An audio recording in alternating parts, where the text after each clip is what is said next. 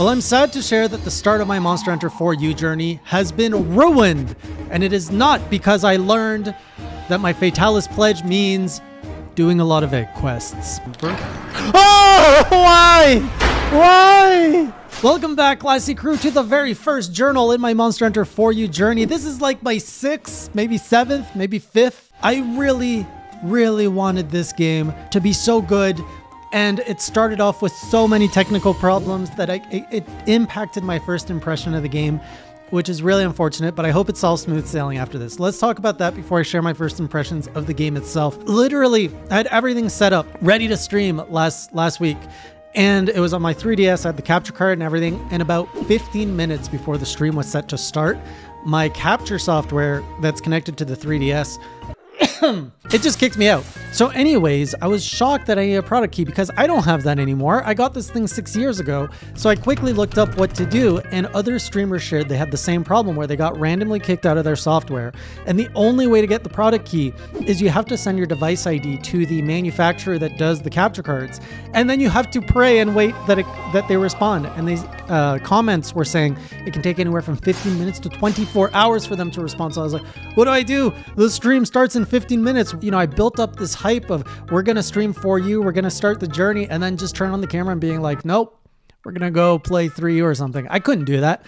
So I quickly gathered, uh, found Citra, never used this thing in my life and it, within 15 minutes got it running for you but man was it problematic what i learned is citra requires a ton of custom codes and cheats and configurations to run for you properly otherwise you're stuck with a bunch what is this Oh my goodness. What a horrendous experience.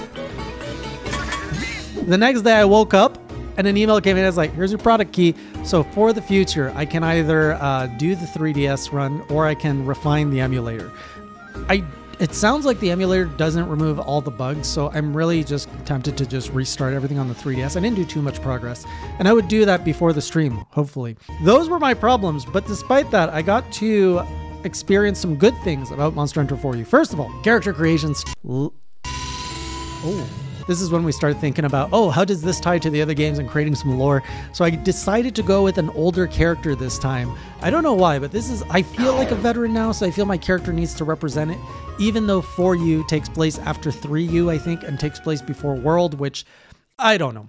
So I also got uh, Senior Classy or Sir Classy. Sir Classy is now my palico for this one. And I just want to bring attention to the fact that the straw man face is an option in character creation. That's so left field. When I was watching that back, I was like, oh, this would actually make a really interesting anime using some of the characters in the character creation screen. So I got I got my look going. My initial impressions of just the game from a visual standpoint is everything is so much brighter. 3U is a little bit more glum, it was a lot more blue. Here it's very orange bright, and I don't know it's because we're in the desert, but yeah, everything's bright. The controls feel a lot smoother, and I don't know if this is a emulation thing or not, but just moving around, there's a faster pickup and stop compared to 3U. 3U has an even like kind of slower when you tilt the joystick. There's a little bit of a weight as you feel like the weight shifting for that character to move.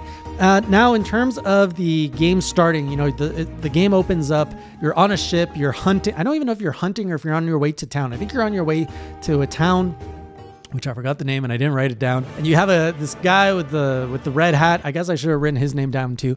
I I am so not used to like writing notes about the story of Monster Hunter 4 uh, about Monster Hunter in general.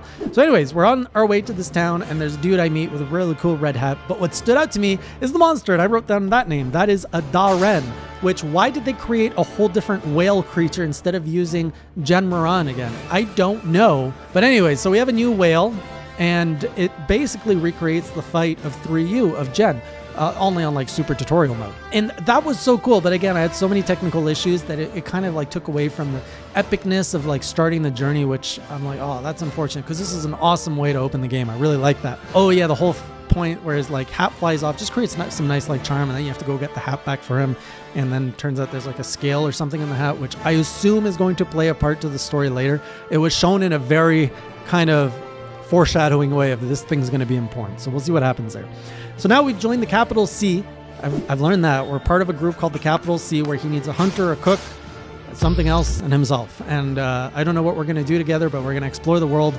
This sounds almost like the setup for JoJo's Bizarre Adventure Part 3 when they go off on an adventure in a group of multiple men. One thing I absolutely love, and I don't know if this is the standard of the game, but the fact that every single one of your quests is assigned by a villager. And so far, this is what I'm seeing. So I don't know if it's going to change later. But it seems like the trend is if you want a quest, you actually have to talk to a villager who asks you to do this versus talking to a quest lady who's like, by the way, here are all the requests. I can't stress enough how awesome that is. It ingrains you into the community, into the village, and it really makes you feel like you're helping people outside of taking requests from a counter, which makes sense too. Like if you think about a world where there's a hunter, people would probably file their request in a central location so that the hunter is not being bothered. But in a video game setting, I just feel being able to talk and connect with the people, get the quest, finish the quest, and then you go to them and you're like, I did it, and they're like, and I think they do this in Rise to some extent for like some of the side stuff, but the bulk of your quests are given to you by the quest lady. I don't know if that's going to change in 4U, but I just want to say so far, I love talking to people to get the quest. That's such a small thing, but a big difference also love the fact I think it's the Smithy. He's called the Man, and uh, when I was about to talk to him, everyone in chat was going off like the Man, the Man. I was like, what are you guys talking about? And then I'm like, oh, his name is the Man. Outside of that, I made an oopsie at the beginning where it's like, do you want the tutorial help or no? And I really want to say no, but I accidentally, I guess, said yes. So now I'm getting all this like kind of obnoxious tutorial stuff. But I have to say, if it was my first game and I was learning, it is. I feel it's given to you in the right amount. And I think the game does a really good job at easing you in of like, okay, we're gonna go get some mushrooms. Here's how you gather. Here's how you craft. It does walk you through all of the mechanics I think a Monster Hunter game needs to. And it's unfortunate because I'm in tutorials, so I have to like go through all this text that I don't need to know. I really don't need to know it. So it's slowing me down because I'm like, I just want to go hunt something. Give me a monster. And uh, finally, I did get a monster. First one is the great. Wait, was it the first one? So I said I would go with Charge Blade. I went with Charge Blade, and I did get to practice with the great Jaggi. I think it's great Jaggi. I have to say, as someone who has slightly experienced Charge Blade in the other game, it came to me so fast in this game. It was just like First, you slash the beast with your sword, the monster with your sword. You charge up your files. You put the files in the shield. You charge up your shield. You charge up, uh, you get some more files, and then you pull out your axe and you just freaking Saeed that thing to death. It is pure endorphin. And I feel as I'm describing it, that's exactly how Charge works. But it is, there's something simpler about it in 4U that makes it so easy to understand I definitely know that uh, in the newer games you can charge your sword as well, which is not something you can do in 4U. So I don't know if it's that element that's confusing me because in I remember in the newer games you have to charge your shield, you have to charge your sword, you have to charge your axe. Like there's so much charging to do. But in this one it's just get your shield red, get your files. Bam! Big Saeed. And just for um, experimentation's sake, when I was fighting the Great Jaggi in the arena or the, the like tutorial quest, I figured let's try the switch axe just to see what it feels like. Night and day, I'm like, oh my goodness, the switch axe feels slow. It took me longer to kill the the monster despite it having the same health, whereas the charge blade just melts melts the monster, and it's it feels so fluid and good. Like, am I am I changing? Am I moving on from my first love? Am I becoming a Charge Blade main? I don't know. But the I can say I'm enjoying it. So this is looking really promising for what the next. And I've already got my Charge Blade with some green sharpness. So I'm already over the challenge I had in Rise. Um, and then I got to fight a new monster, the Seltas. I was so excited to fight my first bug. And I, it really accentuates how much this game uh, introduced, I think, verticality because now we're climbing walls. Uh, there's a part where he's resting on the wall. I'm like, oh, how do I, how do I get you? I can't like can I attack on the wall? I don't know. So I went to the top of the cliff. I jumped down and I just went whoosh and I just hit him down.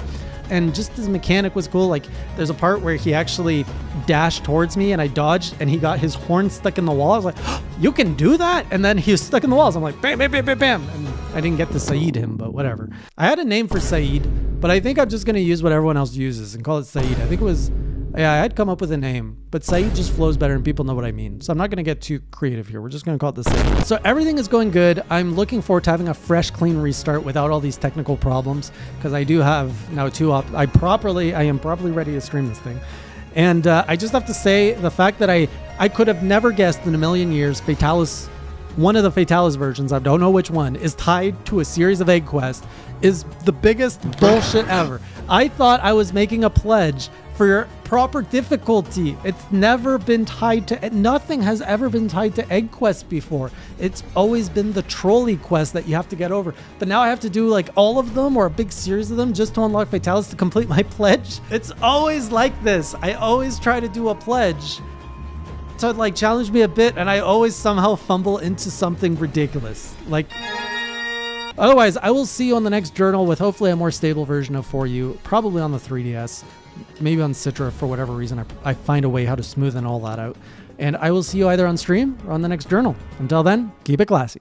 Last time on my Monster Hunter 4U journey, it was ruined by the fact that my 3DS wasn't working, but I fixed everything up. We put on some JoJo music, and we got our first Monster Hunter on 3DS experience. Oh my god, am I gonna cart?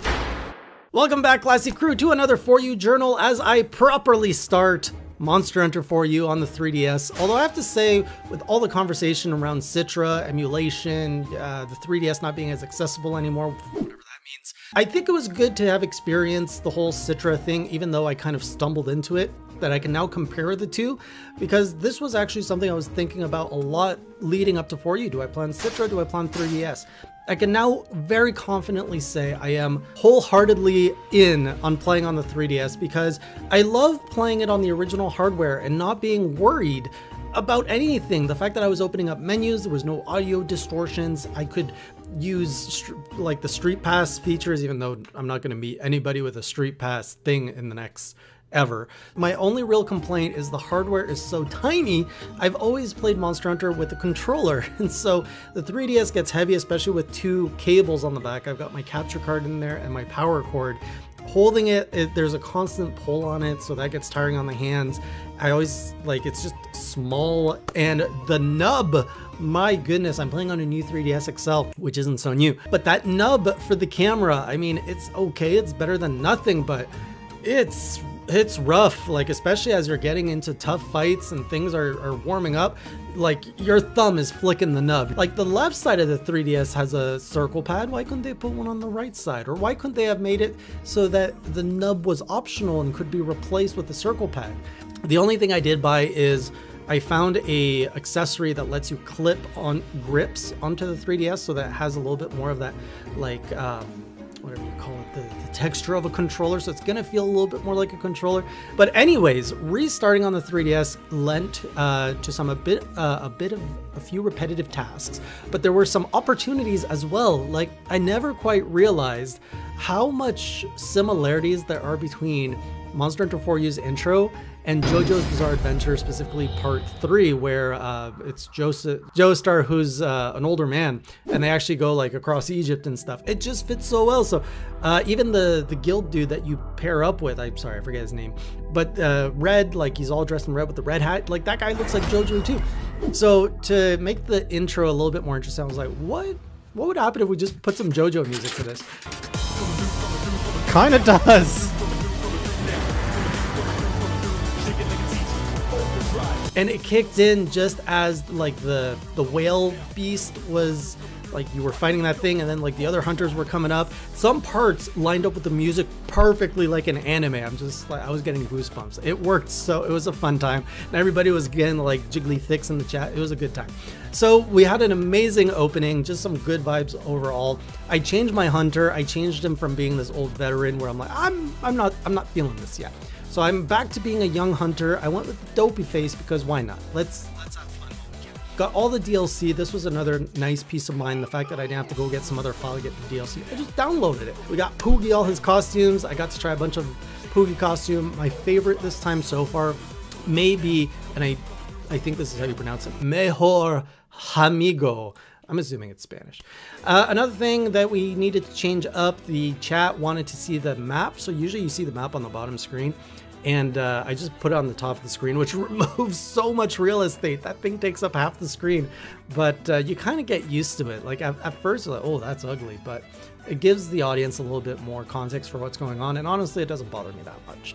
I also finally got to see the cooking scene, which is apparently something that's just bugged out completely on the Citra version of the game Uh, I did make more progress on the game, even though I did repeat because I had less technical issues, and because I knew what I was doing, I was able to speed through a few more things. One downside of restarting is I wasn't able to upgrade my charge blade for the Seltas uh, fight, and so I don't know how I got Monster Essence last time, but I somehow I got Monster Essence very easily. This time I have not gotten any Monster Essence, which is what I need to upgrade my my charge blade, and so I'm on a reduced charge blade, which is hurting me with a reduced camera ability because I'm stuck with a nub. Man! Oh my god. So Seltas ended up being a lot harder this time, which is really concerning to me because he was a fun, easy fight when I played him with the Xbox controller, but to play him with the 3DS controller is a whole different difficulty. And I'm like, this is the first monster.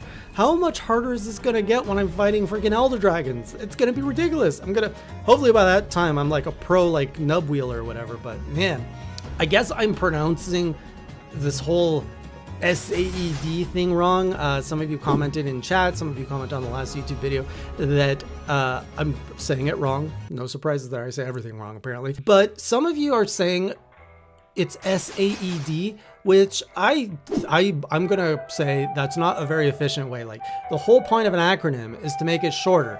But if you're going S-A-E-D, that is four syllable word. I've reduced it to two, Saeed. And some of you say it's said but like, I'm gonna slam you with a said? It's no. Said. So from there, I discovered I could actually click around on things on the map when I'm in the village. I discovered a new city called Dundorma. I think it's the capital city, Really cool vibe here, very mysterious. There's a guard who's like, you can't go through here. I'm like, oh, you wait, you Lance user, I can get right through you. Uh, explored a little bit what was going around here, and there was a very cool music hall where you could listen to a performance. And the song reminded me very much of the Ceadeus theme from Monster Hunter 3U, and I think it's the same voice actress or the same songstress that sings these songs. These little moments in Monster Hunter, or any video game really, add so much charm and life to the world that you are living in. I, I love these little things. It's it doesn't really do anything to the gameplay or make like the game harder, easier, whatever, but it adds atmosphere and I feel I feel there needs to be more of these things like as we as we gamers uh, ask for things in our games, I think we should ask for more of these little simple things that just bring more charm. Like I remember dipping your palico in the hot tub in Monster Hunter World. That was like I still remember that. It was one of the most adorable things I can remember. Monster Hunter wise, when you start off with like just the cutscene of being in your house and you're waking up and there's two ladies, strange ladies walking into your room, like it just adds world building. I, I feel there needs to be more consistent world building in Monster Hunter. And it just has to be oh so tasty. Like I've just cooked some meat. It's delicious. It's very tasty. These are the things we need. Those are not the things you cut out or you dilute. Anyways, I'm getting ahead of myself. So next up, outside of um, Dundorma, I can also go on expeditions. I don't quite understand the point of an expedition. I don't know why they exist compared to just typical quests. Um, I'm not quite sure what they're supposed to do, but through these expeditions, I met some old nemesis. Nemesis? What's the plural of nemesis? My Monster Hunter 1 freaking challenges showed up again. Velocidrome and Yian Kut-Ku two monsters that somehow I've completely avoided in the rest of all that doesn't exist in all the other games, except Monster Hunter 1, which I played, who gave me such a bad time, show up back to back in expeditions, two different expeditions, but still back to back. So Velocidrome, I was red. I'm like, oh, I'm gonna like I'm coming after you, and I think I killed him in like 10 minutes. He was nothing, just nothing, just uh, uh, Said him. And then there was Yian Kut-Ku, which uh, I was a, I was super cautious because I don't think in Monster Hunter 1 they had Konchus. Now they have Konchus, and Yian Kut-Ku likes the Konchu. And when he eats the Konchu, I think he's able to spit fire. He spits the Konchu out. Anyways, he's more dangerous because he's got Konchu. And conchu C, he's more dangerous. I, am going to be making lots of Konchu puns. He wasn't as difficult either. And I, one of the biggest differences, just thinking thematically, I'm going to compare Monster Hunter 1 Yian Kut-Ku to Monster Hunter 4U Yian Kut-Ku. The world in Monster Hunter 4U is bright. You first encounter him on this beautiful, like green, clear landscape, beautiful sun. It's bright. It's a happy day to slay a Yian Kut-Ku.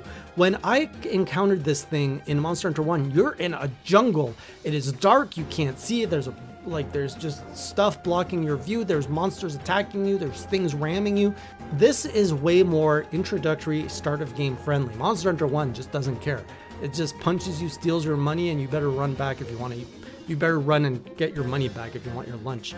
Two new monsters down in Monster Hunter 4U, Velocidrome, Yian Kut-Ku, both of them gone. Can't really build any armor from those parts or any new weapons, so I'm gonna have to grind some of these out soon uh, to get anything decent. And I've also unlocked now guild quests, which I don't quite understand what they are yet. It sounds like an anomaly quest from Monster Hunter Sunbreak, or people, as people say, the anomaly quests are probably inspired by this. From what I understand, you can do guild quests, you can level them up, and they rank up like. I'm not quite sure what's going on there, but um, I think I can do another single player run before I probably have to open it up to multiplayer to just do some grind uh, and get some better armor and some better weapons. So that's where I'm at. I'm all caught up. I'm on the 3DS. I'm gonna stick to the 3DS.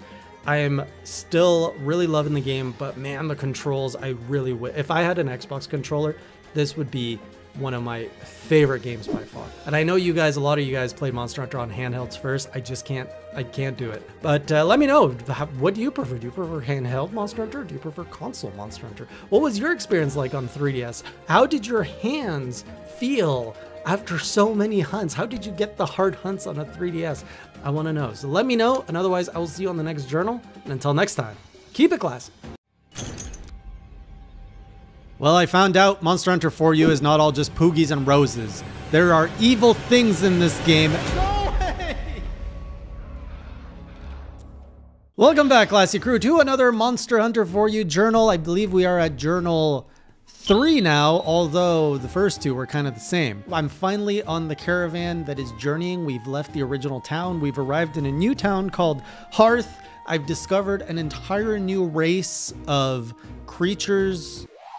Can we? Uh, called the Troverians, which, where have they been this whole time? Why aren't they in Rise? Why aren't they in World? Why aren't they in 3U? Is this the only game they appear in? I'm shocked that I've been playing in this universe for two years now, and I've never once met a Troverian until this past week. So I'm happy to see that this world is a little bit more diverse. It's not just humans and Wyverians, but now we've got Troverians. I think that's how you pronounce it. So instead, let's start where the stream started. I actually started with some multiplayer First time trying multiplayer, it was a little bit difficult to figure out at first just because it was so different, but once I got it working, it was nice and easy.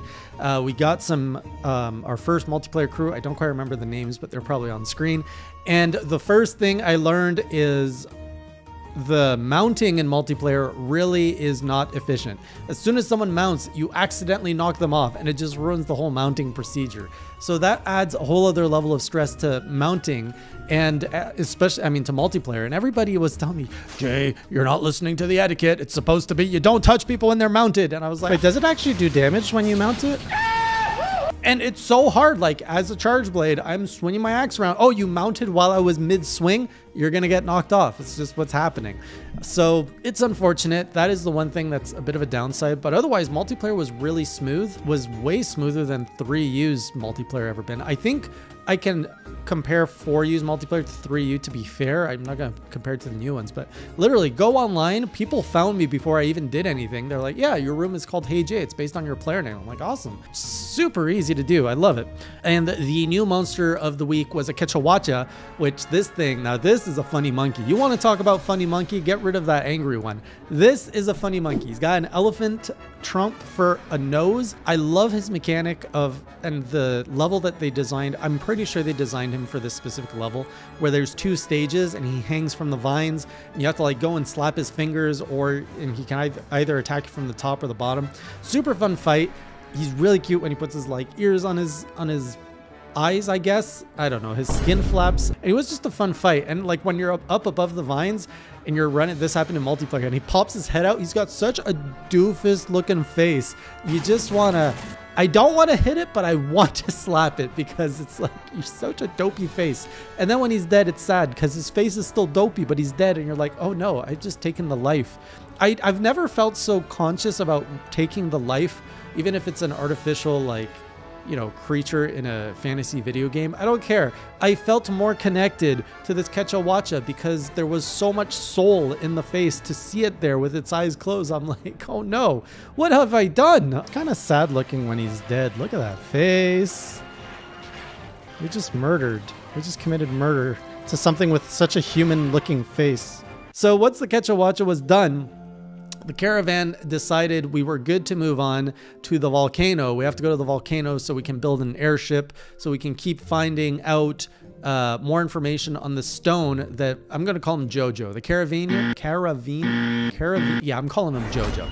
And so here we are. We've arrived at Harth at the base of the volcano, aka Depressed Town, because all the Troverians here were freaking depressed. Nobody wanted to talk to me except the dwarf's daughter, I think, the dwarf master's daughter. And she had a very familiar outfit and everyone said it's i'd have to look at it again i haven't looked at it since but i was like oh why do these armor like the Troverian's outfit look so familiar and everyone's like you don't recognize it from the sunbreak lady maybe and so yeah the the blacksmith in sunbreak i think wears the same armor as either the daughter or all the Troverians i don't quite know exactly I'd have to pull up the images, but I'm pretty sure it's the same outfit. I am looking at her outfit. What about it? So we arrive there. The Troverians are mad because uh, there's a monster, aka a Tetsucabra, in the in the mines, and they can't mine anymore. And when a dwarf can't mine, they get depressed. And also, apparently, the lava has stopped flowing, which is a whole other problem to deal with later. So I was excited because I, I know the Tetsucabra from Rise in the guild uh, hub, and I've I, I don't know what it is with frogs, but I love frogs. I love the Tetsucabra design. I was like, oh yes, I want to go fight this boy. Let's go. I was so excited. He jumped. He has the sumo thing. I love his design, like his tusk everything about this his design I love, his fight I love, his armor I love so much. He's got like a freaking samurai armor uh, helmet looking thing. The the shoulder pads I don't care so much about. It kind of looks like a a football player shoulder pad, but man, that helmet is awesome. In fact, after in my second stream where I just did multiplayer, I uh, we grinded out that helmet and the chest piece. And I had to, I'll tell you later what I got, but I had to replace the armor I had because it was ugly. So, anyways, we've got some sexy armor now. I've gotten to finally fight a Tetsucabra, which made me so freaking happy. And I got to discover a new locale called the Sunken Hollow. I really, really love the design of this, and it it shocks me that they didn't do a level like this or even just brought this one back for Rise Sunbreak. Uh, the Sunken Hollow, you start at the top of the level, and every time you pretty much transition scenes, you're jumping further and further into this thing. I think it's a volcano. I, am not sure. But the level is so vertical. It, it's like, why didn't you put this in a game where verticality is king? Rise and Sunbreak, you're wire bugging everywhere. So I don't I don't know what they were thinking, but I'm really liking how much verticality they they've added to this game. It's clear that they were really trying to give you a lot more uh, opportunities to mount on monsters. There's so many ledges everywhere. I love this is what I I love the little hop and you go on the mount. I love that so much more than wire bugging or hitting a monster and then it's all dazed and you got like white things saying, yeah, mount me. It's just the satisfaction. There's something to be said about, I think I can mount him, hop, hit, you mount versus you're fighting and spamming and all of a sudden, oh, I can get on him and bang him into a wall. That's just not as satisfying please, I really hope in the next Monster Hunter we get back to mounting and stabbing. I love mounting and stabbing repeatedly on a monster. Call me a psychopath, but man, I love it. So then uh, we, we I killed this uh, Tetsucabra, discovered the Sunken Hollow, fantastic place, and then the Ace team has arrived. Now I'm not quite sure why the Ace team has showed up, but I got to meet all four. Uh, there's the there's the Ace Cadet, which is Aiden. There is the Ace uh, Gunner, which is Best Waifu. There is Ace, a new one who was not in the film. This other Ace who used to be part of the caravan, who was like JoJo's BFF. He's there, and then there's the Ace Hole, the Ace jerk who's who's who looks like an anime uh, side character, like the Vegeta of the group he's I don't I don't know what what's wrong with him. Even all the other characters are like, yeah, he's he's grumpy. He's gonna yell at you. So I think they're there to investigate why the lava stopped flowing, which I suspect there's a pretty big monster probably hiding out in the volcano that we're gonna have to kill. That's causing like this sounds very familiar to the Lagiacrus problem we had in 3U, uh, causing the earthquakes or the Ceadeus. I think, I think that's what's happening here with the lava flow.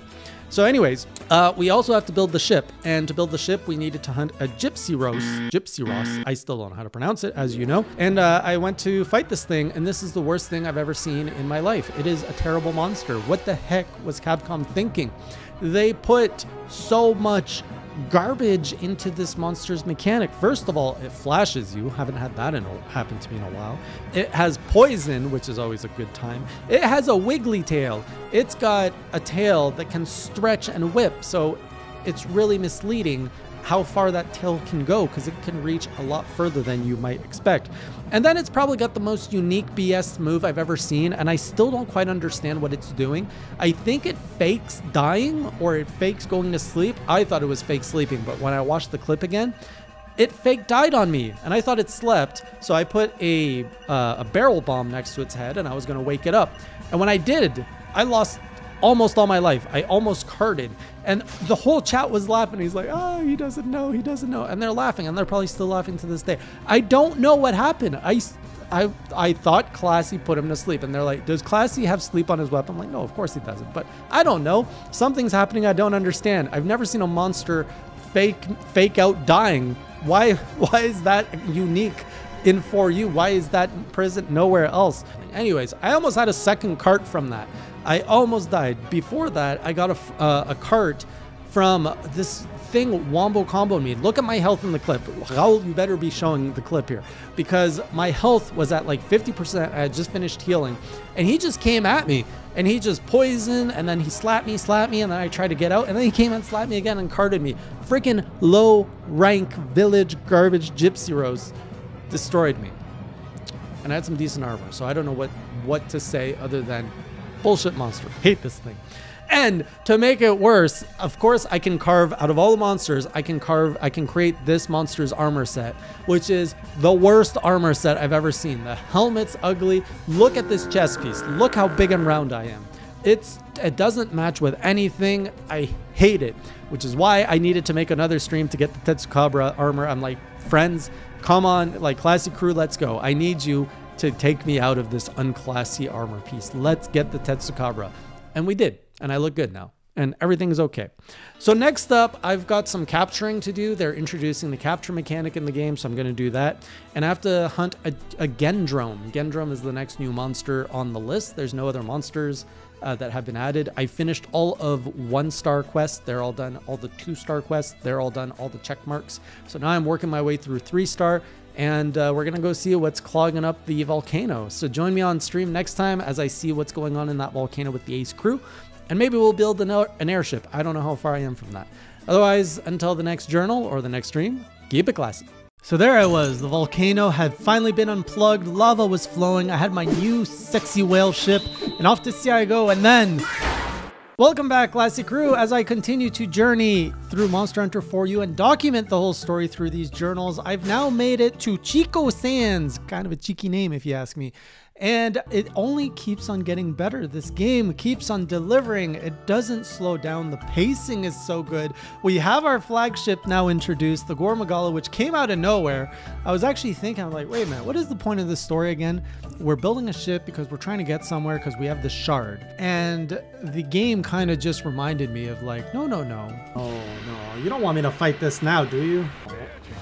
If there wasn't so much forewarning by the crew before I left saying, are you sure you're ready? Do you have everything? Did you empty your pouch? Do you have all the items you want? And I was like, oh, something big's gonna happen, isn't it? No! In fact, I had almost forgotten he was the flagship of this game that I think the story revolves around. So I was just completely caught unaware because I was having so fun with all these new monsters and new locales and new races and all these other things. Um, so it was a very fun and like encouraging uh, stream of just new stuff. So starting off with the Gendrome, I wasn't really expecting much from a drone. These things tend to be kind of, yeah. And I was like, really? I fought three different types of you at this time. At this point, what are you gonna do different? And it's like, oh, come on. I think when it comes to fighting the drones, the one that Poisons is definitely not as bad. The one that puts the baggy, I think, is the one that puts you to sleep, and this one that paralyzes you are kind of two that are just you know really stops the flow of the fight. So not a fan of these. And then I think the little Gendromes, the little minions, they can also paralyze you. Those weren't so much of a problem because I cleared the the crowd pretty quick. One thing I really love about the Charge Blade is when you put it in axe mode and you just go whoosh whoosh around, all the little things die. It's beautiful. It's one thing that I struggle with a little bit with the Switch Axe that the, the Charge Blade is just way superior. It can crowd control really efficiently. I love it. Bam! First capture. I got a little bit further on my egg journey because I've learned that there is a Fatalis that unlocks at the end of the egg. If you're just joining me on the journey, reminder I have a pledge to defeat every form of Fatalis in this game, which means I do have to pursue this whole egg mafia business. Now, a Troverian is in on the mafia, and he uh, had me send, uh, had me go get some herbivore eggs. And I have to say, I was a little bit worried about this because the whole chat went on emote only. They were going all like, shh, don't tell him, don't tell him. I was like, oh, come on, what's going to happen? And I was on edge the whole time, and it was one of the most uneventful quests ever. The stress was only there simply because chat made it up, and there was no, there was nothing to fear. I, I killed the herbivores, I took their eggs, and I climbed some mountains.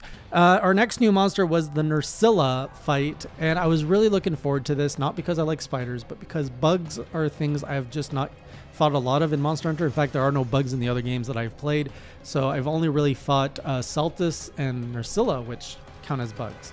Now, there is the spider in Rise Sunbreak, but it's not quite the same. It's definitely the more buggy of the monsters, but this one feels way more spiderish.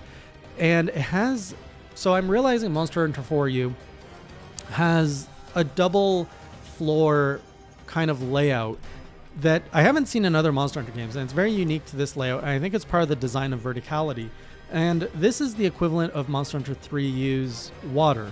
Basically, the water fights were unique to Monster Hunter 3, 3U. I think the dual level stage is what's unique to the Monster Hunter 4, 4U fights. And that's when uh, the monster can either go like above you or below you or swing from vines and stuff. I've now seen this with the Quechua that could uh, make use of that pretty good. Nerscylla and later on Kongala. They all fight you at two levels, and there's different strategies depending on how you fight it. I really love this layout. I prefer it way more than under underwater fighting. And if there's one thing I'm realizing I would definitely want in a future Monster Hunter is if they can bring back that dual stage layout, and if that means bringing back some of these monsters in future installments, I'm all for it. I, I enjoy it because I'm like, oh, it's up there. What, what's it going to do up there? And it's a different set of moves than if you're above it. And it just really makes for an interesting fight. So Nerscylla was a cool fight overall. The thing I hated the most were its freaking mandibles, which just come out of nowhere. As its own like default state, yeah, it's a gross spider, but it's nothing too bad. But then when the mandibles come out and it's twice as long as its own body and it's just trying to chomp you, those things are nightmare fuel. I don't like those. And I got chomped a few times because I got uh, webbed. So Nerscylla fell. Uh, there was nothing really. I, I found out that Nerscylla actually eats the Gypceros, which I absolutely despise, as I said in the last video. So I can't really hate on Nerscylla in any capacity, even if there was something I disliked, because she eats that thing. Perfect. In fact, I don't even want to hunt Nerscylla. Let the Nerscylla populate so that there are no more Gypceros. That's how it's going to go. All right, so after that, I got, uh, she was the one clogging up the volcano with her web, so the volcano um, released. We had love everywhere. The Troverians uh, knocked out of their depression, and then they built a ship. And out of all the things they could have built, they built a whale. A whale of a ship. Well, look at that. Not the most, I don't know, exciting looking ship. I never understood the obsession with making whales for ships. Uh, they did it in Final Fantasy IV as well. It was actually a spaceship, and they made it as a whale. Like whales belong underwater. If it was a whale sub, it'd be one thing, but a whale ship, not a big fan. I do like the fact that you see the big Dragonator, but it also it's so obvious that it's in its mouth. It's like telling the monster, "I have a Dragonator, fly in front of me." If you want to die, it's it's not effective. So we sail out with the whale ship uh, called the Arluk, I think it's called. I know I could just say Arluk, but I feel that the R needs to be a little bit more glottal for this one. Arluk. We sail off, and then out of nowhere in the stormy sea, a freaking Gore Magala comes out and attacks us. Really interesting throwback to the fight in 3U where you fight the uh. Very different because now instead of a sea like uh, or a sand whale, you're fighting at sea and you're fighting uh I don't even know an elder dragon. Like this thing's flying around. So it was intimidating. It uses a lot of the moves I recognize from Sunbreak. I did get the whole frenzy. Uh, thankfully, it was just a repel quest because I was not ready to fight this thing. I think, I don't think I was doing so well. Luckily, I knew how to use all the artillery and stuff on the ship, and I think I, yeah, I got the Dragonator off, and using some ballista and some few well-timed position like attacks on it, it fell, flew away. Oh no, it didn't fly away. Flew away, came back, and then the Ace squad came in and rammed their boat and made sure the Gore Magala went away. So that's who the Ace crew is after. They still haven't really uh, learned to respect me yet, so I have to earn their respect. But anyways, we washed up on Cheeko Sands, which is our next area. And uh, here there are a lot of palicos. There's a little palico island, and it looks like I've now opened up the palico system uh, after saving one of the palicos from a conga from a conga. Is it a congala or a congalala? I don't know. The pink monkey, who is a joke. I don't. Out of all the monkeys, this is the most, the least threatening. He's just a funny monkey, even funnier than the Kecha Wacha. They just keep making him funnier and 4U. And then I guess there's the ultimate funny monkey waiting for me later on in the game. But this one, I mean, he's got a heart on his butt. He farts. He's known for farting. That's his big thing. He's he's a gassy boy, and they made him like cute and pink. So there's nothing. And even when I'm fighting him, the worst thing he does is he jumps up in the air. You see the shadow. You you move aside. He glomps on the floor, and then you just bang him, and then you have stay away when he gets crampy. It's it's not that difficult of a fight, at least not yet. So uh, the Congalala was slain. I think it's La, two laws, Lala, and the Palico uh, was open or was open. The Palico was saved. And now I can hire more Palicos or something. I'm still not very well versed in the whole Palico system, but I now have two Palicos. So Classy has a friend who is joining us on our adventures, and um, things are going to die faster, I assume. I also did a fishing quest and I know I've laughed a bit in the past about the chat saying, oh, fishing quests are bad, and I've been kind of lucky. This time my luck has run out. I needed four small goldfish, and it took me, I think, a good half hour to get them. They just weren't spawning, they weren't biting the line. It took a long time to get those small goldfish. So now I understand the fishing pain when you're not getting the fish you want. Uh, and then I did another Kecha Wacha fight, which unlocks some new monsters. So I've got a Basarios, which has been unlocked, uh, that is waiting for me in the next stream. And super hype because the next urgent quest, I think it's an urgent quest, is a Zamtrios. Maybe it's not an urgent quest. Zamtrios, which is a monster I've been wanting to fight since I've met it in Monster Hunter Stories 2. So super excited for an ice frog. I think it's a frog.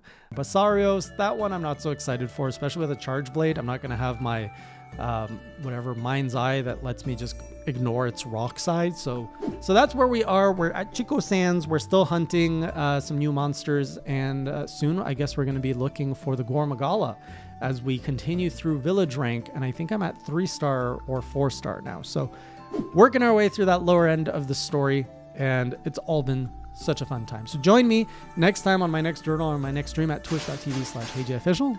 And until then, keep it classy. So a few times now I've asked all of you, which is the best ice monster? And everybody always seems to say Zamtrios. Well, I finally met the boy. And Velkhana is still the best.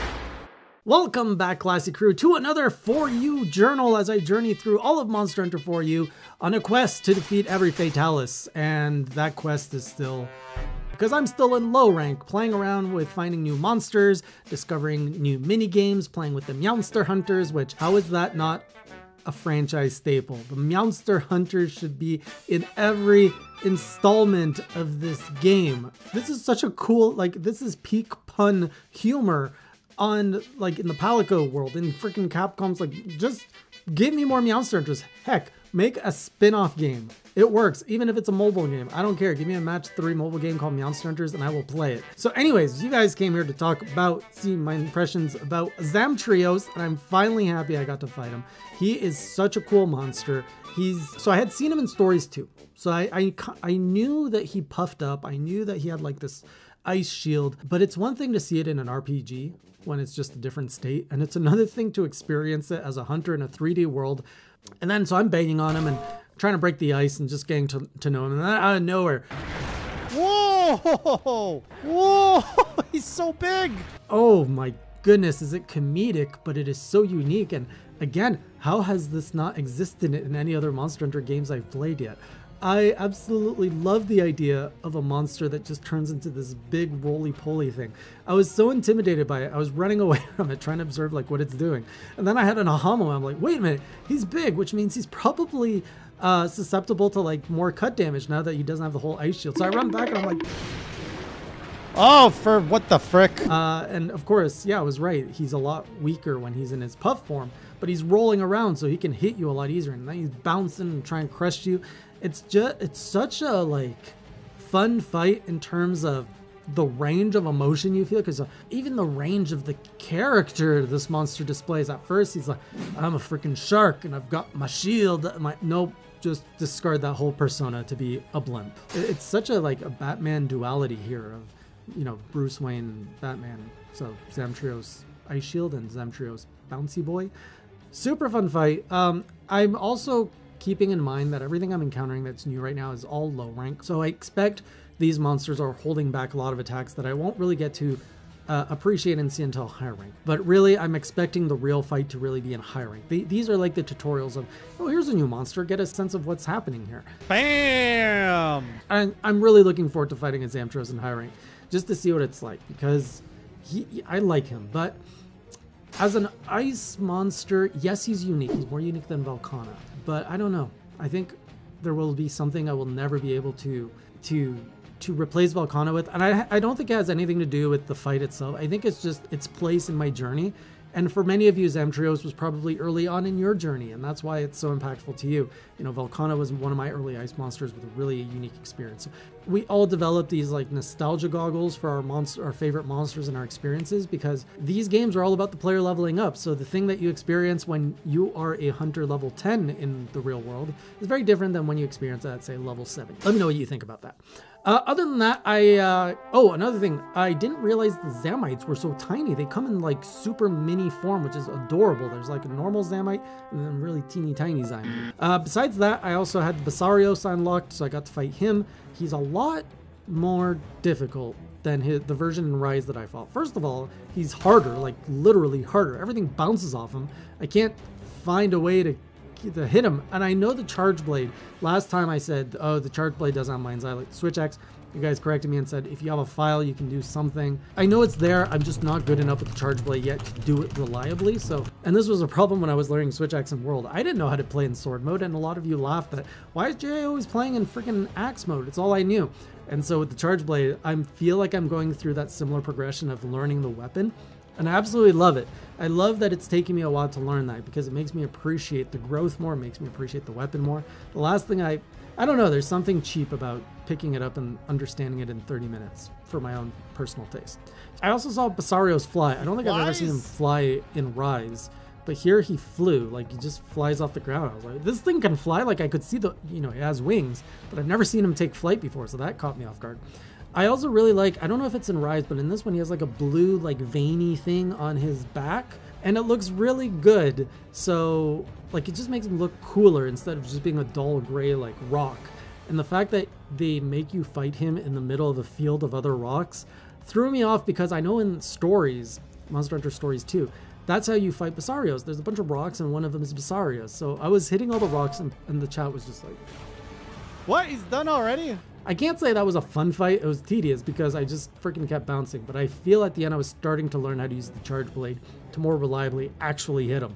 But I'm not fully there yet. And then the next one that I unlocked, the next monster, is a Najarala, which I was really debating putting as the um, on the thumbnail of this video. It was hard to pick between Najarala and Zamtrios because I didn't even know Najarala was a thing. I didn't even know monsters came in snake form in this franchise. This was a monster I didn't even know was in this game. Somehow, it wasn't in Stories 2, so this is the first monster I get to experience that was not spoiled in any way. Like, I just did not know anything about this monster going in. Uh, super cool concept of a fight. And it's so scary when Najarala goes around you, because basically, I, I learned really quickly because it shows you in the cutscene you don't want to be in the middle when it surrounds you because then it squeezes. And I think I got hit once like that, and it takes so much of your health. So you always got to get out.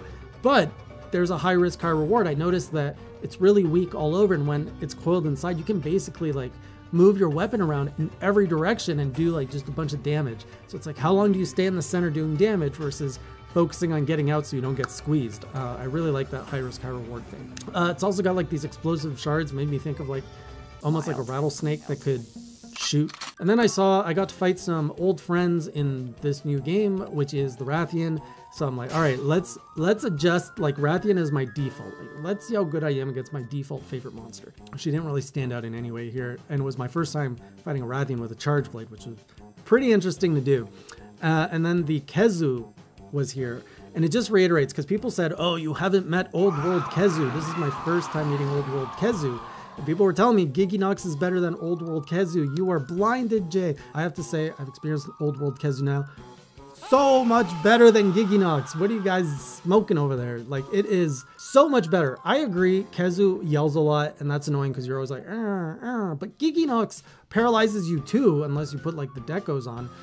I, I think what people don't like, it's I'm gonna just guess here, is the fact that Khezu has no music. I think there is something unsettling about being alone with your own thoughts as you are methodically killing this poor boy.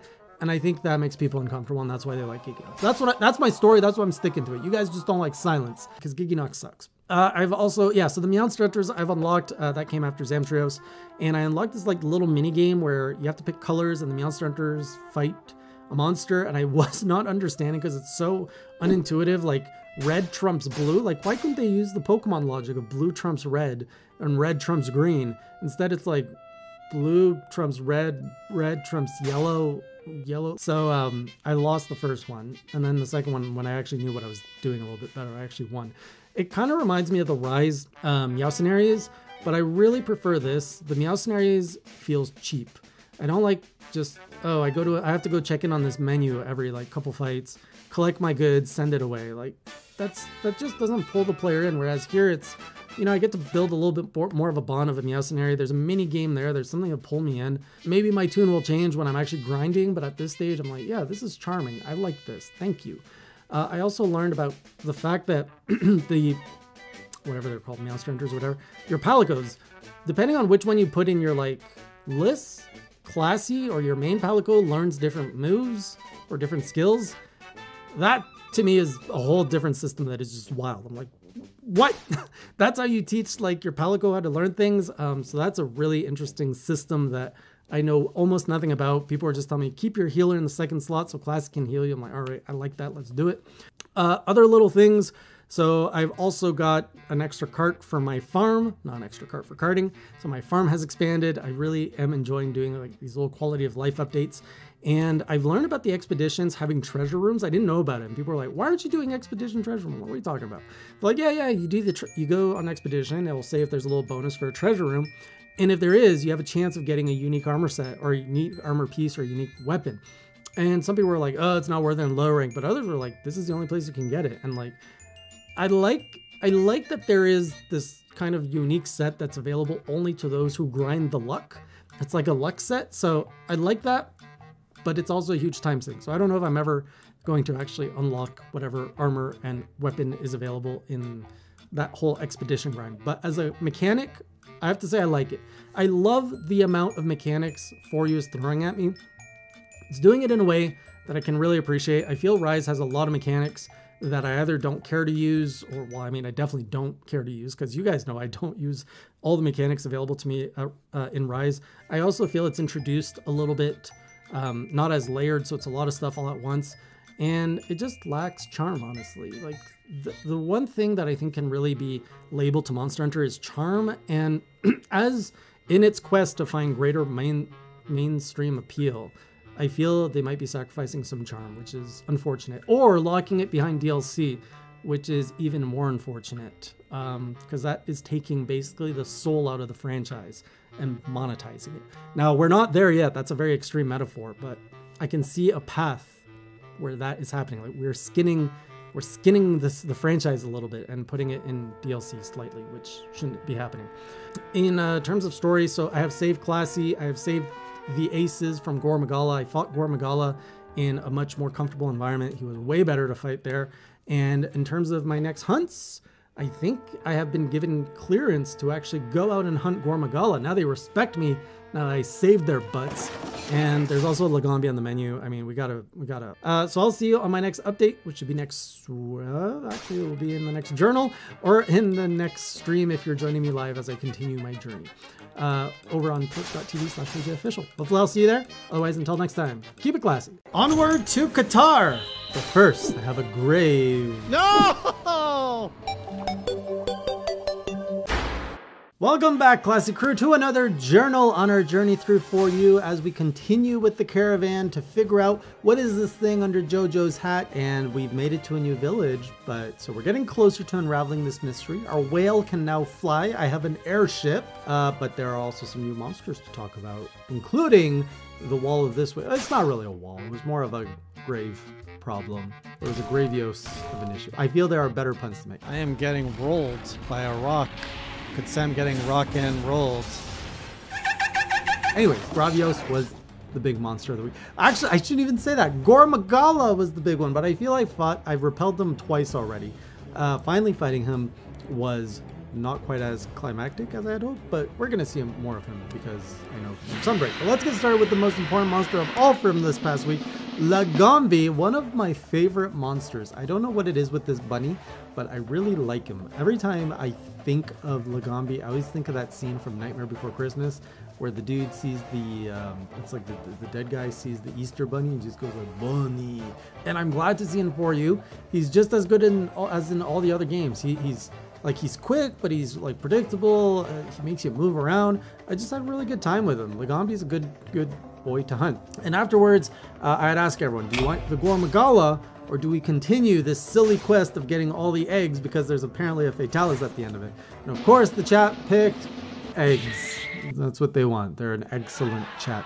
So we've got the Wyvern Egg Quest, the first one that I knew would, I'd be chased by a monster. And of course I make it to the nest and what is sitting there is a Rathian. And I was like, well, I'm a pro hunter. I know what I'm doing. Let's figure out. Well, well, well, I got served a cart in low rank on an egg quest. I can't quite remember what exactly happened, but I now have my second cart of low rank and of this journey, and it's thanks to Rathian. So thank you, my queen, for humbling me once again.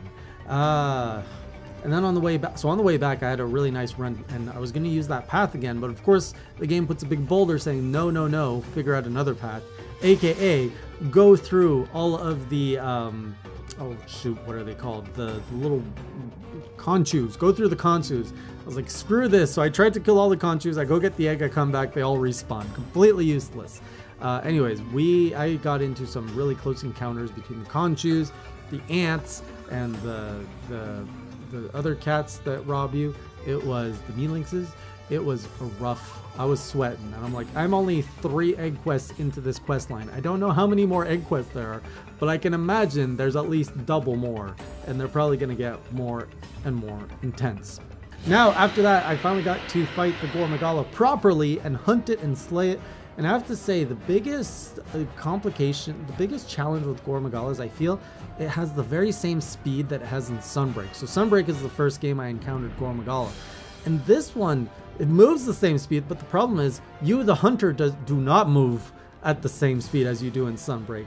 So it's really one-sided in Gore Magala's favor, and it was so hard to maneuver around it. I thought I'd have I, I, I had it in its like blind side or yeah blind side, and I would start attacking. It'd just like nope, it'd be right in front of you. It would start blasting things all around it. I don't remember it blasting so much in Sunbreak. I remember like there were blasts, but in this game there's like a triple blast, uh, which I there, there's a combination if I remember. Anyways, those things kept hitting me. It was so hard to dodge that and then I realized, wait a minute, I have a shield. So I was trying to like, actually instead of dodging like I do with the switch axe, was to actually shield up against some of it. It, uh, it was effective to mixed results.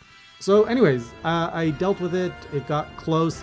Chat got angry because I was leaving they were all betting for me to cart on Gore Magala, and I didn't realize this until later. But I was leaving the arenas to like go and heal or to sharpen, and people were hating on it. I'm like, don't hate the play. So, anyways, now people are asking that they want to add handicaps to my hunts, where, uh, and I'm thinking about it, where the chat could potentially uh, decide where like I'm not allowed to leave a zone or I'm limited to a certain amount of items, things like that to make uh, some of these hunts a little bit more challenging.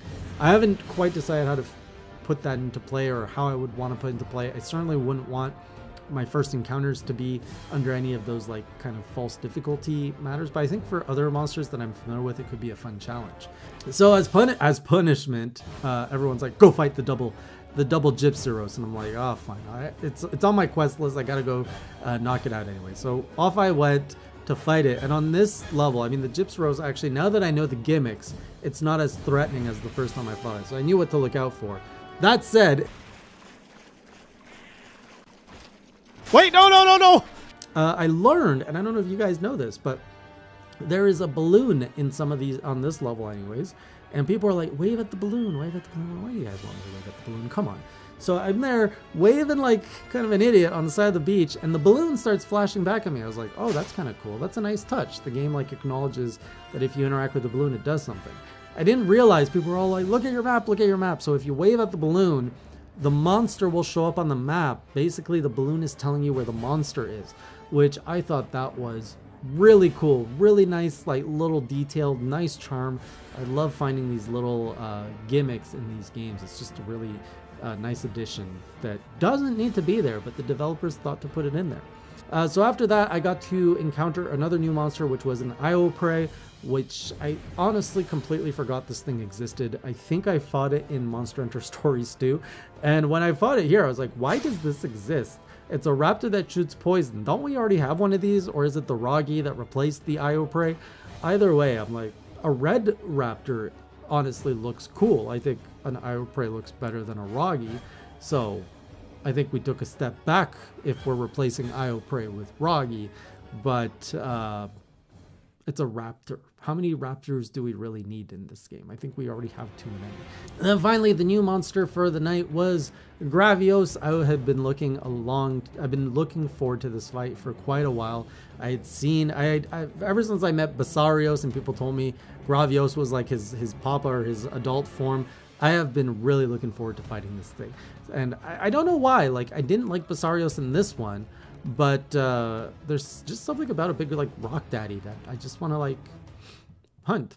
Um, so I actually kind of went toe to toe with the Gravios um, on an optional quest. I, I ended up not uh, hunting him. I waited for the next quest. And man, this guy is big. Like he's, hard. First of all, he's hard. I can't like he's hard to hit, and he's also hard. Like okay, he's this is weird to explain. He's hard on contact, but he's also hard to reach because he's so tall. So I'm trying to use like my tall axe, but I'm trying to charge. I'm like trying to like charge my sword on his on his leg, and he's just hard to reach because he's so high. I've never seen like a monster this high. And uh, I love that he's got like this special beam cannon out of his mouth thing, which is pretty cool. Otherwise, he the, the hardest thing was reaching him. And then I when I was reaching him, it was the fact that he kept making me bounce. But otherwise, he was a fun fight. I really do like kind of just I love that this monster exists. I love that it exists in the ecosystem that it does. There, I, and his face, I don't know why, but I love his face. He's got one of those face that I just really love. And the fact that a big laser beam comes out of it is even cooler, even though it doesn't really make sense. Uh, and then finally, uh, after slaying uh, the Gravios, I got all the parts I needed to build my flying whale, and we set off to Cathar, one of the most peaceful, serene villages I have seen yet in this franchise, dare I say. And the music is beautiful, the scene is beautiful. I don't know if there's a, I hope that there's a level related to Cathar. I haven't done anything after this, but I love the scenery and I want to hunt in these lands of Cathar. So I'm really looking forward to seeing what my first hunt's going to be. Actually, the next one I think is a Congalala, but it says advance. I don't know what that means. I, I kind of made fun of Congalala last time, so I don't know if an advanced Congalala is going to make things more interesting. I kind of hope so. So we'll see what that's all about. And then uh, I discovered another thing in the mini games. So uh, the fishing one, there was a Plesioth that showed up of all things. I was like, what is he doing here? And I thought it was going to be like, oh no, what do I do? And so I just cast my net on it. I caught it. and it just gives you a bunch of Plesioth parts. I'm like, I can get Plesioth armor and weapons without ever having to fight a Plesioth? Monster Hunter 4U is now the best game ever. So that's where I am. We've reached Cathar. We seem to be getting close to figuring out what this thing under JoJo's hat is. They're saying it's part of like a shrine or something. So uh, looking forward to seeing what that's all about. So join me on twitch.tv slash HeyJayOfficial if you want to see the next stream. Or if you want to see the past ones, you can always find them on the YouTube channel HeyJ Streams. Otherwise, I will see you on the next journal. And until next time, keep it classy. So Rathian is pretty elegant. Queen of the skies, has a good move set, but now I've met this Seltas queen. And I gotta say, oh, I may have a new queen.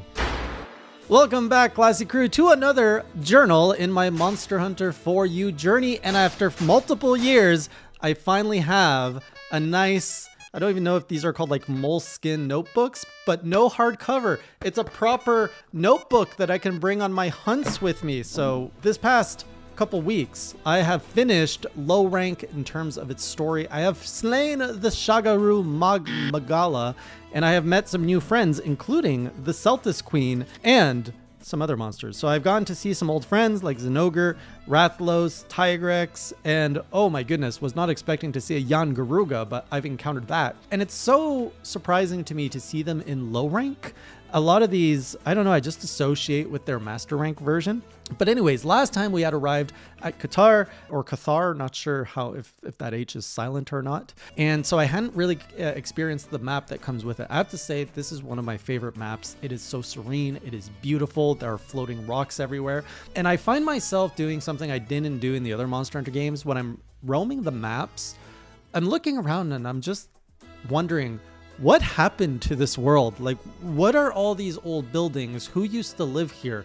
It the game really presents a story without necessarily telling a story, leaving the player to figure it out himself. And I'm not going to say that it's unique to 4U. I'm pretty sure the other Monster Hunter games also do this. In fact, I noticed uh, I was playing Rise or Sunbreak recently, and for example, the the snow level, I never realized that in the middle of the lake there is a skull of a Zora um, now I can just so it's something that is always there in the Monster Hunter franchise, but I think I'm starting as a player, I'm starting to recognize it more and appreciate it more, and it's it's just really good. Like it, it's such a rich world, and I I think that could be dialed up a little bit more, without and just making it better without making things worse. So all that to say, I really love this map. I really love uh, how there is a story put into the map, and I would love to know more about it through the game. I think there's a lot of materials and a lot of like community speculation and, and like developer confirmation and info in art books and stuff, but I wish a lot more of it lived in the games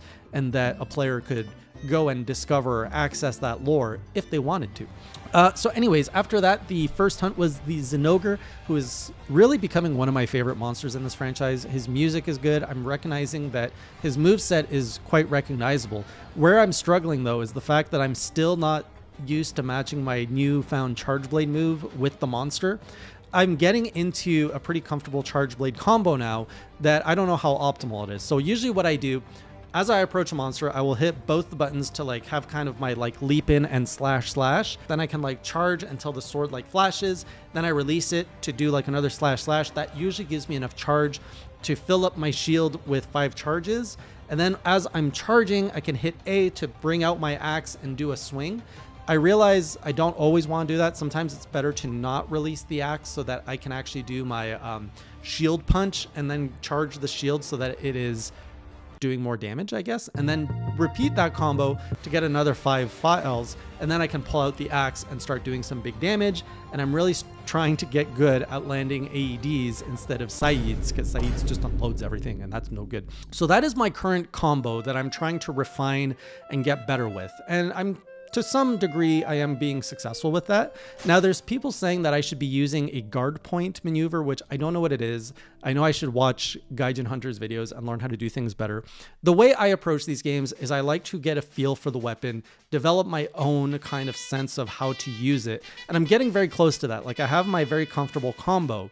And once I have that in place, then I like to look at Eric's or Gaijin Hunter's videos and refine my gameplay of like, oh, I could do this with it. Oh, I could do this better. So, but I made my way through it, and that unlocked the next best special monster, the Seltas Queen. I gotta say, I love, I think, everything about this monster. I met her in Monster Hunter Stories 2, does not do it justice.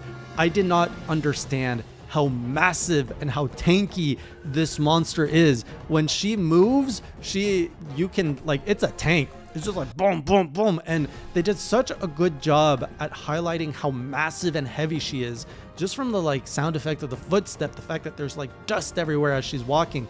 Wait, that thing can lift the queen up? The Seltas that flies around with her is kind of annoying. Uh, I have to say, when you're trying to hunt this thing, you got like this stupid little like, what do you call those things? Um, simp, and it's just like zipping by you and charging. It's like, um, just leave me alone. I'm trying to hunt your big queen here. What in the steaming horniness is this? And then when it fuses, oh my goodness, it just gets so much cooler. It just it should just stay fused the whole time because I, oh, it's it's a cool fight. It's a cool monster to take down. I think I, I like, and I think I've expressed this a few times. I like big monsters, and I cannot lie. The Seltas Queen just offers all of that. Plus, it's a bug, which is kind of something I haven't seen much of in my journey so far. It's a lot of you know wyverns or smaller creatures. So seeing a big tanky bug that's not disgusting to look at like a spider, a plus. Love this fight. Just fantastic. I can't wait to see what she's going to be like in high rank and master rank, or sorry, G rank. After that, though, it went downhill because I had to fight my first Rathalos. It definitely did not help that my Charge Blade is a fire uh, weapon, but my goodness, Rathalos in this game is always flying. It is borderline annoying. Not borderline, it is absolutely annoying how often this thing is in the air. And I can see why I might want to bring more flash bombs with me, but I'm not even good at flashing. I usually bring have two flash bombs. I usually get one off and the other one I toss into the nether and he's got this cool attack. So I was in the nest when I was fighting him because I just grabbed the egg if he flies away and the level would like shift and he could like shoot fire and it would tilt and then I had to like hold on to the I was not expecting that kind of mechanic in this game and man I loved it. I was like okay this is this is pretty cool. There should be more levels with that kind of mechanic not just necessarily tilting but like having a monster be able to terraform. Like imagine a Diablos digging under the sand or something under the crust and it's just like creating all of these maybe like kind of parts of the, the earth that stick up so that you can like run off and jump and stuff like that. I feel that that could be a mechanic that gets explored more in future Monster Hunter games in terms of terraforming. I think games are more like they can do that more. Like that's a pretty hard game mechanic to design for, I understand. But as technology gets better, that is something I think we could expect from future Monster Hunter games, which would be cool. So I killed the Rathalos eventually through much, oh my goodness, it, it, was just a slog. And then I got the Tigrex. I was really worried about the Tigrex. Remember, my very first impression of a Tigrex is its master rank equivalent in Iceborne. And that thing hurt so much. It was fast, it was aggressive, and I hated it. Uh, here in low rank, it's a lot more tame. I've also played it now. I fought in Sunbreak, so I understand all about his move. You know, push the rock, do the spinny, do the choo choo, and I can pretty much deal with everything except the spinny. I can't really tell when he's about to do the spinny, and he always hits me with the spinny. All of this took us to the finale, which is the Shagaru Magala. And I have to say, this fight was epic. And I love when they do epic. And the fact that it was a low rank uh, boss fight was like you get into this arena with this majestic creature. It's so wild to me that I'm fighting a Shagaru Magala in low rank of all things. Like, remember, I associate this with Endgame Sunbreak. So to see it here, it just, oh, and the music and the fact that it's just you versus this beast in a huge open arena. Yeah, there's a rock there in the middle, and I was like, oh, this is my safe place until he decides to destroy it. And then it's just you and this massive beast, and it feels amazing. I love the fight. I love the setup. I love the story. I love the design. I, like yeah, I get why people are saying, oh, you should not experience Shagaru Magala for the first time in Sunbreak. It is definitely a disservice. It's great for the fans to fight him in Sunbreak, but as a first impression, you really want to fight this thing in 4U because wow, what a finale! And then when that ends, you get the beautiful cinematic of like all the village, the journey that you've been on, and like I'm like I'm so emotional in the sense that I'm just oh, I don't want this to end. I, I, was really enjoying this, and not only do I not want it to end, I want it to be I, I want to be part of this world even more. I want to create even more relationship with the caravan. I want to like I want this world fleshed out. I feel like we just got a taste and a tease of what this world could be. And honestly, if they did a full in-depth like more fleshed out, like even an MMO of the 4U universe and the caravan, all that, I would be so down to play in that because I feel it's they only scratch the surface of what they can do with these characters and the villages that we've visited. They could do a full-on RPG even. I don't know how much of this is explored in Stories 2, but if there was a Stories 3, just give me all like give me these characters back. Let me let me engage with the 4U universe more. So anyways, after that, uh, pretty much high rank is now available to me, so I can go to Dundorma, which I did because I was curious. I shouldn't have, but I did. And uh, I love the setup for the higher rank part of the story. So Dundorma is a city that is constantly besieged by monsters, and it's all about rebuilding it. So the last attack has left the city almost defenseless, and we now have to rebuild the city. I'm all about rebuilding. I love that stuff. I'm going to put that on pause though, because I want to finish everything in low rank before I progress. It's just this game has hooked itself into me, and I want to do it properly. So I've gone back. I'm going to grind out the last low rank quest I have left to do solo. I think there's a few monsters left in there. One was a Yian Garuga, which Oh my goodness. The only thing I will say is so it's basically a Yian Kut-Ku and a Rathian moveset combined. I'm pretty sure I've said that before, but I kind of forgot. Except when this thing gets pissed in this version, it goes hyper fast. Like the speed is ridiculous and unnatural. And that is the one thing that caught me off guard is how fast it is when it's aggressive. Uh, so it's pretty it's pretty tough once it goes into that mode. Otherwise, fun fight, cool character, cool monster design. Uh, so I think I still have two or three monsters left to unlock. I'm slowly making my way through. I think I've only got five star and six star quests to do, and there's a handful, maybe several left. Once I am done that, I'm going to go do the hub low rank, and I'm going to do that multiplayer so I can really experience everything. And since our gear is already at low rank, we're going to knock that out so that we have everything done at low rank and then I can go into high rank. The other things that I uh, discovered since my last journal are Poogie quests. I love this idea that you can go on expeditions and find different Poogie costumes. Oh, so brilliant. I love these like little sidelight little things that just kind of reward you with Poogie costumes. So I love going out into the wild and rescuing my little Poogies. I got one with the Emperor's clothes, and I may have gone another one. I forget what the other Poogie was, but love that. My charge blade, I have uh, I've been using primarily an elemental charge blade, a fire one, and people have been starting to talk to me about an impact charge blade. Not quite sure what it does differently, but I built one now, so I've switched over to that, and I think it means I can do well. It does more raw damage for one, uh, and the second is I think you can like KO monsters or something. That's something I want to try to figure out more. I've also recognized, so you'll see on my stream, I have a little award counter. I was like, how come my award counter is not moving? I haven't seen any awards. So I went and checked my guild card, only to learn the game doesn't announce when you get new awards. If it does, I missed it. But basically, you have this whole screen that has a progression in category of all the awards you can get for like hunting, exploration. I, I, love like I love this as a as a wannabe completionist. I love it. And so I got I was able to see that I've gotten like 20 awards without even realizing it. And it seems oh like you see a progression with a percentage. Just love that stuff. So um, the awards are there. And uh, unfortunately, we're gonna end on a sour note because the last quest I did was a double Khezu quest, and it's the worst. Sure, I say Khezu is, is better than Gigginox, but the two of them are trash. Like both of them are just garbage fights. And this one was so bad because it just kept hanging onto the ceiling. When it would drop, it would just scream a cool thing that came out of that fight is I didn't know this. You can act when he's on the ceiling, you can climb the wall at one place and you can jump from stalactite to stalactite. I think stalactite or stalagmite, the one that hangs from the ceiling. And then you can like jump and hit him from his slumber on the ceiling. That was the only cool thing that came from that fight. Otherwise, Khezu sucks, Gigginox sucks, all of these leeches and whatever and dick like things. So looking forward to better fights without with less Khezus gonna clean up this low rank. Hopefully, you guys can join me in the high in the low rank uh, hub grind because I want to do all that with multiplayer as it was intended to. And once that's knocked out, we're off to rebuild Dundorma. So hopefully you can join me on that over at twitch.tv slash HeyJayOfficial or on the next journal. And until next time, keep it classy. Oh, he got crushed. I'm sure he liked it though. What in the steaming horniness is this? Hey Jay here, reporting from Cathar because I'm still grinding quests. I'm grinding so many monsters, I'm at the point where I'm doing side quests of finding boyfriends for lonely women in these villages. Welcome back, Classy Crew, to another journal in the 4U Adventures as we still get...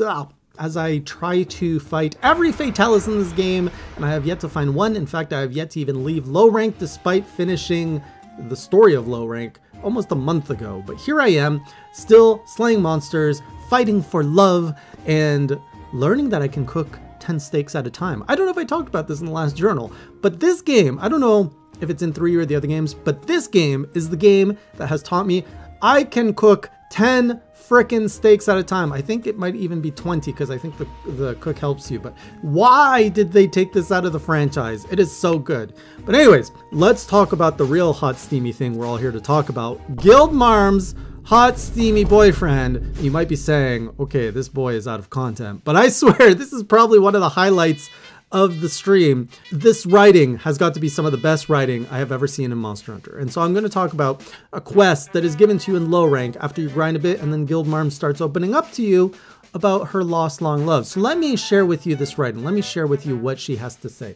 And I'm just going to pretend I have a book here. Maybe editor can put a book in front of me because I am working with visual effects now. Have I ever told you about my first love? She hasn't. Once I visited Tanzia, a port famed for trade and commerce. Maybe you've heard of it course we have. We've played 3U. While scurrying the mountain for the legendary Hercudrome, I met this guy. He was tall and brave, his stride gallant. We exchanged one fiery glance before I knew I had been smitten. Did I tell him? Are you crazy? I would have died of shame. Oh my gosh, no. I could never do it myself. But you could. If you see him, tell him how much I love him and that he has a nice tail. The last part is optional. Had no idea what this was going to lead to. But the hot, steamy boyfriend she refers to is none other than frickin' Brachydios. I didn't even know he was in this game. I didn't know he was tied to this quest. Thank you so much for not spoiling this because what a reveal it was. And then I go to fight him thinking, well, I fought plenty of Brachydios in my days. Oh, he hits hard. And now I don't remember exactly 3U to 4U, but I don't remember the slime puddles being such a problem in 3U. I recall that they were there, but in this game, I just kept hitting every 4U, like every 4U puddle. And then I'd get like this like little sparkle, which I think that is new. I, I, that is Blast Blight. I don't think that existed in 3U. I think it was just Slime, which did something. But yeah, here there's Blast Blight, which pretty much gives you like this, this short fuse and then you blow up if you don't roll out of it. Which I do remember that being a thing in World. But I don't think it was in 3U, so they made it worse, as in deadlier. So yeah, Brachydios was an interesting fight. I love how they like built this quest in, and I gotta say, like, I really wish, I really wish the Monster Hunter franchise would bring back this kind of level of charm. And I don't know if that charm is lost when you add voiceover. For example, uh, during the chat or during the stream, people were saying that Guildmarm would not be as charming if she had voiceover, and to some extent, I could I could agree. It would require a very specific tone, voice, voice acting skill to convey the charm of what I just read out to you without sounding just cringe or annoying. And I think that's kind of what happened with World's handler. Uh, she was voiced, and a lot of people found her annoying. Whereas I think if she wasn't voiced, maybe people would have preferred or would have enjoyed Handler, would have thought she was less cringe. I don't know. It's a hypothesis. All I'm saying is, as we are striving for more immersive worlds, better graphics, we are losing a charm of Monster Hunter and we have to remember that that is ultimately part of the heart of this game. You can strip out all that charm and leave monster hunt, like leave monster hunting. And yes, that is the core gameplay loop.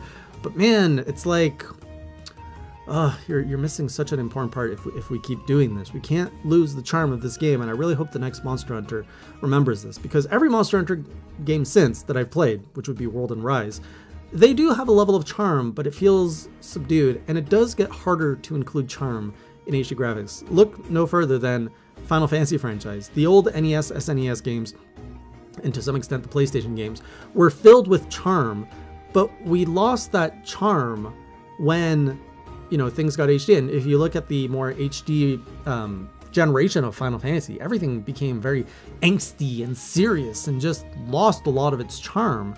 Anyways, Brachydios is slain, bring my counter up one more, and I've unlocked another monster as I grind through low rank.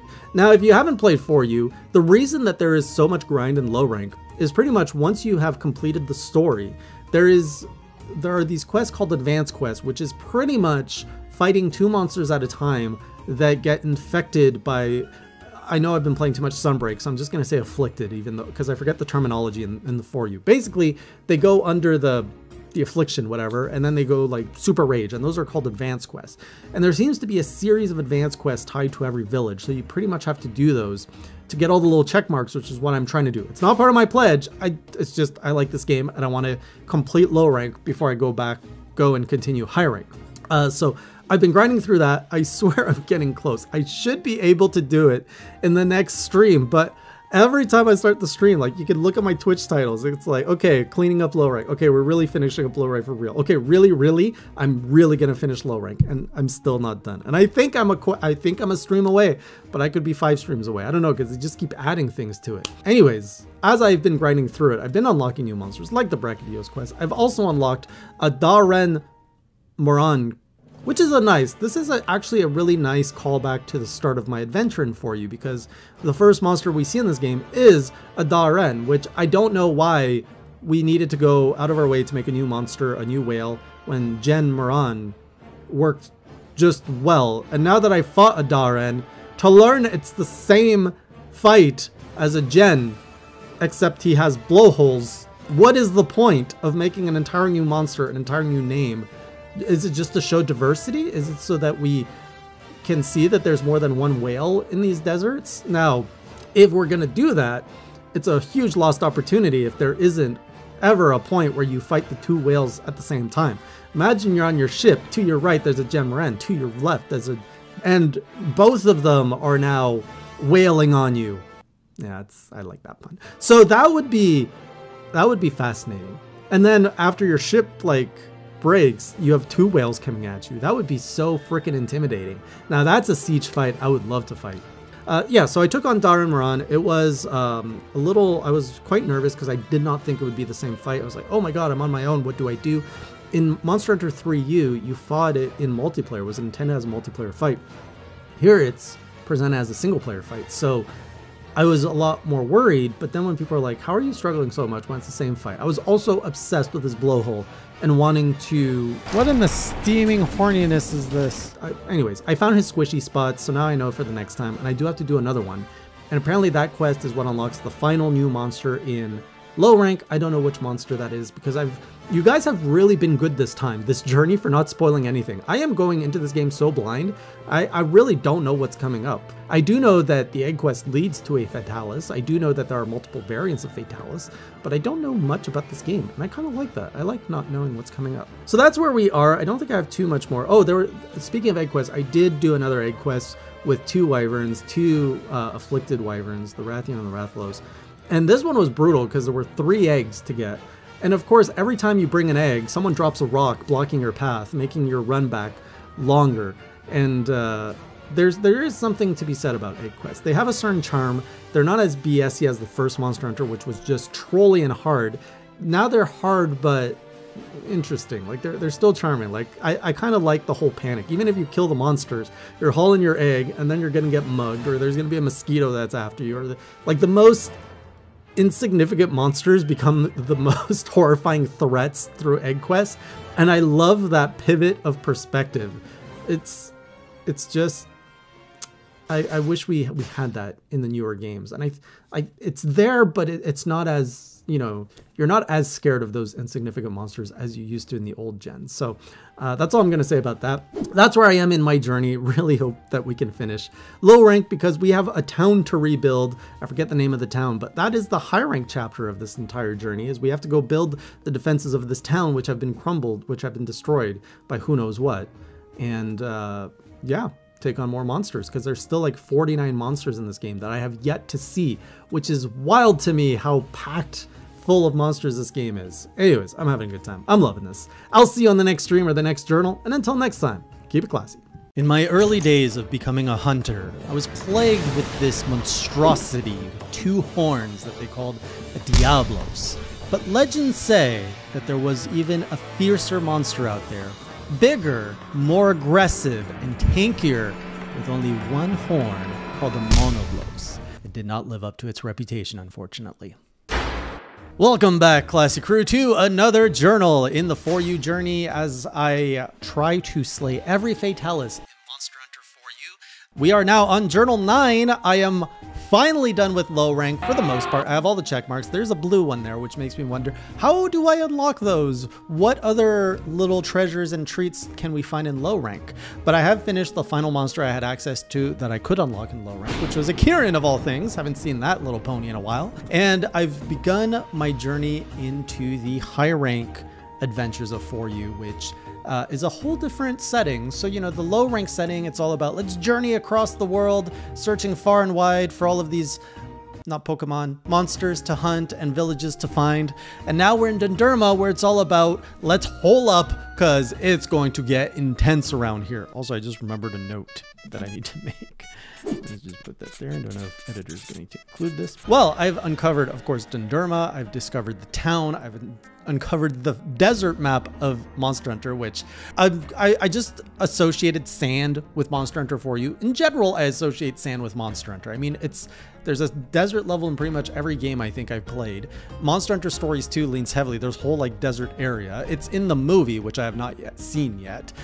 And so for and 4U just has so many like sand elements. You arrive into the game on a big sand ship and stuff. I'm kind of surprised I didn't encounter a sand level before this one. But so far I like it. I like that there's dunes. I love hopping off the dunes onto monsters.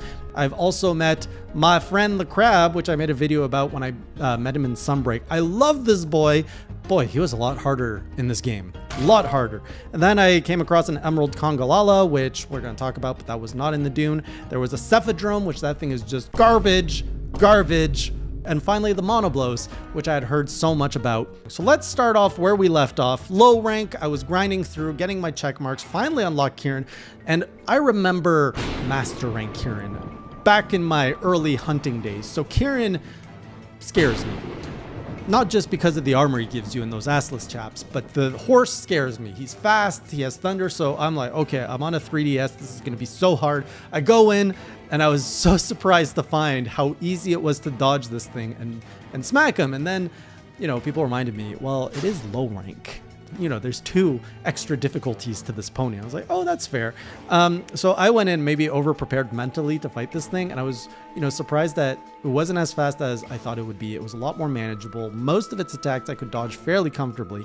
So Kirin was a fun fight, and I'm happy to have my pony back because I, it's tapping into my nostalgia, which is probably weird for a lot of you because Monster Hunter World probably was tapping into your old world nostalgia when they were introducing old monsters. But now I'm finding monsters that I, you know, the ones that I've only seen in Monster Hunter World. That's how I'm going into my nostalgia, which is all backwards, but it's fine. It feels the same, I'm sure. Uh, I also I was on a trip not too long ago, and so I was actually grinding on the plane some new weaponry, and the closest one I could get was the Permanence, which was also the most expensive charge blade I could get. It's uh, the charge blade that is built from the Dah'ren Mohran uh, armor set. So I was grinding that on the plane, and I have to say, it was really fun and compact. I really love the 3DS for compact gameplay. And I uh, I got all the parts. In fact, I got a, a, second gem. I don't know if they just drop easier on uh, Dah'ren or if I just got really lucky. But I got another one of its gems or mantles, whatever it is. Built the super cool charge blade. My sharpness is now in the blue. What a difference it makes. And man, it really helped me with these high rank monsters because my fights were about 10 to 15 minutes for the most part, which was a lot more reasonable. I find when you start getting over the 20 minute mark, that's when the fights start feeling like a stamina drain. So um, yeah, I'm happy with the weapon I have. I have others to craft, but I would need some help to craft them. They require like Rathian, Rathalos tails, or like the, the fin on the back of a of the Zamtrios, all things that I struggle in breaking. So I could use more help in grinding those out. But we're in a high rank, so you know maybe although I could upgrade those weapons. But anyways, so Dundorma calls, and uh, yeah, so we grinded out some stuff. The Hermitaur crab, surprisingly difficult. I carded to the crab. I had a lot of fun with the crab in Sunbreak, and I was expecting a similar fun here. But boy, this thing was hard. Now, I was also fighting it, I think, with a water, uh, water blade, which probably wasn't a good idea. I, I was just shocked because in Sunbreak, it's a master rank crab. Here it's a high rank crab. It should be easier. But I was just getting maneuvered by this crab, and I don't know what it was, but I really struggled. I was like, oh my goodness, is this what high rank's going to be like all the way through? Because I still have G rank after this. This is going to be so ridiculous. Like, maybe I really have to like work on my armor and stuff. And I was just starting to get all these negative thoughts. But then I was like, ah, I just want to keep going. So uh, the next thing up was an Emerald Congalala. And I was like, well, the pink one was pretty. Damn it! Um, so then the next thing that unlocked was a Cephadrome. Oh, fun fact. So I did need the Emerald Congalala to fuel my balloon man in the air so that I could actually survey the desert. And that's when the game actually tells you if you wave at the balloon, it'll tell you where the monster is. So I'm like, okay, the game does teach you this. It's not just random folklore that the community knows. So the Cephadrome. I've heard so much about the Cephadrome. I have PTSD of not the Cephadrome, but the, the baby Cephadromes, whatever those are called. From Monster Hunter 1, the liver quest, I tried doing that in my second Monster Hunter 1 stream. It was garbage. I didn't have cool drinks. I didn't have the, the Sonic or the Screamer pods, whatever. It was horrendous. And I've only heard bad things about the Cephadrome. The community seems to hate it. So what I've gathered from this fight, uh, and I'm so glad I had the blue sharpness, otherwise I would have been bouncing like crazy. It's basically a Rathalos of the sand. So instead of being kind of this uh, not too exciting monster that's always in the air, it's a not too exciting monster that's always in the sand. And I was shocked to know to learn that this thing actually has ranged attacks. I did not think that there would be ranged attacks, so I was keeping my distance, and all of a sudden this boy spits at me. I was like, oh great, of course. So it, it has like the a bit of Plesioth and a bit of Rathalos, and if you just put that together, you get a Cephadrome. And it's not it's not nice to look at. It's not nice to fight. I'm sure it doesn't smell nice. Could you imagine this thing? It, it's fishy. But it has been slain. I actually did not cart to this, surprisingly. It was not as bad as the community set it up to be, but it was not as fun in any kind of way. So I can only imagine it gets worse the further back you go in the generations. I'm not looking forward to fighting this thing in Monster Hunter 1. Then I went on a little crab hunt just to knock off another quest, which surprisingly took forever because I didn't know that the baby crabs hide in the sand, and the only way to get them out is you have to see where like the sand is like there there's puffing coming out, and if you walk over it, then the crab comes out, then you can kill it, then you can finish the quest. So uh, hide and seek with the crab. I like that Monster Hunter has these little things that creates these little stories, but what a time suck that was. Jeez. Uh, finally, the Monoblos. I've been looking forward to this for so long because the Monoblos I met in Monster Hunter Stories 2. For those who've been following this channel for a while in my journey, Diablos is a legend in my own story. And so Monoblos, which to me is like this elder, older, like brother to Diablos. That's just how I picture him. I was really curious to see what this boy was like. Really surprised to see how slow he was. I was started the hunt so like feeling so powerful and just kind of going around this guy and I was like what what what is this? I'm in high rank you know I just got destroyed by a crab but I'm running circles around a monoblos quite literally. He was predictable I could hit him and then and then he hit me and I understood why this thing was scary. With one hit I think he took out half my life and I was like oh okay he's a tank. He's slower but he hits so hard.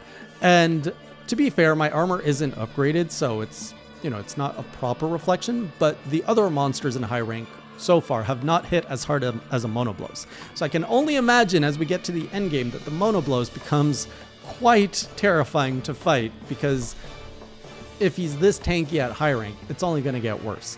So otherwise, I like his move set because it is predictable. I'm not a big fan of. He has seems to have a lot of HP because it took a while to get this guy down. But I like big tanky monsters, and I cannot lie. So this one is he better than Diablos? I have to hunt him a lot more times to really make that uh, decision. I welcome our Monoblos Lord into the Diablos, you know, family, and I look forward to seeing what happens to him in G rank. So um, kind of neutral where I'm at right now. He's he he at first he was coming across as kind of easy, but then he showed where his real strength is. You just screw up too many times and you are done. Like he does not forgive. Uh, so that was fun. And then with that quest, we unlocked the Master of Defense, who uh, is the next part of the story, I think. So the Master of Defense has arrived to Dundorma. He's there to help build the whole defense. We also saw a Kushala, which is kind of being set up as potentially the next Elder monster that I have to Elder Dragon that I have to uh, look out for. Like this, this Kushala is weird. Creates a storm, shows up, basically says like, "I'm here. What you gonna do about it? You're gonna build some defense. Good luck." And then he just leaves. And I was like, "All right." Okay. I mean, I like when the game sets things up, but like, when does Steve show up? Because Steve was introduced in this game. I, I imagine he's maybe a G rank flagship. Uh, so curious to see where the story's going to go here. And then I've got some songs that I've also unlocked, which is kind of a new mechanic. I did a quest for a cat or a palik, whatever it's called, uh, a feline. And that sparked his memory and he remembered a song. So I unlocked a new song for the stage. I love that idea. I didn't like the song per se, but if I can unlock more music in this game, I'm about that. I like the mechanic. I like all these like little mechanics that are very nice, complementary items to a really nice meal. What this feels like is like if I don't know if you've ever been to like a Korean restaurant, but when you go to a Korean restaurant, it doesn't matter what food you order as your like main dish, they're going to put like just nine different dishes in front of you just to snack on and try stuff. And then you've got like your main dish, whatever it is. And so this is what Monster Hunter is to me. I've got my main dish, which is my hunts, but then I've got all these like little side dishes that I can just like eat from. You know, I can do the, meow, the Meowster Hunters a little bit, or I can go fishing a little bit, or I can do some some gather quests, or I can go on expeditions. I can find some poogies. Now I can unlock some this, or I can upgrade my kinty. I can do all these like little things. It's not that different. I mean, every Monster Hunter I feel does that, but this one here it hits different somehow, and I can't quite put my finger on it, but I'm liking it. So that's where I'm at, early high rank, still making my way through. I think I really need to start grinding out uh, a high rank armor set. I'm looking towards the um, the blue drones. Oh, I forget the name escapes me right now. What they're called. Either I do that, or either I do uh, the current armor I have in a higher rank. That would focus more on defense than attack. So I'm not sure what I'll do yet, but I, I do need to upgrade my armor soon. My weapon feels comfortable, but my armor, it's I'm rolling the dice on that. So hopefully I see you on the next stream or on the next journal, and until next time, keep it classy. I apologize for the delay in this latest 4U journal, but I've been busy getting trampled on, shocked, poisoned, smacked around, and all forms of humiliation in this high rank shuffle that is just destroying me. Welcome back, Classy Crew, to a 4U journal as I make my way through Monster Hunter 4U, trying to find every single Fatalis and slaying them. So far, I've slayed zero. I haven't even seen a Fatalis. And I'm now making my way through high rank both Village and Hub. And I have to say, I'm progressing through both quite evenly. I've hit high rank 5 and in terms of a story, I have just recently brought in the research assistant back to town who opened up the Wycerium, I think it's called. I don't know. It's like a pharmacy for Wyverians or something. Just add Wyverian and pharmacy and put it together. And now this place, I can get some some um, what's that? Dust of Life and another thing that is good for multiplayer uh, both of which I am not using because I am not good enough yet. So I have encountered a bunch of new variants in high rank, and they range from, okay, this is fun, like the blue Yian Kut-Ku, to, oh my god, what is wrong with you? Why are you so annoying? Don't you dare! Ah! These variants have made this game so much less pleasant to fight through. So Red Khezu is like Khezu, but worse. I didn't think you could make a Khezu worse, but apparently you can. You just gotta make them red. The thing that's getting me in high rank, well, first of all, is my low rank armor, so I'm taking a ton of damage. But second are the combos. These monsters combo you to death like you're like, okay, oh, whoops, I screwed up. And then they're like, bam, bam, bam, and then you're dead, like, which is probably why I need the high rank armor too. So the blue, the blue uh, let's go from the start. The blue Yian Kut-Ku didn't leave much of an impression for me. The first one did because it was my revenge on the on the Yan, what's it called? The Yan Yian Kut-Ku, which I had fought in Monster Hunter 1, which was a menace. That thing was hard to fight. So when I saw it in 4U, I was like, all right, it's time for revenge. And he was a lot easier to fight in 4U. So the blue variant I honestly can't even tell you what the big difference is. I think he shoots maybe a little bit more fire, maybe he's a little bit faster, but otherwise, he's he's kind of the same. So he didn't stand out to me in any way. Red Khezu, on the other hand, he is just more annoying with his combos. He's roaring a lot. He's kind of, I recall he's doing a lot more like AoEs, is on the ceiling a lot. Honestly, it all blends together. It's like Khezu, but it makes me see red in more ways than one. Not only is he red, but he makes me angry. And Pink Rathian also double carded. That thing was disgusting the fight. I I struggled and I was wearing the the armor that I've been wearing this whole time, which gives me like health bonuses, defense bonuses. But man, this pink Rathian didn't care. She just kept stomping me, which oh my god, I got stomped like three, four times. And then just like, oh, get poisoned. I'm flying away. Now I'm charging towards you. Trample, trample, trample, trample. Oh, you're poisoned again. It was one of the most annoying fights ever. So I was so happy when that finally died. And I did something so dumb in that fight. I, um, yeah, I weakened it, so I went to sleep. I was like, oh, I'm gonna wake it up with a bomb. So usually I'm always carrying the bombs I brought, bring with me. This time, the only thing I had on me was a bomb that I brought from the chest, which was like barrel bomb S or something. Something I never carry with me. I assumed it was a smaller bomb, but I had no idea it would be so tiny. And so I put the bomb next to the head and I'm like, oh, it's so tiny. I thought it'd be a bigger bomb.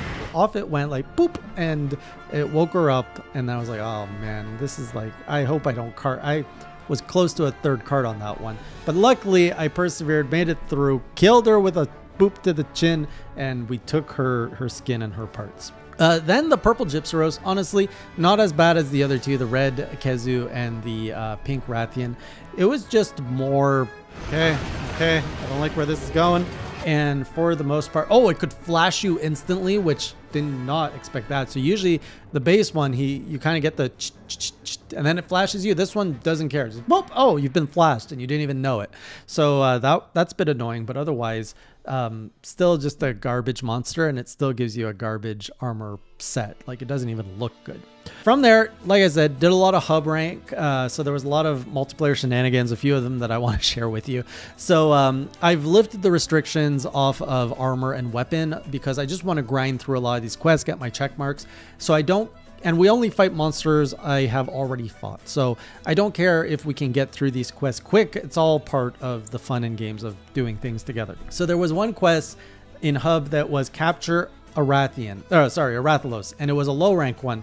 And of course, a lot, people, some people had G rank weapons. It took three hunts before we finally captured the Rathalos because my team kept destroying the Rathalos. And oh my goodness, by the third time, it was getting kind of frustrating. I'm like, guys, quit hitting it so fast or like someone bring uh, someone eventually brought an armor skill that lets you see when it's ready for capture but yeah everyone was just going to town on it too fast and uh, trying to be like a little oh one more hit one more hit. It's like back off stop hitting it. Let's see if it's walking if it's limping.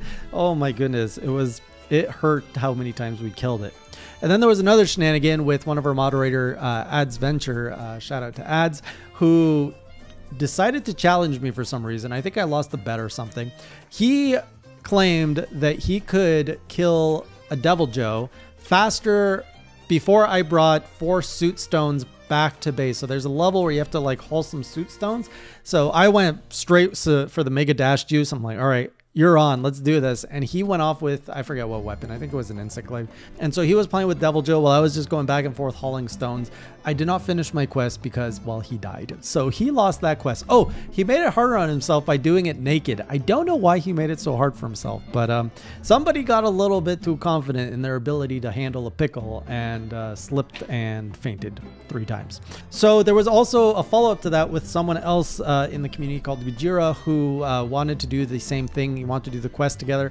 Uh, there wasn't as much of a challenge. It was just go do it. So I went and get the suit stone. He wasn't trying to, to kill the, the devil Deviljho. So I'm like, just going, minding my own business with the stone. I'm like, I really hope a Deviljho doesn't show up. And a, right after saying that, it just comes out of the ground, roars, make me makes me drop my stone. I was like, wow, fantastic comedic timing there, Deviljho. Good job. Good job. And then um, I finished the quest while uh, Gojira was having fun smashing the pickle. After this, uh, through the hub quest, what's great about uh, grinding with friends is I was actually able to play around with my armor sets, get some better armor, because man, I was suffering in the early high rank. Like, I just need more defense and better armor and some proper skills. So the first thing was the Nerscylla Charge Blade was pretty powerful. It has like the most sharpness available to me. It's got some pretty decent raw damage. It's an impact phial, which lets me, I, I've learned it lets me stun monsters and exhaust them. And it causes poison. So like it checks off a lot of boxes for being a pretty cool charge blade. So I got that, and now that's kind of my go-to charge blade. I got the research assistant back from a story perspective. Like I said, I think it was the Pink Rathian quest that unlocked this. Oh man, was it horrendous. And then I was like, all right, what what to do? So in 3U, I was like, what did I do in 3U to like get high rank armor? So I think it was the Jaggi armor or the Volvidon armor I went because it had attack plus and stun plus, which are all it's a nice combo of offensive defensive skills. So I was going for the Jaggi armor, got most of it except one. I unlocked a special like high rank Gore Magala in low rank village. And it was through fighting that that I was like, oh, it'd be so cool to get like a Gore Magala armor set because it's you know it's one of the flagships of this game. It's a cool looking armor. I don't even know what it does, but I just decided I want to be looking different. I want Gore Magala armor. And so the community actually gave me a tip and said, well, you know, you need a gem to get the chest piece of high rank Gore Magala. They said, but if you do a blend of low rank, high rank armor, you actually end up with more skills and it's a better combo and it's easier to grind out. So you get the head, arm, and foot of uh, high rank armor of Gore Magala, and you get the chest and waist in low rank, which lets you get a, um, an armor set with some pretty good skills. You get Challenger plus two, which boosts your attack when the monster is in rage.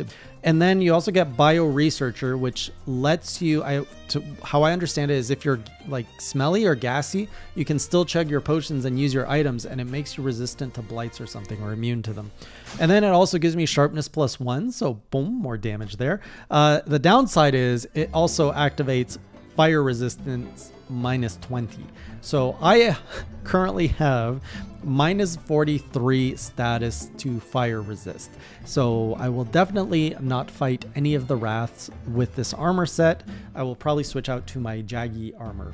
I also need to do a stream or some time to just grind out armor spheres because I really got to buff some defense into these things because I am still sweating. Like these things are hard.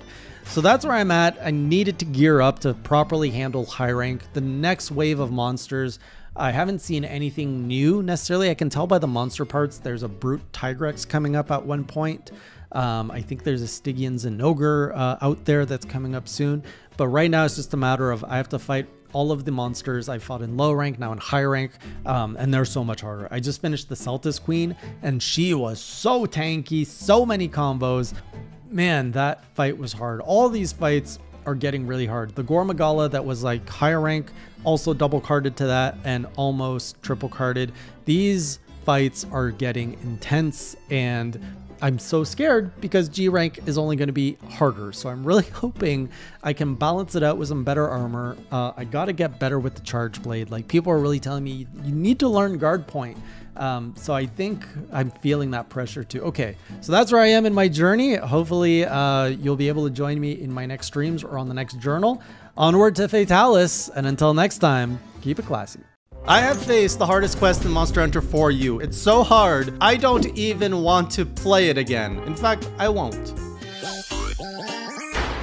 Welcome back, Classy Crew, to another journal entry in my journey to slay every Fatalis, and I have a story to share with you about the hardest quest so far. This is not a quest that you would find on your typical Monster Hunter 4U cartridge because, of course, it's a modded quest which was provided to me by my community because they feel I'm not suffering enough in Monster Hunter 4U despite me carting a lot more in high rank. Like things are killing me. I am struggling in Monster Hunter 4U. I am not comfortable with the charge blade. But let me tell you about this BS quest that the mods put together for me. So first of all, they no context. They just say, here you go. We're gonna do this quest together. So we go into the volcanic hollow.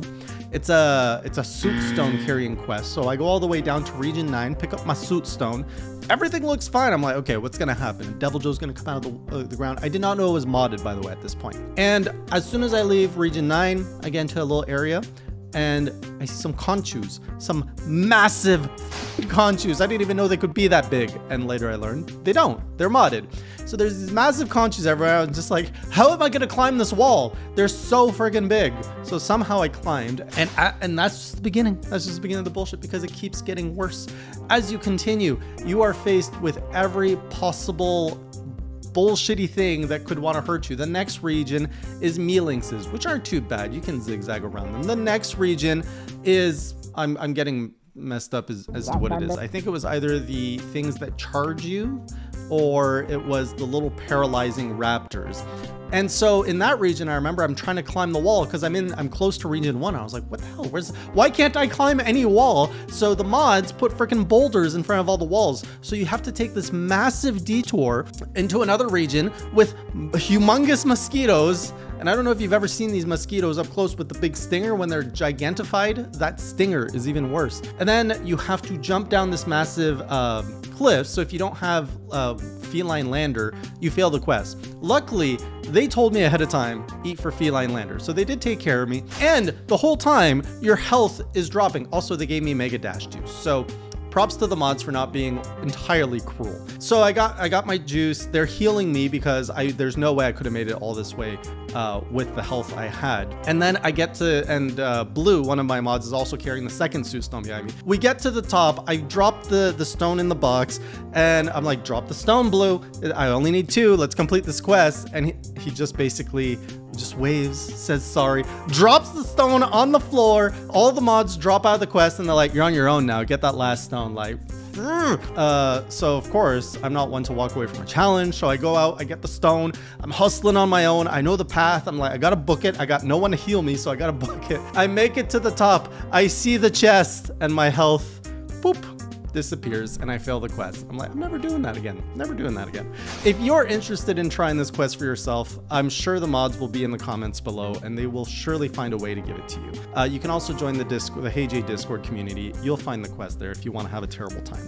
Now let's talk about the real game, the fun stuff the the not so cruel uh, the fair challenging stuff so i am getting close to the end of high rank and i'm also dealing with the high rank variants of all of these monsters. Like Najarala, I am constantly surrounded by this thing, and every time I'm trying to hit him, he's always got like his little tip thing that's like a shield that makes me bounce off of him.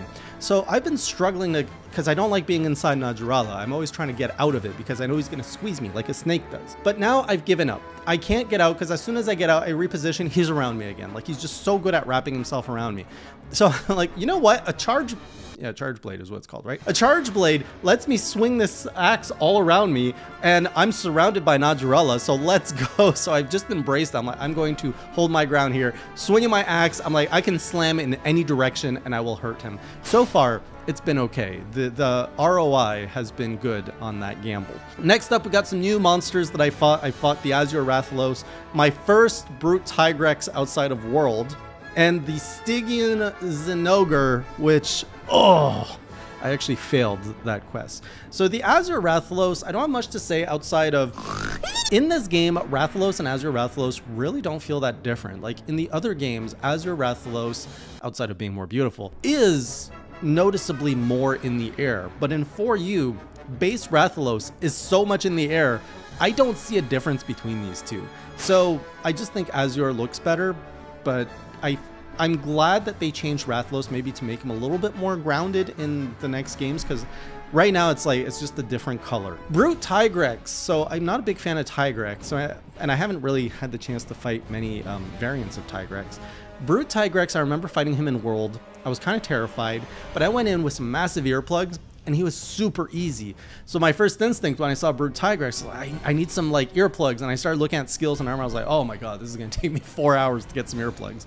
So I was like, ah, let's just try the fight, and it was pretty manageable. Um, I was surprised. He does a lot of like spinnies. He does do a lot of roars that hurt, but as long as you're not in his face, like in front of him, you can dodge the roars pretty easily. You got to see the tell when he does his spin. And for the most part, it's not like that much harder than the base Tigrex, honestly. Stygian Zinogre, however, whole different story.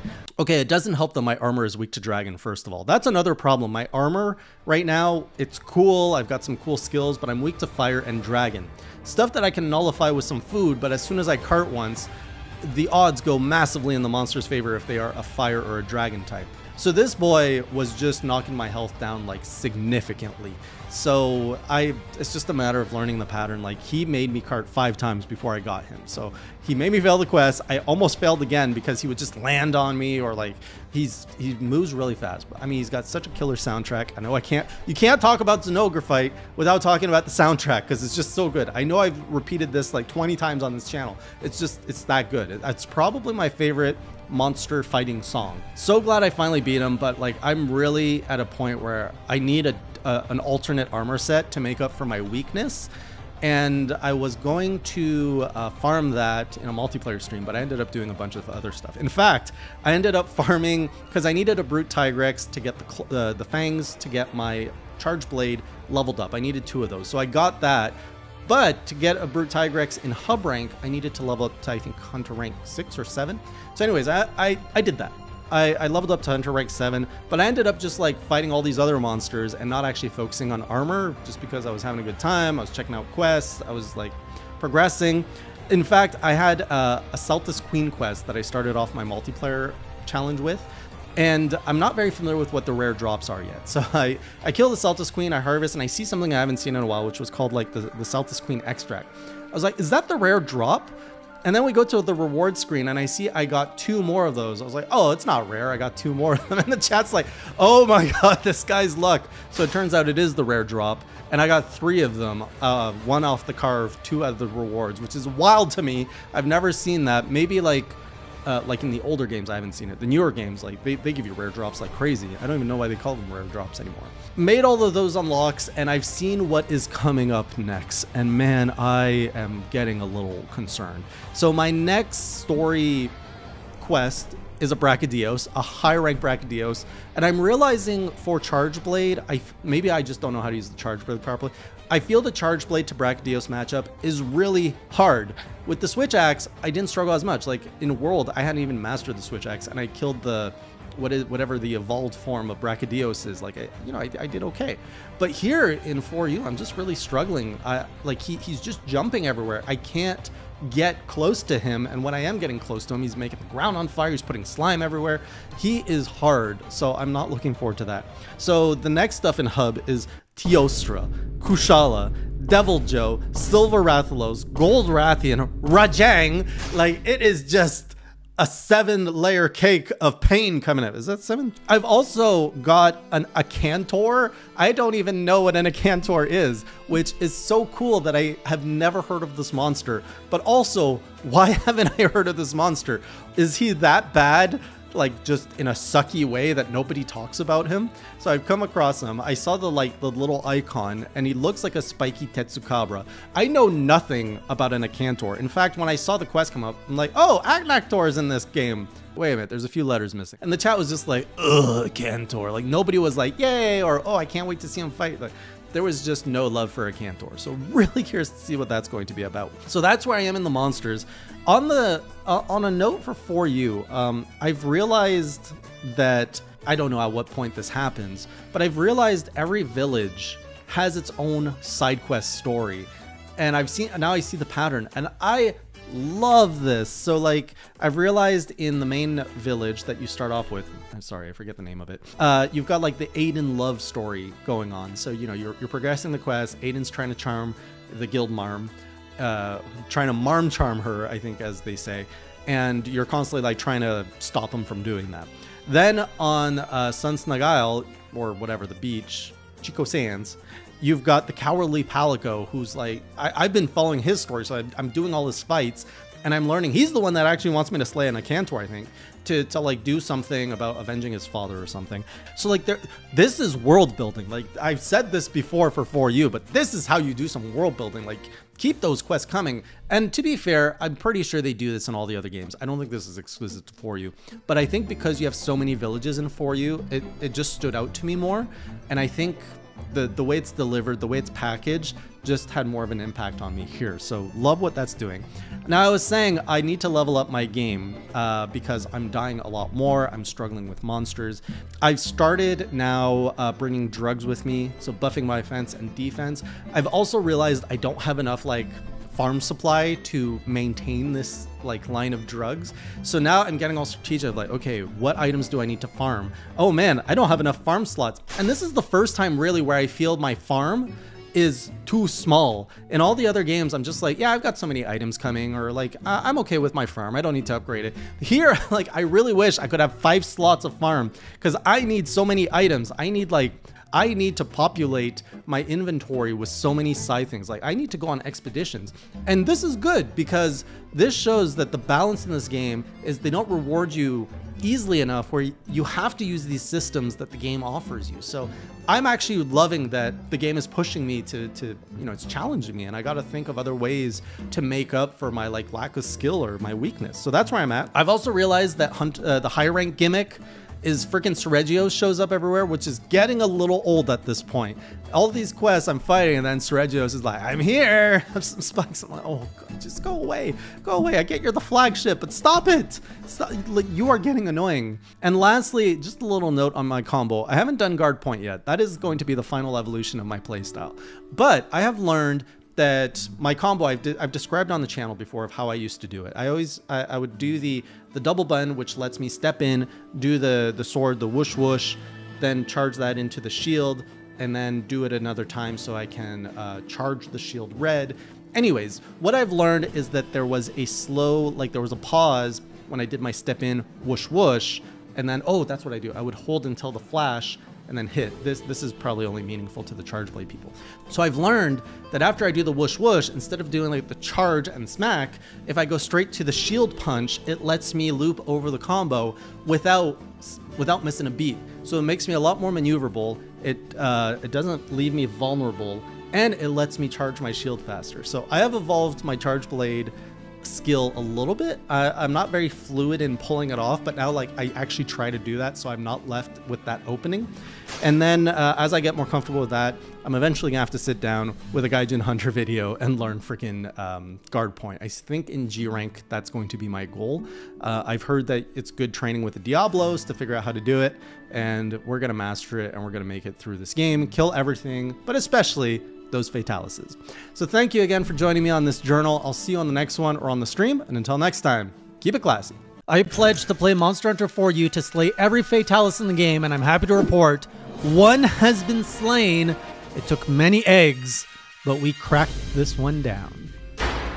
Welcome, hunters, and also members of the Classy crew, to another journal in Monster Hunter 4U, where I continue to progress to seek out the fatalities and uh, get hurt oh. along the way. It's been almost three months since my last update. I've been busy playing in Monster Hunter 1, finishing Quest and Rise, doing all sorts of other things in other games. But now we are back. We are focused. The clock is ticking. Nintendo's ser- shutting off the servers because while my pledge doesn't say I need to. Um, how I slay the Fatalises, I want to have the option of first trying to solo, but if I can't solo them, I want the option to bring friends to defeat these Fatalises, and that option will no longer be available to me after the sh- server shutdown. this journal is covering the last three streams, which have been super productive. There's been a lot of things going on. I've finished high rank. I've killed a Fatalis. I've killed a lot of other things. I'm losing my voice, but so there's kind of three paths that are open to me at this point in 4U. I can continue the story of Dundorma, which is uh, building the defenses to protect that city, and that is the storyline of High Rank, so that is happening. I've also seen that there's a bunch of side quests that have unlocked like multi-chain side quests for each village, which I've kind of been dabbling in them, not realizing that, wait a minute, these are like four compartmentalized stories that act as side quests after you're done all of the low rank and high rank story. So that is path number two, which I've been dabbling in quite a bit. And then there's path number three, which is the guild, uh, the guild hall, where I am now hunter rank seven. I have a bunch of like little low rank stuff to do in there, and I have unlocked the elder dragons in that hall to do in multiplayer. So those are the three paths. I've tackled a bit of all of them throughout the last three streams, starting with the side quests because I saw those quests showing up as low rank quests. I'm like, well, I got to clear those, but I realized very quickly that ooh, these uh, quests pack a punch. specifically the Harth quest line, I made it all the way to the end, which unlocks a Teostra of all things. I'm like, I've heard some horror stories of Teostra. And my Gore Magala armor is really weak to fire, so that was unattractive. I've made it through the Val Habar storyline. Oh, by the way, the the Harth storyline is the chief, I think, broke his hammer that his wife made for him or something. And now we got the daughter wants to build a hammer for the father, which is a very touching story. And it really hammers home the relationship between a father and a daughter. So Val Habar is all about Aiden trying to woo the Guildmarm and falling in love with her by showing his affection through hunting things that are outside of his league.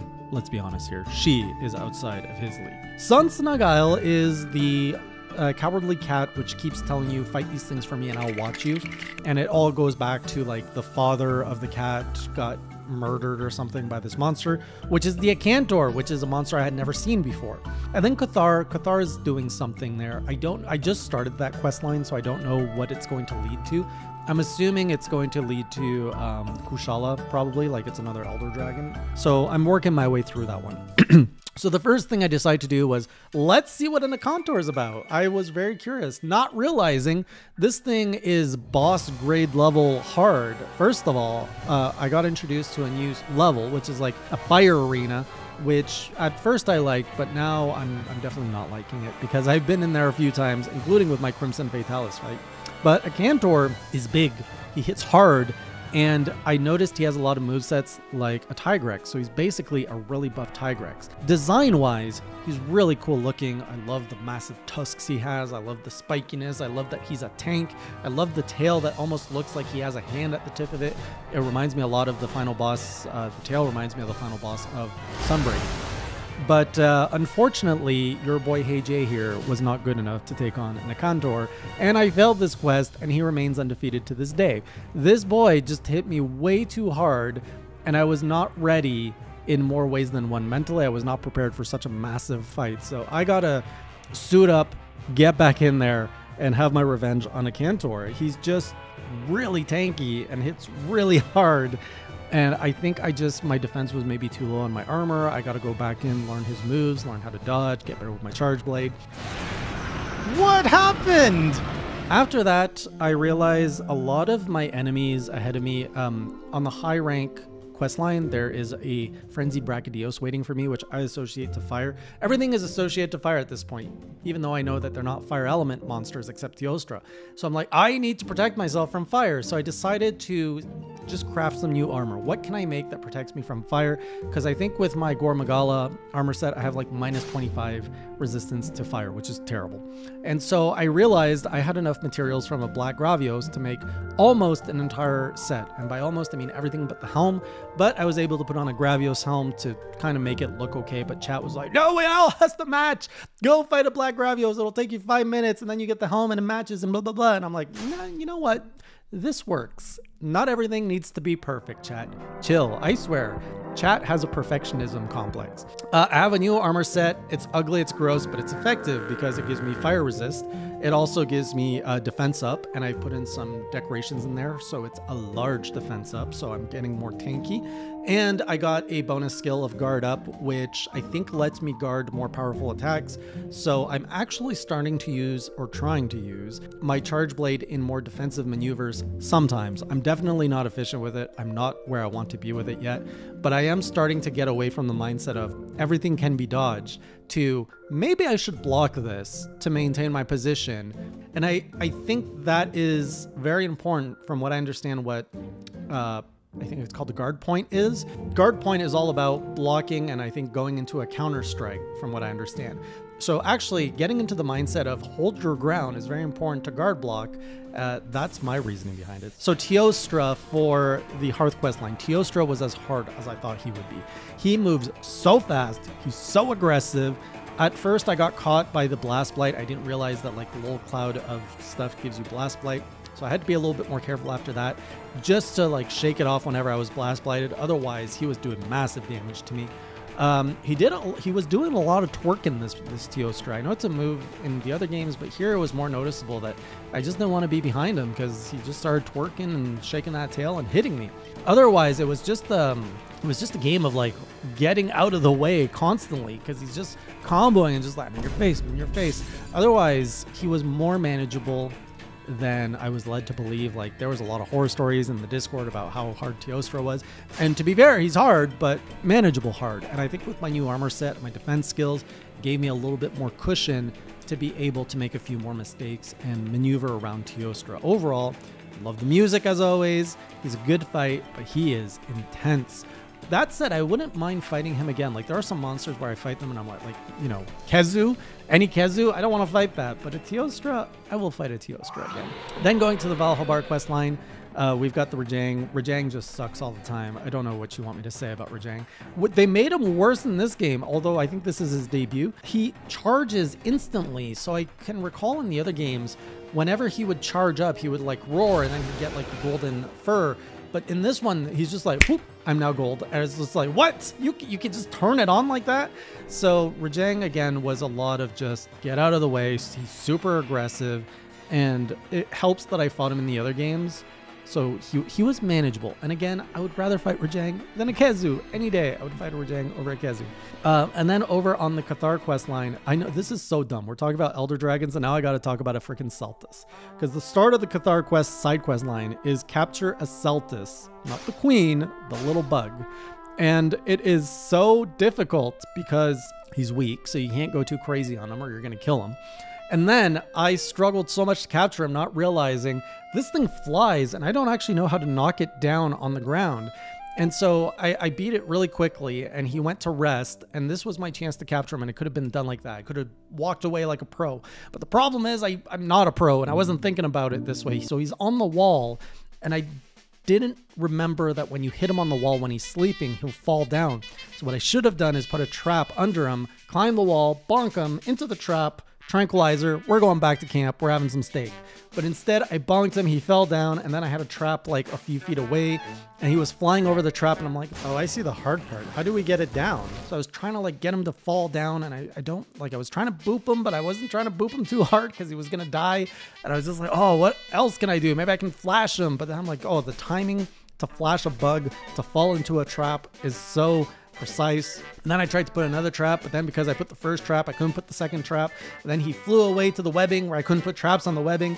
And it was just a frustrating situation of five minutes of me trying to figure out how am I going to capture this stupid flying bug that is so weak. If I'm going to hit it anymore, it's going to die on me and I will fail. So screw the pacifist route. Everything should just get slain. Uh, but anyways, I did do it. After I realized that, oh, I'm doing side quests. No, I want to finish the high rank storyline, and then we do side quests. Like that feels like a more natural order. Uh, so the next things that were up was a frenzied Brachydios. And I was shocked. I was watching my old journals and I was sharing how I was struggling in high rank. Everything was hitting me so hard. I think all I needed really was to get this new armor set because everything else from this point onward in the story was really comfortable to fight. The Frenzy Brachydios felt so quick, and I'm also now using this new like Wyvern Stone power, which helps knock the frenzy out of monsters. But you guys know I've complained a lot about 4U's Brachydios being just hard and not a good matchup with Charge Blade. This specific fight, I felt in control, and I'm also maybe maneuvering a little bit better with my Charge Blade. I'm now trying to get the Axe mode out more intentionally. I really need to learn how to do AEDs instead of SAEDs. That I have no idea what I'm doing wrong. And I'm blocking more, which is also helping. So my skill in Charge Blade is getting there and I can feel the growth. And I'm like, oh, I remember doing this with Switch Axe. And I can't wait till uh, it just clicks and I finally like unlock the upper tier of Charge Blade. Like we often talk about leveling up as a hunter and being better uh, hunter against the monsters and how this game levels up the player. But I don't know if we talk enough about just like no matter how good you are with your main weapon and whatever you've been playing for thousands of hours, learning a new weapon and unlocking the abilities, like you know what they are. And I know some of you learn a lot faster than I do. In fact, most of you do. But like I'm so slow in my progress towards a weapon, I can feel the transformation take place. And it's so cool and it's so rewarding. And I just know that by the time I get to the end of G rank, I will be guard pointing. I will be. I, I just know it's going to happen, even though it's not happening right now. We'll get there. We'll get there. Uh, so the Frenzy Brachydios was a fun fight. That died. That unlocked the next fight, which was a frenzied Deviljho. I was like, oh my god, this is gonna be so hard. Why are we starting right out the gate with a frenzied Deviljho? Can't just have Deviljho, we gotta have frenzied. And once again, this proved to be such a good matchup. I don't know if it's because I know Deviljho. It was a nice, comfortable fight. It took me 14 minutes, which, you know, that's not a number to brag about, but like to me, a hard fight is 20, 25 minutes. So 14 minutes for my first encounter with him, where I'm at with my level of skill, that is a very average number. And you know, average is good. We don't we don't talk here at this channel about sub five minute hunts, especially not when we're soloing. Some differences I've noticed with this Deviljho is his, especially since I've just fought him in 3U, uh, his Dragon Breath seems a lot shorter in this game, which I'm like, okay, well that's more manageable.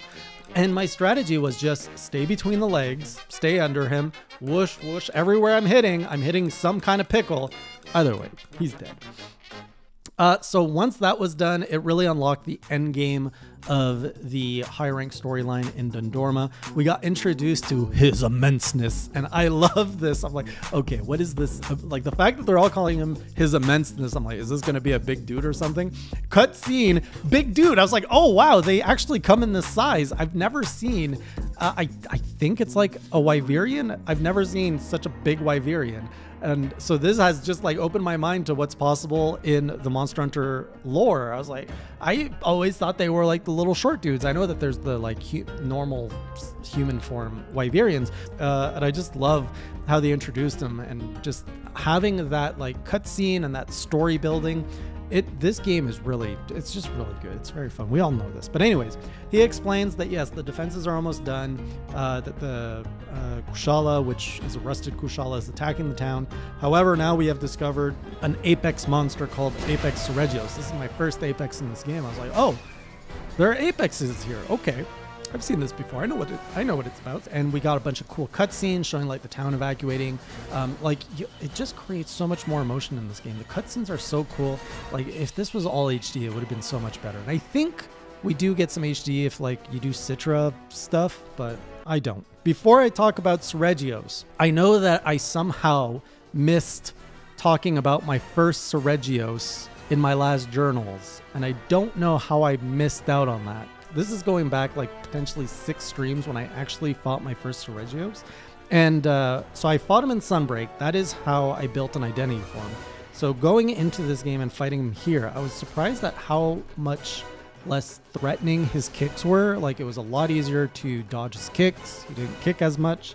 The scales is really what caught me off guard. And so I don't think there's any other monster that bleeds up to this point in this game. And so uh, I was bleeding a lot in this fight, and what I hate, and I don't remember this being a thing in Sunbreak. Maybe I just didn't get hit as much. The scale hits you, so you go uh, and then the scale explodes in you, so you go uh uh, and it's such an annoying animation when you get that uh, because you're getting like flinched twice, and then the monster's coming at you, you're trying to move, and then you bleed out, and you gotta like stay stationary, eat some jerky, and he was so fast. Like this was one of the fastest fights I had had up to this point. So Seregios was just crazy fast for 4U mechanics. And again, my strategy was just you gotta stay under him, you gotta like hit his legs. Oh, he's up in the air, he's probably gonna kick you, roll out of the way. And then sometimes he would even claw me, and I think it would inflict bleed because I would get the uh uh flinch thing going again. And man, I hated that thing so much. Luckily, though, he fatigues easily. Or at one point, he was just constantly fatiguing. At that point, I'm just like wailing on him, smashing axe mode, everything. And uh, I was able to beat him as he was going out for a snack because he's like, "I'm getting hungry, find this hunter." I'm like, "No, you're not." And uh, as he was about to snack on the on the herbivore, I killed him. So going to the apex Seregios, same impression. And again, three months had gone by since I played 4U before I got into Apex Regios. I completely forgot how to deal with bleed because it's not it wasn't in 3U and I don't remember it being in Rise or it wasn't meaningful in Rise. So when I got blood I was like, "Oh no, what do I do? Do I just like crouch?" I had no jerky. I didn't bring any items. So yeah, I had to like crouch and wait. My first impression of an a- of an Apex was, "Holy heck, these things are huge." Uh, and people are like, "Yeah, welcome to like what proper Apex are." I guess people are saying the Apexes in Rise were a little lackluster. All I gotta say is I was intimidated. This thing was massive. I could only see legs on camera. And yeah, big and painful because of the stupid bleed mechanic, which I had wiped out of my memory from my past Seregios fight. I swear we're getting close to Crimson Fatalis. This is a very meaty journal to get through because so eventful. So much stuff happened. Uh, so once that was done, we are now geared up for the final fight. I'm like, all right, let's do this. I'm ready for to screw up because I know it's a siege fight. We've been building the defenses of the town for a while, and so we get into the. I get into the level. There's Kushala in the middle of the arena, and then there's like all this fortification. There's a very cool like platform with two cannons, and you can load the cannons, and then it moves on a track, so you can go like a little bit to the left, or you can go to the right. You can shoot the cannon from wherever you want. Very cool mechanic. I was surprised at how effective the siege weapons were in this fight because in my experience in other games you have to fight the monster and lean on the siege weapons a little like the fatalis fight in world. But the siege weapons are not what's going to carry the fight for you. Like you need to be able to show that you can hunt to some degree as well. Not in this fight. In this fight it's just like no use all the siege weapons. I think i attacked Kushala maybe once or twice, but barely because it got up so fast. And I realized I'll just stick to the weapons. Like I don't really need to do anything it seems because the the story and the narrative was like go here load the cannon here the dragonator's ready. And i got my dragonator. I actually hit kushala with the dragonator. Everything was connecting. I'm like oh my goodness my timing's so good. And then there was the third one the demolisher which is like this massive mega cannon. I was like i can't wait to shoot that but i'm so scared i'm gonna mess up. Luckily the the story beats really guide you and they're like you're gonna push this button when someone says something. And we're like okay when, when do i do it? And then someone like the, the game stops and they're like push the button push that button right there. The button you're looking at push that one not this one that one.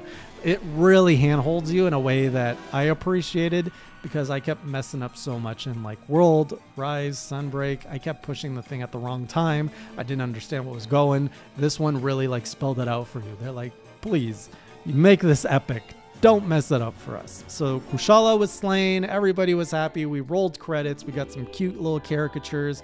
Uh, town was saved. It felt good, but a little anticlimactic. For a final fight in high rank, it was maybe a little bit too much siege weapons for my taste. And it didn't, you know, I didn't get a proof of a hero. I didn't get a tense moment. I was just basically pushing buttons and loading uh, loading cannonballs, it doesn't quite give you that feeling of a hunt. And maybe that's why Apex Seregios was there, but even he didn't feel, yeah, he felt big, he felt intimidating.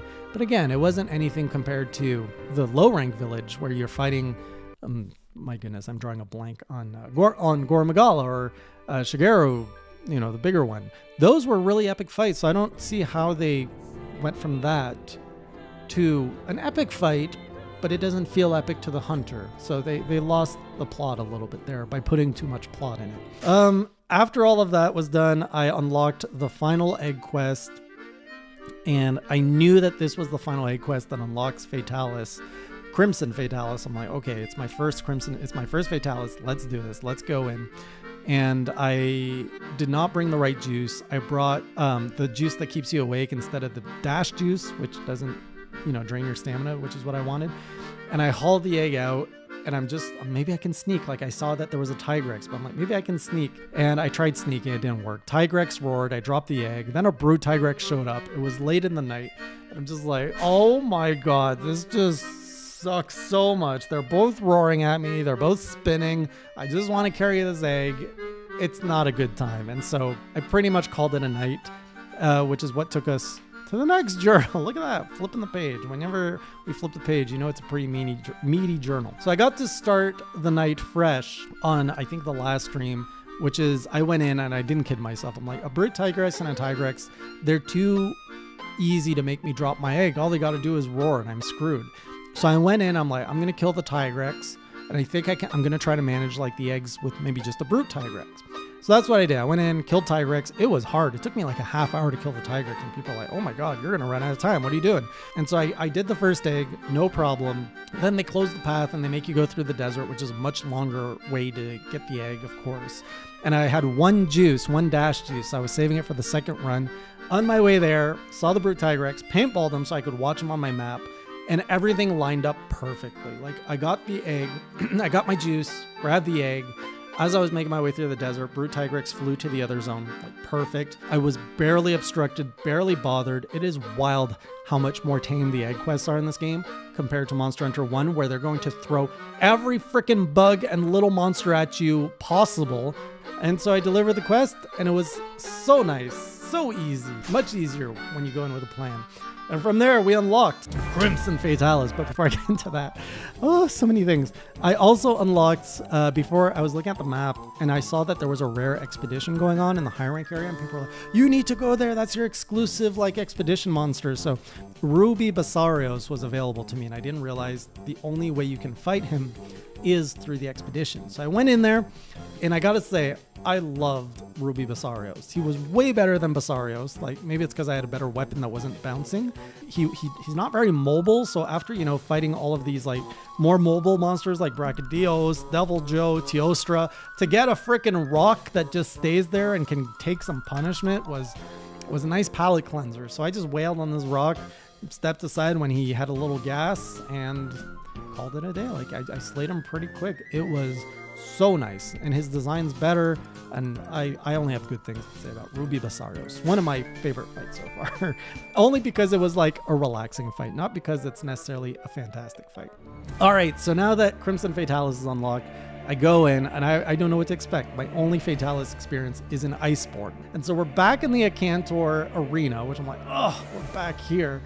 And he's he looks a little small at first. I'm like, is this like a baby Fatalis? Because they did mention that one of the eggs hatched. And so I understood that this is maybe a baby version of Crimson Fatalis. I was just shocked at how long he was. Like, all I'm seeing is pretty much his crotch. I'm like, okay, I can't pan the camera up, so all I'm gonna be doing is bashing on Crimson Fatalis' crotch the whole fight. I'm like, all right, let's go. Then I realize, wait, this is this is the death trap because then he breathes fire on you. But if you go behind, then he whips you with the tail. Um, overall, compared to Iceborne Fatalis, he's a lot more static. Thank goodness. And I went in not fully prepared either. I went in just to test and see what the fight was. I was not expecting to win on my first try. I only had one max potion because I'm out of items to craft them. So like I'm farming them. I'm trying to get some max potions. So I had limited amount of healing. Like I wasn't fully topped up. And it got to the point where I was two carts in. And uh, luckily, one of my carts brought me back to the box when I had, uh, I was able to refill on supplies. Otherwise, I was really counting on Classy and Calico to heal me and uh, they, were, they were dropping herbs and i was like grabbing everything can. I'm like herb? Yeah I'll, give me that. I'll eat it. And i'm just trying to stay alive and trying to get better at dodging fatalis and trying to unleash as much damage as i can on him. I mounted him early in the fight ran out of stamina so i fell off of him and now we're getting where I can't heal. I used all my items. I'm down to five minutes left in the fight, and I'm just not seeing an end to this. Like, I'm not breaking anything on him. And in that last five minutes, I got another mount. I managed to win it. I like I managed to win the mount. I think I broke one of his horns. Uh, someone was saying, and with three minutes left, oh, he was slain. So this is my first Monster Hunter 4U Fatalis slain. I also know he is the easiest out of I think there are four of them which I did not know, by the way, when I pledged. I didn't think that there was that many. I knew that there were multiple, but not four. So we have three left. I think they're all in G rank at this point, which is kind of my next destination. So now with the high rank village story done, the side quests almost done, I'm moving over into Hub so that I can grind that out. I've um, cleared a bunch of Elder Dragons with the multiplayer, and we've actually unlocked the Urgency for high rank 8, which, which is a Dalamadur. I've only heard this one in passing, so like I don't have much expectations for Dalamadur other than I think he's just big. And if I'm remembering right, I think people mentioned this in Monster Hunter World. I think the Rotten Vale or something is based on a Dalamadur's corpse, if I'm remembering correctly. But like at this point, I am attaching really old memories to really new information, so I don't know. Um, so that's where we are. I'm thanks so much for like listening to all of that. That was just so much information, so much like usually I'm streaming once a week and I use and I usually do a journal. This was three streams back to back and I just didn't have the time to do a journal in between. So we got this big chunky meaty journal and I'm actually losing my voice from talking so much. So thank you all for joining. What we got next is a big snake, I guess, and the G rank grind begins. It's going to be a whole new chapter of pain. And I'm going to be here to share it with all of you. So thank you for listening. Thank you for watching. I'll see you on the next video, the next journal, or the next stream. And until next time, keep it classy. I've just encountered the largest monster in Monster Hunter. At least I think it's the largest, and I think it's pronounced Dalamdir. I hope I said that right. Welcome back, Classy Crew, to another journal in my Monster Hunter 4U journey to slay every Fatalis, and now I'm at the edge of G rank, and the gates won't open because there's this massive snake blocking my way, and I have hit a literal wall. I've fought this thing twice now, and then the roars, and then the bombs, and then the bombs and the roars, and time's up. I am at a point where I cannot do enough damage to the snake to proceed with the game. And so the gates of G rank and what goes beyond that are, are taken away from me at this time. And that's a good thing because if you are watching any of my journeys through Monster Hunter, you'll know that when I hit a wall, that's when it's time to level up. It's time to unlock the hidden potential that is within all of us, to find a new move, and that move is a charge shield AED. And I am so freaking proud of this move. I I didn't invent it. It's always been there. I know it's always been there. I know I haven't been able to do it. But I can now finally tell you that your boy here, Hey Jay, has finally figured out how to spam AEDs with a charge shield and not accidentally go into an SAED or a Saeed as we use as I used to call them. The the feeling of like oh my god, it's not often that I'm in a game where I quite literally feel my entire gamer side level up. So after okay, so uh, backtrack. I went into the fight with Lam- Salamander. Someone told me it's like sal- salamander with a er with a ur. So so I'm just gonna say Dalamander. I knew that this was a unique fight. I knew that it was a big snake. I had no idea like how big of a snake, but this thing's this uh, big snake. And so I went in without really expecting much. My first fight, I was like, all right, I'm going in here to learn. And as soon as I get launched into the fight, there's big red arrow on the snake, and I'm like, all right, I'm gonna climb the snake. So I jump on the snake, I start climbing, and then he moves. I fall off the snake. I was like, oh no, I have just messed up the tutorial part. I don't know what to do. And my first impression was I was so confused. There was snake everywhere, and I'm just like, what do I hit? And I tried hitting him here, and I would bounce. I tried hitting him there, I would bounce, and I was just surrounded by snake, and I had no idea where I'm supposed to position myself. And so I was like, honestly, I felt that was really exciting because I'm like, okay, this is like a puzzle. I got to figure out what to do. So I eventually found its face. I was like, well, the face is usually a good place to go. So let's try to fight the face. And I couldn't do anything because the face is always up in the air and moving. And then I noticed on my uh, targeting screen that there were two things that there's the head and that there's the tail that you can target separately. So I was like, oh, I can now go after the tail. I found where the tail is. It just kind of hovers by the side of the canyon. So I was like, oh, this is where I'm going to do some damage. I was actually able to hit it. I was seeing blood. I was like, oh, this is the spot. And then I was starting to learn that the tail kind of slaps you. It always makes like this little sound before it attacks you, almost like a rattlesnake. And then it hits, it, it drops down, and then you can just keep, you just move out of the way, you keep hitting it. And so that was my first aha moment in the Dalamander fight where attacking the tail was step one. And I broke the tail. So the tail fell off. I felt like I was making progress. But then the rest of the fight, I couldn't really quite figure out um, how to continuously do damage to him. I eventually did learn that you can climb him when he like wraps around the stone and the big arrow says like climb me here. So I climbed all the way up and then I'm at the top of like his back. I was like, what do I do here? So I started like just swinging around and then I learned that I was like hitting one of his back scales, which that broke and then that sent me falling all the way down into a whole other area where I learned, oh, there's a base camp to this level. So from there, I was able to raid the box. There were a bunch of bombs, and stuff. I was like, oh, that's a pretty good idea. And so now I had two ways to inflict damage. I could hit the tail or I could run up the back and fight it. And I also learned that when I came back from the camp, uh, after you break the back, his head's on the ground just waiting for you to like smack it. So I was like, oh, that creates an opening, but I don't know how to deal with that because I get launched base camp, and by the time I get back, he's already back on his, not on his feet, although he has feet, but he's a snake, back on his things. Um, and that's when Chad told me there's a second red arrow, go up that way. And so when you're climbing his back, you can actually jump on the cliff, go up, which takes you above his head. Then you can jump down on the head, and then you can. At first, I just put some bombs there because why not? And that knocks him down. You fall next to his head, and then that gives you some space to go all Rambo on him. And it was unfortunate that I didn't know how to do the AED with a charge shield at this point. So I pretty much just launched an SAED and then I was doing more minimal damage on him. But still, I was learning. I eventually broke his head doing that. And then there were other things that I was trying to figure out. So at one point, like his big chest is just shining and like saying hit me pretty much. So I went and tried to hit that, but it's like a nuclear reactor where if you're close to it, you pretty much take damage. So that was problematic. And I was also bouncing a bit. So I'm like, maybe the chest is not as weak as I thought I as I think it is. I eventually did make it to phase 2 where he breaks off some of the canyons and then you're like more limited in where you can go, which is fine with me. And I got into the pattern and learned what he does. So he basically like blasts once where you can like Superman dive to dodge it. Then he kind of like chomps you, tries to bite you, which you dodge. And then he eventually wraps around the mountain and then that's the loop in either phase 2, phase 3.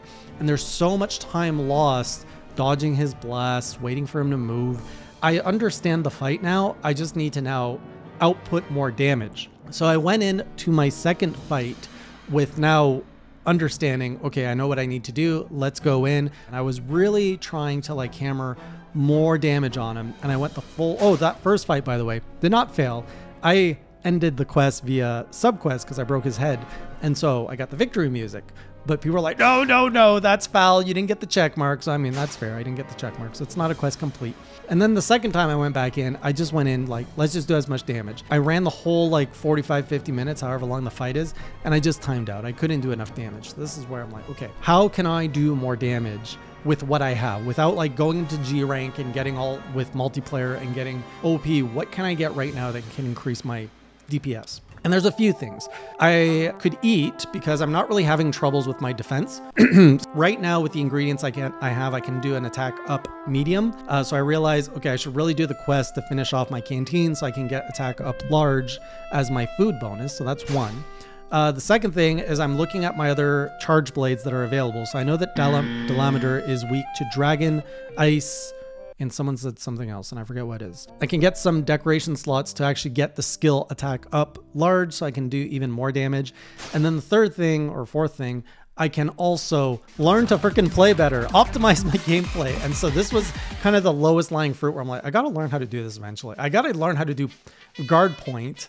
That's like the ultimate pinnacle of learning charge blade in this game. But I'm like, first of all, I need to be able to reliably land an AD when I want to because I'm getting oh. frustrated now that all I can do is, is an SAD.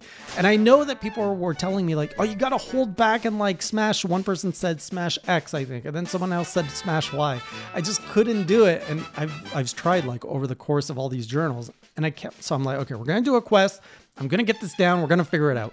And it took a little bit of figuring out, but I finally learned that, and it's thanks to Chad's help, when the shield, so you, you basically like shove your sword in your shield and then you send it back. And when the shield is behind you, that's when you want to hold back on your analog stick top and top button, which is whatever controller you have. And when you do that, you get like a little glitch in the animation. And that's when you know you're going to do it right. And then you just slam it and you keep your phials which lets you slam a charge shield on the monster. You keep your phials so that you can spam that pretty much five times, dealing way more damage than if you just unload everything on an SAED. So after practicing on a great, um, what did I practice on? Great Jagger? Not Jagras. Great. Shoot. What is it? I've been playing too much Monster Hunter now. What's what's the one that's not the great? Oh man, he's not in any other game, or he's Monster Hunter 3. He's not in the newer games. The great. Why is? Oh my goodness, I'm getting a blank. The great purple raptor. Is it Jagras? No. Jagras is the iguana. I. This is embarrassing. Anyways, you guys know who I'm talking about. An editor is probably having a ball making fun of me right now because my memory just decided to kaput on me mid journal. And uh, now I was like, all right, now let's test it in the field, make sure I really know what I'm doing. So I decided to go pay a visit to my old friend Akantor, which you might remember from the last journal, who made me cart three times, failed quests. I was completely uh, outclassed and outmatched in that fight. So I went in, I'm like, all right, this time we're bringing some might seeds, we're bringing some uh, armor skin so that I can get this defense down times two off of me. And we're gonna go in and we're gonna smash this AD all over him. And so I went in and oh my goodness, this fight felt good. Like it was night and day difference. I was like, swoosh, swoosh, punch him in the face, charge my shield, charge my. No, that's all you do. You just charge your shield in this game. Charge my shield. All right, all the phials are up. Let's go. AD, AD, AD, AD. And it was just like, dodge. Oh, he's gonna roar. Shields up, and oh, it just connected so well. And I have to say, like, I know I'm doing well when the chat is actually going out of their way to saying, like, oh my god, he's actually playing well. I've even had some people reach out to me personally saying, like, you really stepped up your game in that fight. So I feel accomplished. That was my big win uh, of the week. And now I can properly do AD on command whenever I want. So next, the only thing I got to do is the freaking um, guard point, which you guys have been begging me to do for a while. That one, I'm going to wait for G rank. It'll be my final form when I really need that skill. I don't need it right now. So after Akantor is done, so now I've got my new, uh, you know, spam ability to do more DPS that way. So next thing that's easy is let's knock out all of the canteen items, upgrade it so I can get my attack up large when I eat. Uh, so I started just knocking out all the quests left in low rank. I actually completed Village uh, and I got the, the little ribbon and everything. So I finished. There was a Frenzied Brute Tigrex quest, uh, which I finished that. It was like a little Akantor. Uh, Kushala was the end of my quest for Cathar. Finished him off, which was pretty easy considering I have a poison weapon. But man, frustrating. Like Kushala in this game is what I feel. I remember you guys were complaining back when I was playing Monster Hunter World how much you hated Kushala in World because of the air shield it has and how you can't like really get close to it. I, I, don't remember too much about World. It's a whole different chapter. But in this game, man, Kushala was just such a pain. Like I couldn't, I, I kept getting like tossed aside or blown away. So it was just really hard to stay on it to continuously do damage. So I didn't really enjoy the Kushala fight in this in this one, but it didn't give me too much of a struggle. Otherwise, um, I stayed alive. I dealt my damage, and I killed it within 15, between 10 15 minutes, which is my average. So with all of that done, everybody's celebrating, and the carav- car- Caravaneer has given me his challenge which has just unlocked. So when you complete all of the village low rank quests, you unlock this quest, which is the Caravan Caravaneer's challenge, where you have to fight a Zinogre, a Rajang, and Shagaru Magala, and I'm assuming it's all the same in the arena of Shagaru Magala, I think. I didn't go in the quest yet. It was at the end of the stream, so I was like, I'll save this for never. I don't actually have to do it for my pledge, but I mean, you guys are not going to let me avoid it, and my curiosity is going to drive me to go there. So I'm going to have to see what that is. It's going to be rough. Zinogre is really good at, oh, and it's all going to be, it's all lightning. I'm going to have to prepare properly for this. I've heard it's a really tough quest. Um, so I have that. I have a bunch of high rank quests now to clean up, specifically to unlock all of the sub quests, the sub items in the canteen. So I'm going to focus on that. And then I'm going to go pay Delameter another visit so that I can clear the way so I can get into G rank and find my missing fatalities so I can complete this pledge before these servers get turned off. So that's where I'm at. Hopefully, um, we've got I just remembered there was a part in this journal that I wanted to have a montage about me learning AED. And I don't know if now is the time to ask the editor to do it or if you're just going to take this clip and do a montage after. But it'd be really cool if we had a montage. So I'm just going to say this and you use it where you want. Cue AED montage. And I didn't do it. How finicky is this? Oh my goodness. No! Whoa! Boom!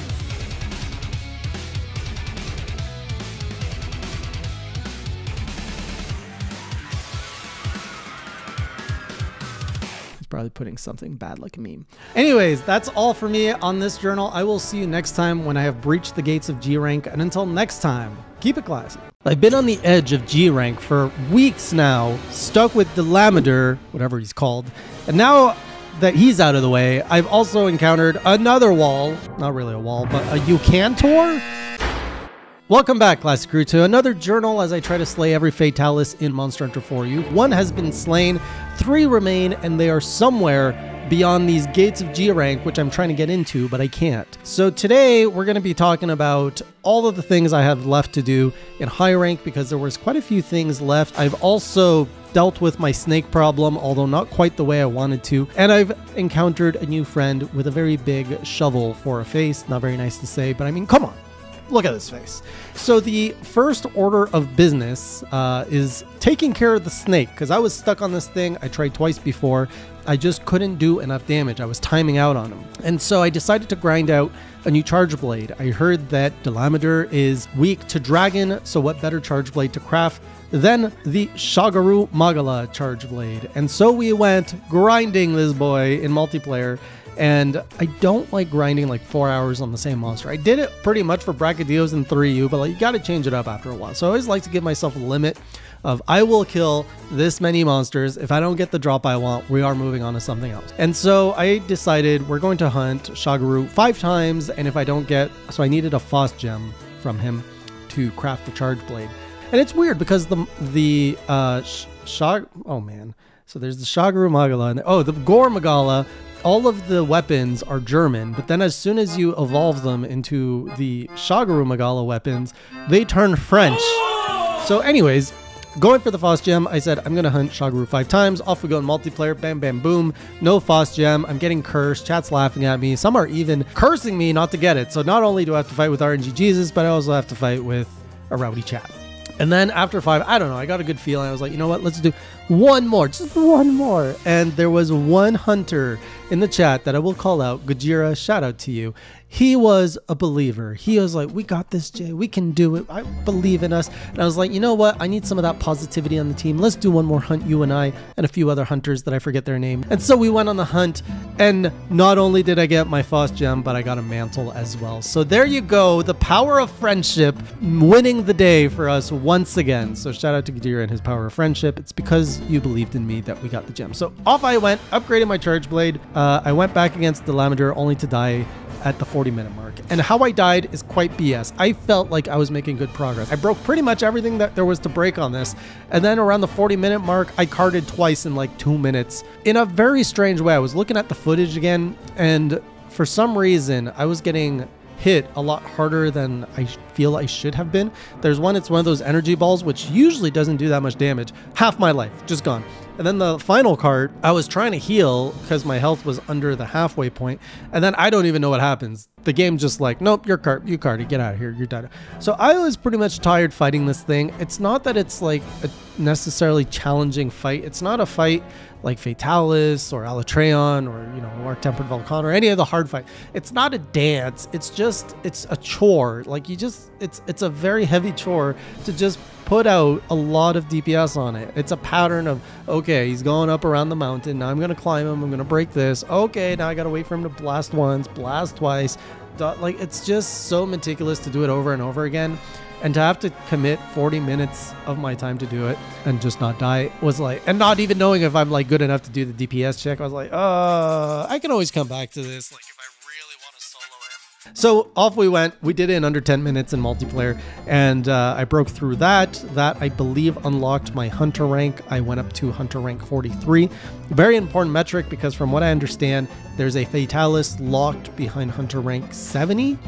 I think is the number. So I have to get my hunter rank up. I don't know where the other two are. I assume they're in G rank somewhere. So I'm just going to keep clearing quests, and hopefully we will unlock that fatalis. Uh, so with that done, I fig- I knew that uh, Eucantor was next, and I was like, well, I don't want to open up the gates of G rank just yet. Let's see what else there is. So there was a Silver Rathalos waiting for me. Went and fought him, and I never liked Silver Rathalos. I didn't like him in world. I didn't like him in 3U, so I definitely didn't think I would like him in here. And guess what? I didn't. He is bad. He has two attacks which just drive me absolutely nuts. There's one that he just charges at you with his, with his claws, and it can go across the field. There is no minimum or maximum range for this thing. It just snipes you. No, no matter where you are, it's just clawing your face, clawing your face. It's so freaking annoying. And then the other thing is, out of nowhere, he could be on the ground, and then he'll just jump and shoot. Just jump and shoot you. No matter where you are, just jump and shoot. Another snipe attack. So those things are annoying. And okay, this is kind of funny because you know I'm not an optimal hunter. I don't, you know, I'm not really good. And people always say you don't hit head enough. Hit that. That's the weak spot.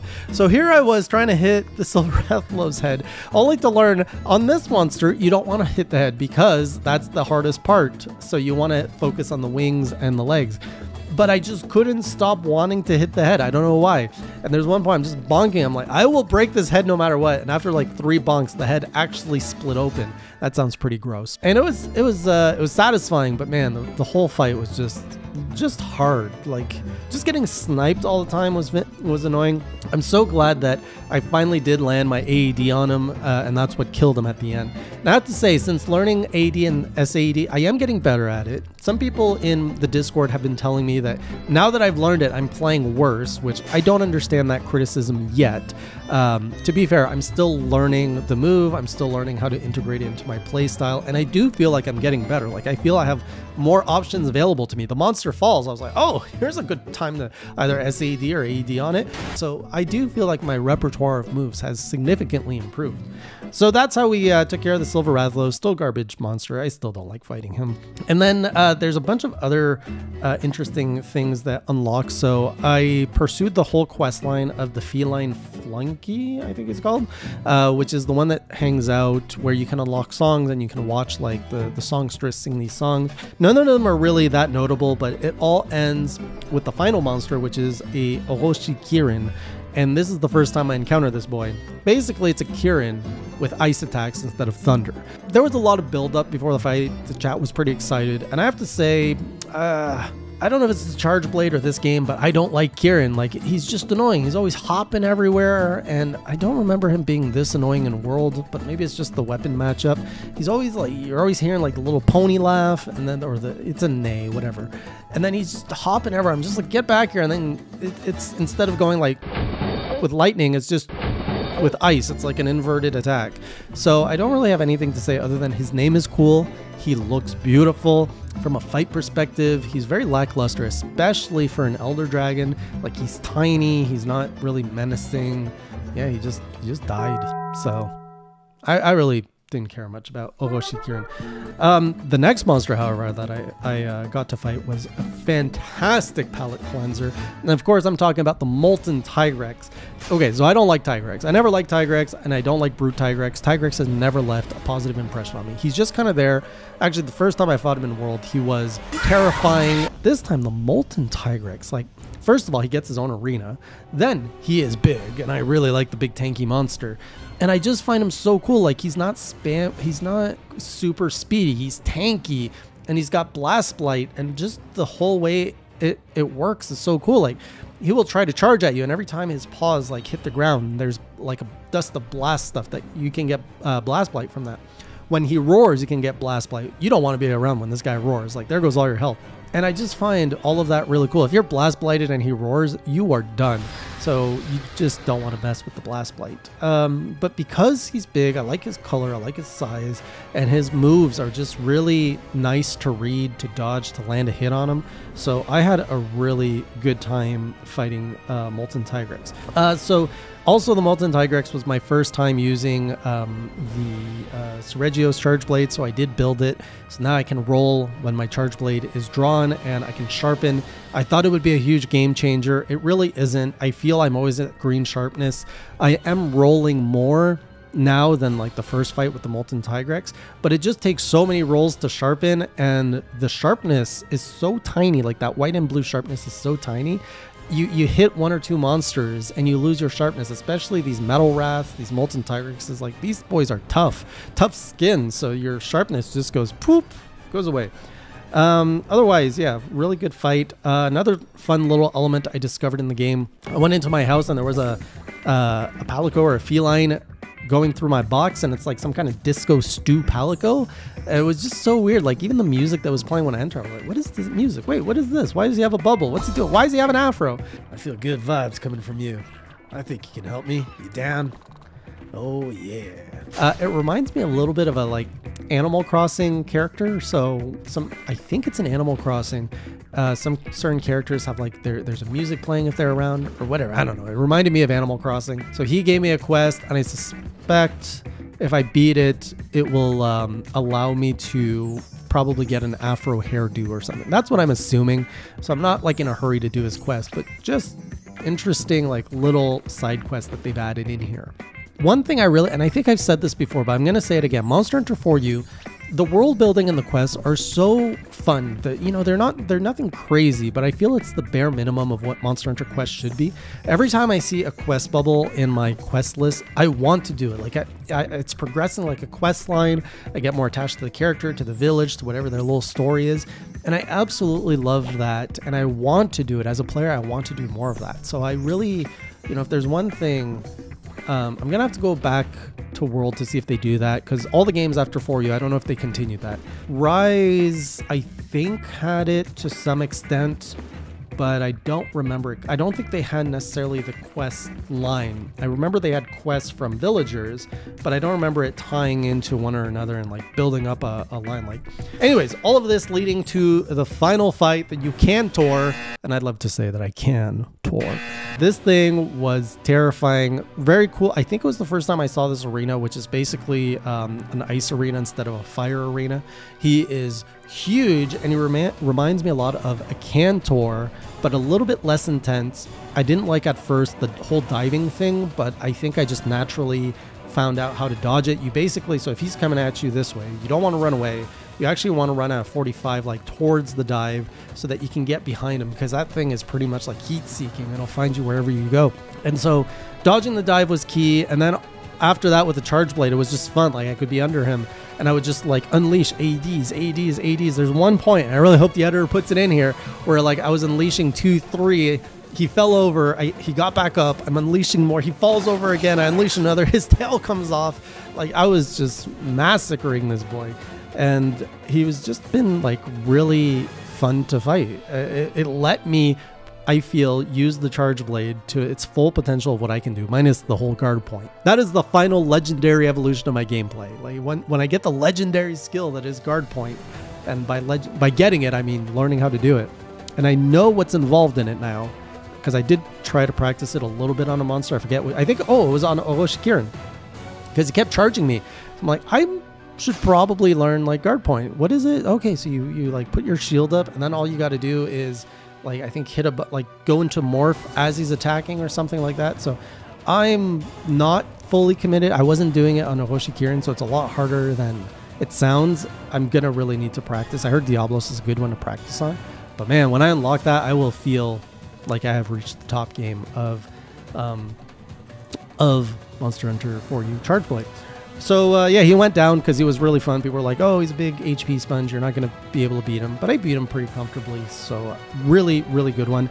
And with that, the hall of his immenseness has now opened. I can take on new quests, and there is a lot of pain waiting for me in G rank, as I have learned. But I will share with that next time because next time I have the Desert Seltas, which is now available to me, a Savage Deviljho, which that's not a G rank one, we are tiptoeing into G rank, and it's always painful getting into a new rank because you gotta deal with the whole armor problem. The fact that I have no G rank armor. So that's gonna be what we're gonna have to face as I enter G rank. And I'll see you on the next journal to talk about that. Until next time, keep it classy.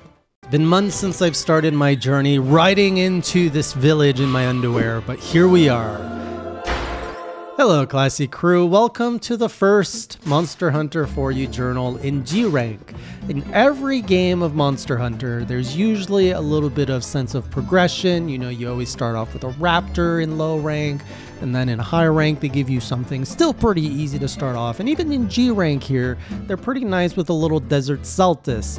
However, through some cruel twist of fate, there's an Apex Rajang that decided to show his face in my first G rank quest. And boy, no! Man, I hate this monkey. I was somewhat expecting an invader because I was there. There was a lot of excitement, a lot of hee hee hee from all of the chat, and I was like, okay, we're gonna get another another Deviljho, and I'm cool with Deviljho. Devil Joe was fine. He doesn't scare me anymore. But Apex Rajang, like I have not gone over my Rajang fear. This boy has been haunting me since my very first day in G in Master Rank of World Iceborne. And here he's just worse. He's angrier. He's not even golden. He's like black. He's like Ultra Instinct Rajang and I don't even see him. I'm trying to squish a bug, and then it's like, ah, oh, what the heck? So we're gonna get to that in a moment, but let's talk about the early the early steps into G rank and the first impressions. And I have to say, if it wasn't for that Apex Rajang, it wouldn't be so bad. So there's still a few lingering quests waiting. Like I'm done with low rank village. That's all done. High rank village, there's still a few bubbles in there that are annoying me that I want to get through. So I've been doing a little bit of uh, quest cleanup. We're still progressing on this hammer quest for a lady. And, uh, you know, she wanted first some like two Rathians. So I went and killed two Rathians, one of which slipped on a, on a mosquito, which was funny. So I was fighting the Rathian in her nest and she's charging me and then she falls. And I was like, oh, but the cats weren't there. What happened? And people were like, "Oh, she slipped on a on a Bnahabra or whatever." Which is there's a joke to be made there, but I'm not smart enough to make it. Um, I don't know if the editor is like interested in turning a Bnahabra into like a banana and you know, put some slapstick Rathian slipping on a banana like the old cartoons.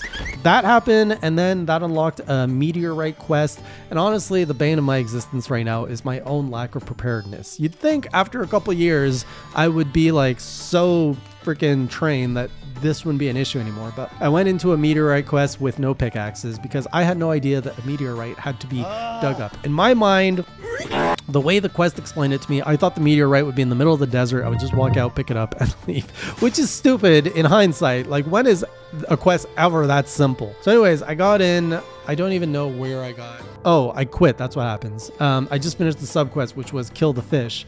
Got myself some pickaxes, went back in. Everything was fine because I knew that. So I know at this point, because it's my second time in, that there is a monoblos that spawns, and that's annoying because he charges you, he roars at you, does everything so that you drop You it. Stupid. So I grabbed it. I'm like, I'm just gonna book it out of the cave and go up to the right and get back to camp. Only to find out there's like five massive boulders that have appeared in the matter of five. Are like, I get it, Monster. Hunter. You want this to be hard for me, but like, make it make sense. You can't just I go and mine a meteorite and then five massive boulders show up in the middle of a desert blocking my path. If you're gonna block my path, do it from the moment I enter the quest. Don't just randomly like that was an unfortunate surprise. So I had to fight the monoblos a bit. He ran away through like the water shortcut because it's the dunes at night. So I went and got another meteorite. I'm like, you know what? We're not we're not even gonna go peek inside. Actually, that's not true. I did go peek inside, and the monoblos promptly charged himself at me. So I'm like, nope, we're gonna take the long way around. And it was pretty uneventful. Went all the way around, finished the quest, called it a day. I am a pro gatherer at this point. I've done all the egg quests, so I know what I'm doing. And also, none of this compares to Monster Hunter 1. If you have someone that you don't like or that you are friends with, but you no longer want to be a friend with, please offer them Monster Hunter 1 egg quests. Say, you know, the only way that our friendship can continue is if you finish this quest for me. And two things will happen. They will either not finish the quest and then the friendship will end, or they will finish the quest and they will no longer want to be your friends. So you achieve the same goal no matter what happens. So it's, it's a foolproof idea if you want to end friendships. From that, I had a Deviljho uh, or a Savage Joe. I don't know, is it?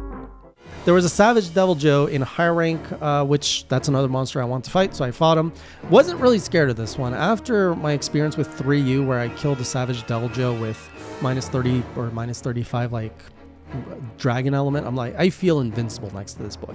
So I went in there, I was fighting him. Things were going good, and I actually had proper, like, I didn't have a weakness to dragon in this case. Uh, and I think I even had the charge blade that does dragon damage. So I felt super good fighting him until he turned the tables with the pins. So the most annoying thing about 4U Savage Deviljho is this boy pins you like crazy. And it's not even like you see the pin coming.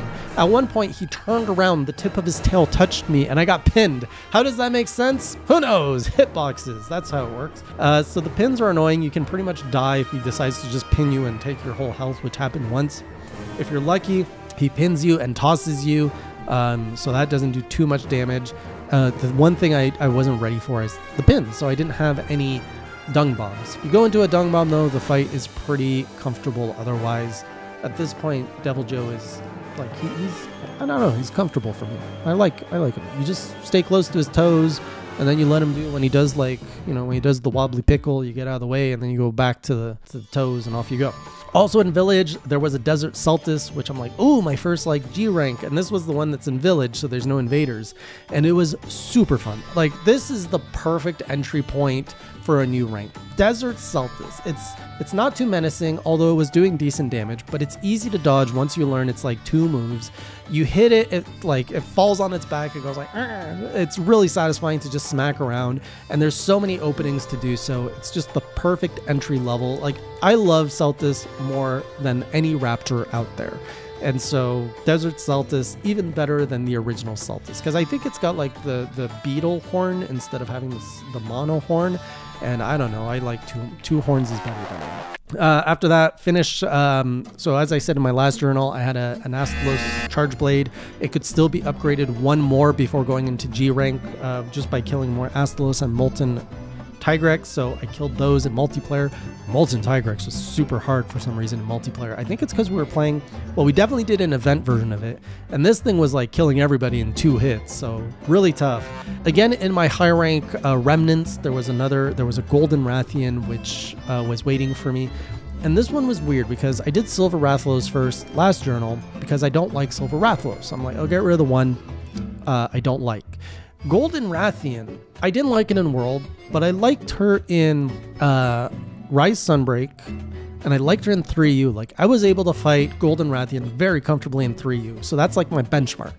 So I was like, all right, we'll go into this. It won't be too bad. I go into it. I forget my max potions within like 10 minutes. I, I like carted three times. It was just terrible. It was a terrible experience. I'm like, oh, okay, let's let's prepare again. I went in prepared, and again, it was just a terrible experience. And I don't know if it's because it was the, you know, I'm just not as familiar, as good at with positioning with the charge blade versus a, versus a switch axe. But man, I kept getting hit by the stupid tail Oh maneuver. She has this like instant transmission tail maneuver thing where she like just, you know, pops in front of you and like, whoa, I'm gonna swing my tail into you. It's so annoying. And I just kept getting hit, getting poisoned, uh, disco tail where like she spins it all ways, get hit again. And both my charge blades. So right now I'm using the Seregios. charge blade and or and or the Shagaru Magala charge blade. Both of them have sharpness problems where they're like white and blue sharpness are so tiny they barely let you attack the monster before you have to sharpen again. And sure, the one you can like roll to sharpen it, but you have to roll like 10 times to get decent sharpness, so it doesn't really solve the problem. So I'm constantly struggling with uh, a non sharp weapon. I'm trying to find an opening in these intense fights to freaking sharpen my blades, only for it to unsharpen after like five, six hits. So that is the biggest struggle for me. It's the fact that I don't have enough sharpness. and I keep bouncing on these things, or I keep just losing my sharpness. What one thing I like about G rank is the ceiling is removed. Like I, I, I get access to everything. I, I'm eventually going to build my end game gear, and I'm eventually going to be able to get everything I want stacked to the most that I want.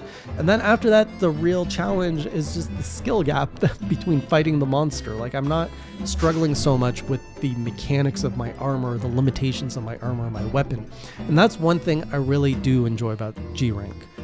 And the thing I don't enjoy is freaking Apex Rajang. So before going into proper hub G rank solo, um, I decided it was time to level up my canteen. And honestly, part of the reason I was doing all these quests in village rank, uh, high rank, was because I was trying to max out my canteen. So I was doing all the bubbles only to learn no, all the canteen upgrade items, you have to do it in hub high rank. I was like, what the heck? So I learned that there's a little symbol and you have to basically do the quest with the fish. So I did two or three of those. I upgraded my fish, I upgraded my meat. Um, these were like super easy quests because now I'm I'm I've got like end game high rank gear and I'm fighting like four or five star high rank monsters. So they were just easy. It felt like cleanup. So I didn't enjoy doing too many in a row but it's nice to just basically fill my canteen. That's something I'm just gonna slowly wrap up because this game, the maintenance and everything, like I said, I finished all my village requests. Like I, I'm just enjoying that completionist aspect to this game. It's really rewarding for you in a way that it wasn't before. If you look at my uh, 3U game, actually any other Monster Hunter game I played, um, I want to complete them or complete collecting and stuff but I tend to like fall off at one point. 4U is doing it in a way that I'm continuously want like it's manageable to get all the stuff I want. Uh, unlike the other games, which I feel sometimes they're either really grindy or I was just too new and I didn't appreciate it, like the farm and world. That's where we are. Uh, and then finally, yes, the Desert Seltas. I, I decided I need to start grinding Hub to unlock more quests because the goal here is Fatalis. Like, we got to find this Fatalis. It's not even available to me. One is at high rank or Hunter rank 70, and that is still a little ways off because I'm at Hunter rank 46, 47 right now. So I went in with the Desert Seltas because I'm like, oh, this is good. And I'm also starting to think, well, I need to get some armor so I can actually stand a chance against some tougher opponents. So I go in there, and before the Desert Seltas, people are all like, "Oh, eat for Game Changer." The whole chat's like, "Eat for Game Changer," and I read the description, and it's like, "Oh, we'll ensure an invader appears." I was like, "Why? Why would I want that?" They're like, "It's good for like armor grinding or like armor parts." So I was like, "Okay." Like they they really seem to be coming from a good place. I couldn't tell if it was trolling or not. In hindsight, it was. So I eat for Game Changer. It does not proc. So they're all like, "Oh man, it doesn't proc, boo!"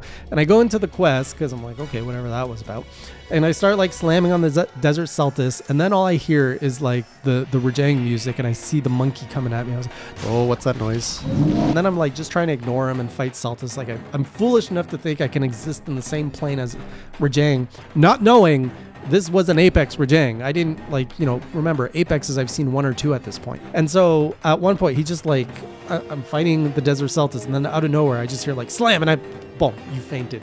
Like all my health just gone in one hit. And so that's when chat was like, "Oh my goodness, it's an Apex Rajang too."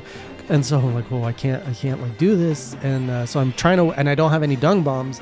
So I'm waiting for Desert Seltas to like separate from Apex Rajang in a different map. Then I go attack it. Apex Rajang shows up again, and I'm just trying to book. I'm like, no, no, no, book it out of there. I was in a part where you have to like climb up a wall. I'm trying to climb up the wall, and then bang, you have carted again. Like he just somehow sniped me from nowhere. So I was freaking out now because I'm down to one cart. I can't like Apex Rajang is one shotting me anywhere I go.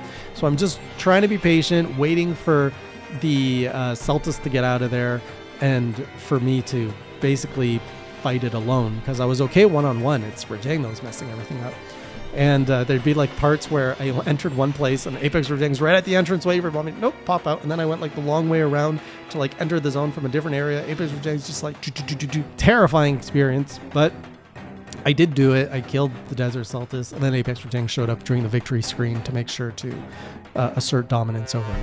Uh, and then finally, I decided, you know, when I started the game, Monster Hunter 4U, I started with the Tetsucabra armor piece, and it was really good because it has like a lot of defense stats and stuff. So I'm like, well, maybe I should, and I really enjoy uh, hunting Tetsucabras. So I was like, maybe I should just do a G rank Tetsucabra. And there was a quest for two uh, G rank Tetsucabra. So I did those quests and brought some dung bombs and everything. It was a long quest, 30 minutes, but it was it was fun, but it was intense. Like when the two of them were in the same room together, um, and then I also learned he has like this like triple combo charge where he'll like charge, turn, charge, turn, jump at you. That caught me off guard, caused me a cart, and he's just fun. I was breaking his tusk. I was like pushing him over. AED, SAED. There's one part I was like trying to like get away. I enter a zone and like one Tetsucabra's coming in at me. I go into the other zone. The other Tetsucabra's coming at me. I'm like, oh my god, where am I going? So I killed that. Got like pretty much the same material drops from both, which is not helpful this is what I want to do next. I want to grind out the Tetsucabra armor set in multiplayer. Uh, I, am also not even fully upgraded in my high rank armor. Like, I haven't used all my armor spheres. And at this point, I don't want to use my armor spheres on the high rank armor. I want to save it for my G rank armor. So, um, the goal is level up Tetsucabra, and then Gypceros is next. And I'm just going to start, like, chipping away at the quest that I can to unlock more G rank quests. And I guess it's like divided in G1, G2, G3. So I just got to make my way through G1 so I can get to G2. And I think, you know, G3 is, is probably where Fatalis is at. So we'll find out as I go down deeper, deeper into this hall of pain. So I'll see you on the next journal. Um, hopefully, we're going to be almost at a G1 rank by the time uh, we see each other again. I don't know. We'll see. And until next time, keep it classy. If you don't know about these two monsters, they're the ones that are going to wall you when you enter Monster Hunter 4U's G rank. They took nine carts of me, but through preparation, I destroyed them. Well, maybe not destroyed. Welcome back, classy crew, to another step forward in my journey to slay all the Fatalises in Monster Hunter 4U. I am happy to say I have just broken through the first stage and I am now in G2. So to my understanding, there's G1, G2, G3, and then apparently you unlock some other element of G rank, which is bronze, silver, gold. And only once do you get to gold do I unlock the ability to take on a Fatalis. There are three, as far as I know, left for me to slay. So the biggest priority right now for me in G rank is getting prepared. And this is something I am very well known for in my style of playing Monster Hunter is I just don't prepare unless the game forces me to. So when it gets too hard, that's where I go, okay, I need I need more stuff. I need more skill, I need more defense. And you see this through my journals. I'm always constantly progressing as fast as I can. I hit a wall and then I come back and I go, "Okay, wait a minute. What do I got to do to overcome this wall?" And I've come across this wall now through the Tiger Stripe Zamtrios and the Tidal Najarala. They said, "You cannot pass until you get some better equipment." And I was like, "Okay, but are you sure?" Oh! I was like, maybe if I stay next to the wall, you won't see me.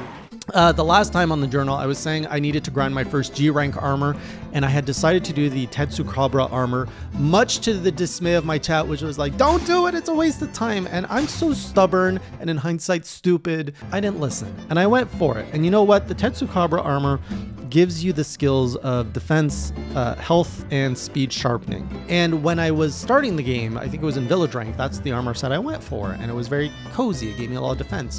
What I didn't realize is in G rank, these skills don't matter. Your defense up that you're going to get on a Tetsucabra armor is a flat rate. And so when you already have 500 defense, which is roughly where I'm at, getting a little bit more defense from this skill uh, accounts for somewhere between 0 to 5% increase in defense, which is, it does not make a big difference when these monsters are hitting you as hard as they do. Uh, another thing, the health bonus, I think, is pretty much um, it doesn't count because when you eat, you get full health, from what I understand. So these skills were useless. So halfway through making my Tetsucabra armor, I decided the Berserk Tetsucabra armor would be better, as per chat's suggestion. It comes with earplugs, which is great because now I don't get interrupted with their stupid roars. It has guard up, which is great because I'm using my shield more, so I can actually block more attacks. It has Bombardier, which I don't think that's relevant. And then I ended up uh, using all the slots to slot in a bunch of artillery so that my impact phial, when when I drop my charge blade on them does more damage. So that was a much better build. Um, the reason I didn't do it at first too was uh, I was just trying to get an increased defense. So I was like, any G rank armor will do. Let's go Tetsucabra. And I was actually very hesitant to try on a new monster like a Berserker Tetsucabra until I had new armor. And I was like, ah, let's let's just see how I do. And it turns out Tetsu, uh, whoops, Berserker Tetsucabra is not that bad. He's basically the same thing. He's a little faster, and he now has blast abilities. So all instead of just having rocks, he has rocks that explode. So you gotta be a little bit more on your toes. But for the most part, he's still a similar fight to Tetsucabra, which I like. So I got to farm him in multiplayer, did my armor set. Another thing I realized I needed to adjust was my Palico armor, which had been grossly ignored for for pretty much the whole game. And so uh, I went back and I looked at all of the available armor. I did a little bit more fishing on Sunsnag Isle, and I got the Sonic DLC armor, which seems to have the biggest armor of all of them. And Palico, I put a weird head on him, and he's at like the trade-off is the Sonic armor is so annoying because Classy is constantly hopping. They put the little Sonic jump sound every time a Palico hops, and that's how they walk. Like they don't just, you know, they hop around when they're running after you. So all I hear through most of my hunts is burr, burr. Well, that's not the sound. Hopefully the editor puts in the right Sonic jump sound. With my Berserker Tetsucabra armor, the rest of G rank up until Tiger Stripe Zamtrios and Tidal Najarala were fairly uh, challenging, but like no walls. So there was Kecha Wacha, which he was a little bit faster, got to kill him. Then there was the Ash Ketchum, aka Ash Kecha Wacha, which is the same thing, a little bit more aggressive, but now it does fireballs instead of water balls. the purple Gypceros, I actually accidentally did the quest in multiplayer, and I was so busy mining or catching bugs, I didn't actually see that fight. So I don't have much to say about purple Gypceros, but it died uh, because of other people. Took out the Emerald Congalala pretty effortlessly. And then the crabs. My goodness, these crabs gave me a lot of grief. So there was the uh, um, Daimyo Hermitaur, I think called. I think so. Carted me twice before I finally killed it, so it was a pretty even fight. And then right after, there was the Plum Daimyo Hermitaur, I think that's how you say it. That also carted me twice, uh, but uh, I did end up killing it.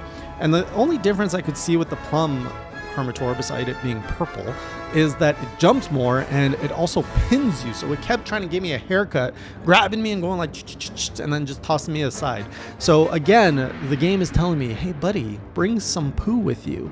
But I'm so stubborn, aka stupid, that I still have yet to put uh, dung dung bombs in my item rotation. So I keep getting pinned. I keep getting caught in between fights with two things.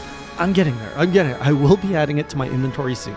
So after all this, I came into the Tiger Stripe Zamtrios, and everyone was like, "Oh, this is where you're gonna get challenged." I was like, "It's Zamtrios with a bit of variations. How bad can it be?" Ah! Oh, that's frustrating. The biggest problem with him was he hits hard, so I could only survive about two hits, and he is bouncing ever. He's always in his balloon form. So he's able to close the gap with you very fast. He jumps and then he rolls, and that roll just crushes my health. And then when he like he deflates fast and then he can charge you in his like bulked up state, like when I describe it, it doesn't sound that hard, but it's clearly was quite hard.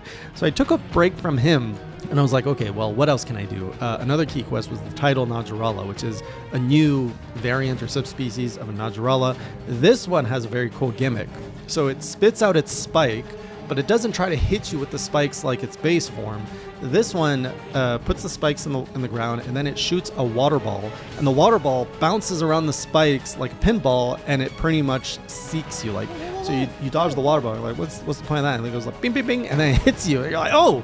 And another thing is, it's much better, I find, at coiling itself around you. So I got stuck inside the Najarala twice, which instantly carted me because it was doing more damage. Not as much damage as the Tiger Strike Zamatrios, but enough damage to cause me problems. So with all this said, uh, this was this all happened on one stream. Tiger Stripe and Tidal happened on one stream. I had now failed three quests in a row. I don't think I've ever really done that outside of like the really hard fights in Iceborne. So I was like, okay, I get it. I need to prepare. I need to level up again as a hunter. So let's go. Sphere grind, bring on the multiplayer, only to find out my 3DS, for whatever reason, has decided you're on your own, buddy. It would not connect to the internet. I don't know if this is a sign of like the servers are, are starting to shut down around where I am or what, because uh, if you haven't seen the video, uh, in April, Nintendo or Capcom or both are have announced that they're shutting down all of the 3DS servers. So I'm just like, oh man, what's happening? And I, I tried resetting my router. I reset my 3DS. I did a firmware update, uh, so everything's updated on the 3DS, and it just won't connect to the internet. It keeps failing. So I was like, shoot, guys, what do we do? And they're like, well, you're gonna have to grind spheres on your own the hard way. So the only way I can level up my armor at this point is getting heavy armor spheres, and there's only one quest available to me that gives that to me. So I have to go into the Purple Gypceros quest. I have to eat so that I spawn. I have to eat for a certain skill that lets me spawn Feline Explorer. So I spawn in the rare um, mineral deposit. There I can usually get one ore and then I go down anywhere that there's like a blue mining spot. I try to get an, uh, a heavy out of that, but uh, they, they give me these other ones, the hard armor spheres, which are not the ones I want. So pretty much on every run, I would get one to two spheres, which each sphere at this point increases my defense by four. I have about 500 defense. So I grinded this for about an hour. Uh, so I was able to increase my defense by roughly 10%, which is, hey, that's a pretty respectable number. I could have kept going, but I was running out of stream time. Like, you know what? So I went into this fight refreshed and prepped. I had 10% more defense. I put some armor skin on me.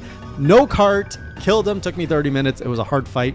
Uh, but I beat him, which really shows the point and the importance of preparing which you all know. But now, you know, I'm just repeating it. I'm validating it. So w- with that done, I had to go to Tidal Najarala. Honestly, with all of these like optimizations, Tidal Najarala fell. I also got to practice the fight more, so I knew more what was happening. Uh, and then I had a few other key quests left to open G2. So Nerscylla. by the way, newfound appreciation for the Nerscylla fight. I really love that fight. I love when she like strings her like webbing and just slings across the map. And I just found my positioning great. I was like dropping ADs and SADs on her. Um, I really had fun with the Nerscylla fight. So love Nerscylla. Then I had to do a Red Khezu and Rathian fight, which funny enough, Rathian carted me and I failed that quest, which carted me like three times. I was really expecting Red Khezu. So that was just an annoying quest because I'm like, this quest should not be that hard. And it's annoying because there's a Red Khezu, and Red Khezu and Khezu in general is annoying. What had happened is I had gone rusty in the last month of not playing 4U while I was doing the 12 days of AJ. And so I wasn't dropping AEDs and SADs as fluid as I was before. So I had to remember, oh yeah, you got to drop these things. That's where all the good damage is at. So I did that unlocked the urgent was which was the Seregios, and this thing was coming at me hard. Like, of course it's hard. It's G rank, but my G rank Seregios, I just remember like even in high rank and low rank, like this thing was just always very fast, aggressive, hard. My strategy is always you stay near the legs, you steer near him, and so just doing that was like, and my 3DS camera seemed to like the nub seems to not being as responsive as it used to. So I don't know if that's an indication of hardware decay. But man, it was a hard fight. Uh, got two carts. I was down to the point where I got it to limp all the way to its nest. It slept. I woke it up with an, S, uh, an AED, and I at one point I'm a gambling guy, so I just at one point went, I'm putting it all in this SAD. He was flying. We were in the corner. I was getting damaged. My cats were scrambling everywhere. I'm like, here goes. Let's just do it. And I go boom, and oh luckily that's all that needed. And you know, victory music played. I was just like, woof, adrenaline hit right there. So uh, the gates of G2 are open. These last fights have really highlighted how much I need to upgrade my charge blade because my charge blade is still using high rank um, the high rank one, I haven't really been able to craft a new weapon or upgrade my weapons. So now that I have the Seregios and G rank available to me, I can upgrade my current charge blade. And the jump in numbers, like the attack number, is a value of 200, which is almost like I think 30% boost in attack value. So I'm like, that's should like that should help me finish my fights one third of the time faster, like almost 10 minutes faster, because right now they're taking 30 minutes.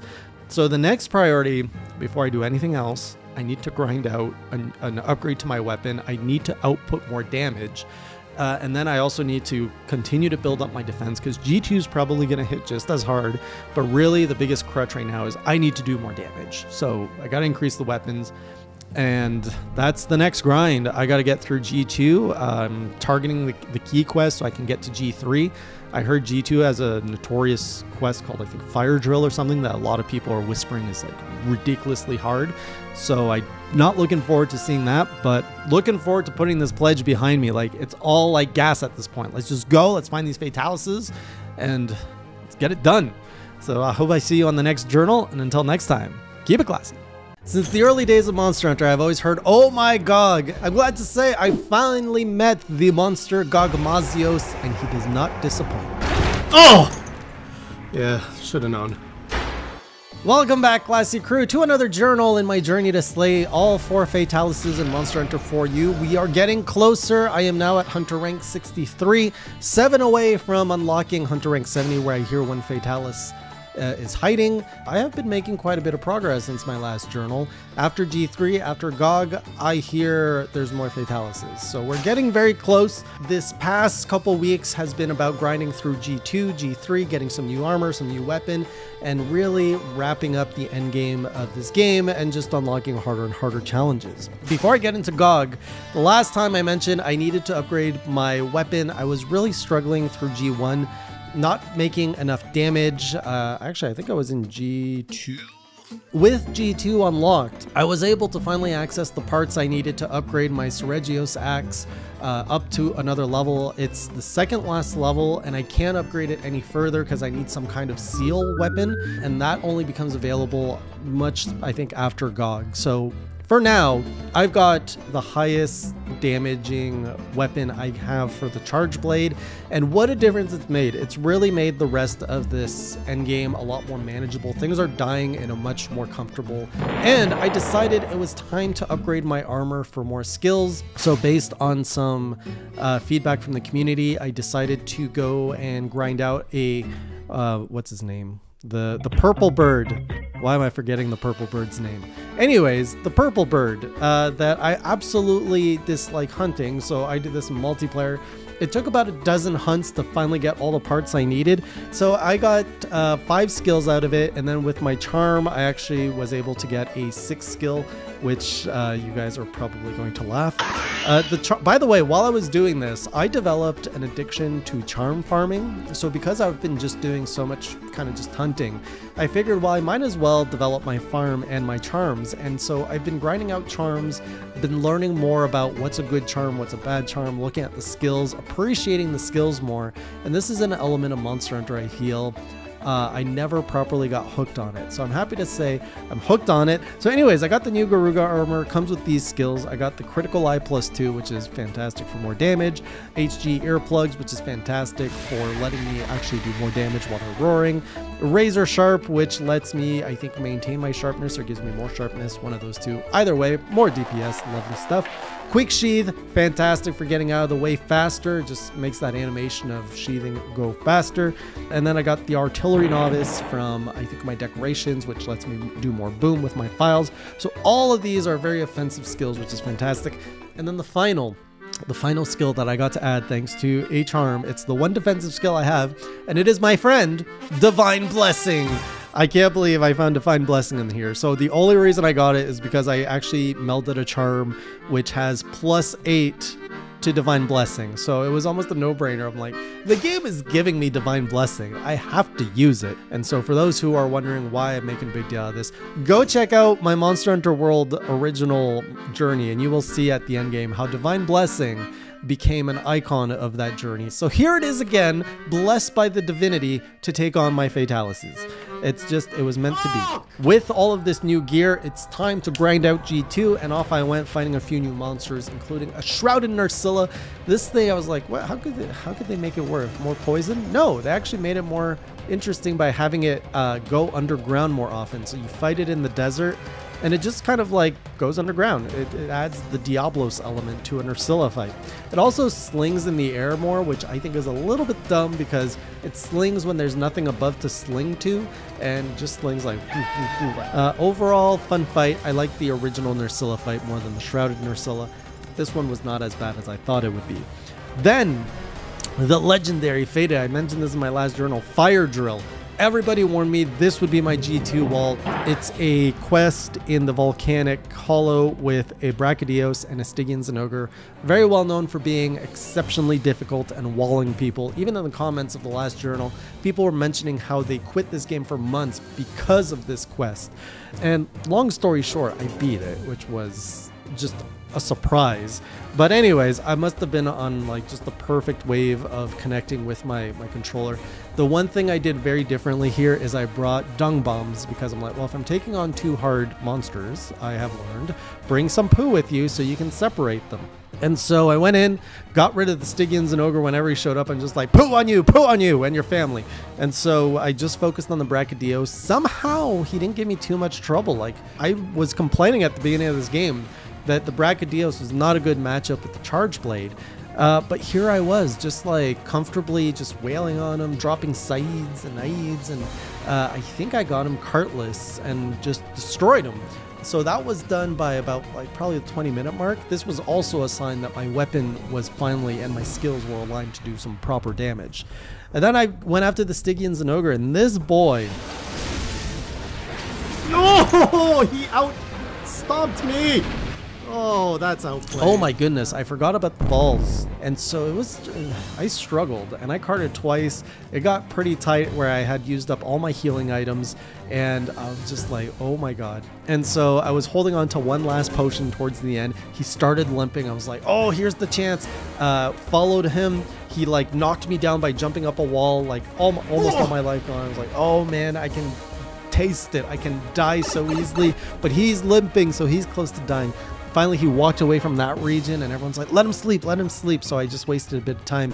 Went in of course he was sleeping and i'm like it's all on this SAED let's go. And then i just went in and luckily that's all it took to kill him. So i killed him in his sleep with an SAED drop and i love that. Um, after that point, it was just cleaning up to go and unlock G3. So there was some Black Gravios. I did that in multiplayer. A Brute Tigrex. I think I did that myself. Diablos. I can't believe I hadn't encountered a Diablos in this game, but people reminded me that no, this is the first Diablos I fought. So I fought him. Fun, fun boy. I love my Diablos. Went through the Black Diablos. Also not so bad. I think after doing the Apex in uh, Sunbreak, like Diablos, I, I know how to fight a Diablos at this point. And then all of that unlocked the gatekeeper to G3, which is Chaotic Gore Magala. Uh, was a little bit worried that I couldn't, I wouldn't be prepared for this, but I went at it anyways. And it came so close to timing out, so it was a pretty tough fight. He hits pretty hard, but I was playing cautious. Luckily, my weapon does some good damage. Uh, I lost track of him. He was limping around the 15 minute left at the end. So I was comfortable. I'm like, oh, I'm going to end this. I'm going to end this. He was so good at hiding from me because I didn't paintball him because we kept fighting in the same three zones. I'm like, I know where he's going to go. I don't need to paintball him. Silly me. He caused me to waste over 10 minutes of my time hunting him. I got Monster Hunter 1 flashbacks here. And luckily, like there were five minutes left. I paintballed him, found him in the nest, and just went like, and just destroyed him before I ran out of time. But I had four minutes left. I was sweating. Uh, I did not want to fail that quest to a timeout. That would have been so embarrassing. So with that, G3 opened up and uh, the elders were lined up. Luckily, I only had to fight four.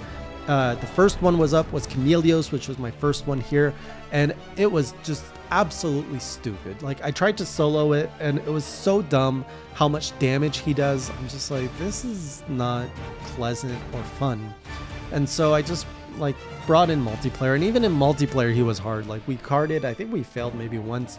We were struggling against Chameleos. And uh, after a while, it took like an hour between my solo attempts and multiplayer attempts. We finally killed him.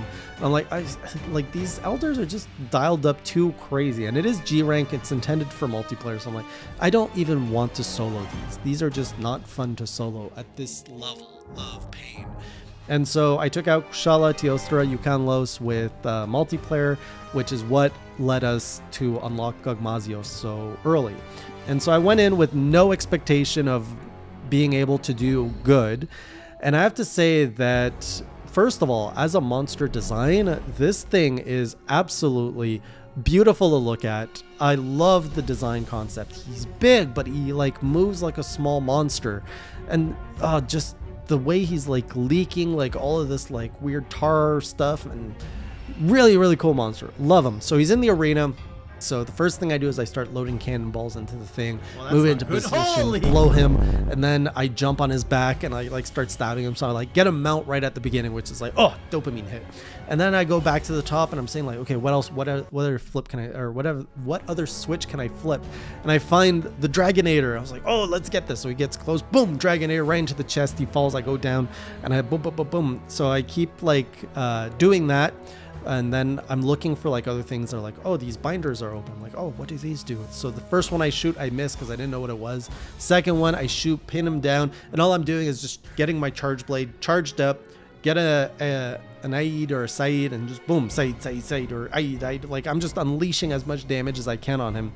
And I'm lasting pretty long here. I'm like 30 minutes in, and I've gotten his move set down where I can pretty much dodge it. So it just comes down to just unleashing as much damage as I can not expecting much, pulling off the Dragonator as I can. Where like this entire uh, fight really spiked in terms of dopamine and craziness is at one point. Uh, so I break his tail, and then I'm like, oh, like dopamine hit again. I'm like, I'm doing so good. I'm, you know, hitting all of the Dragonators, hitting everything I should, and now the tail break. Maybe I have a chance of actually doing this, and I'm not dying, so I know what I'm doing.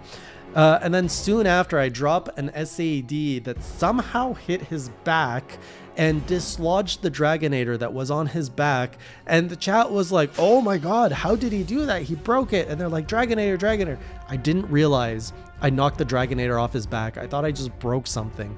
And the second thing is, I didn't know that you can use the Dragonator from his back when it falls off. So I run to the Dragonator on the other side of the arena up top, and people are like, what's he doing? Where's he going?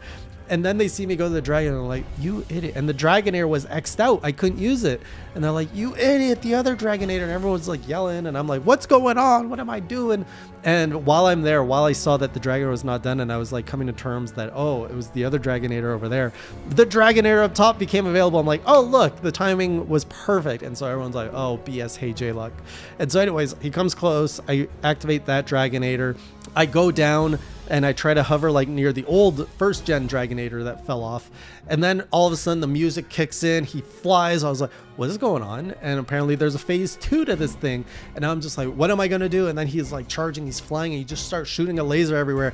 And I think I was far enough that I was safe, but I did not know what to expect. All I see is laser. So I'm literally running like a cartoon in a circle. I eventually did trigger the Dragonator, did not hit him, because you have to do it as soon as it falls off his back.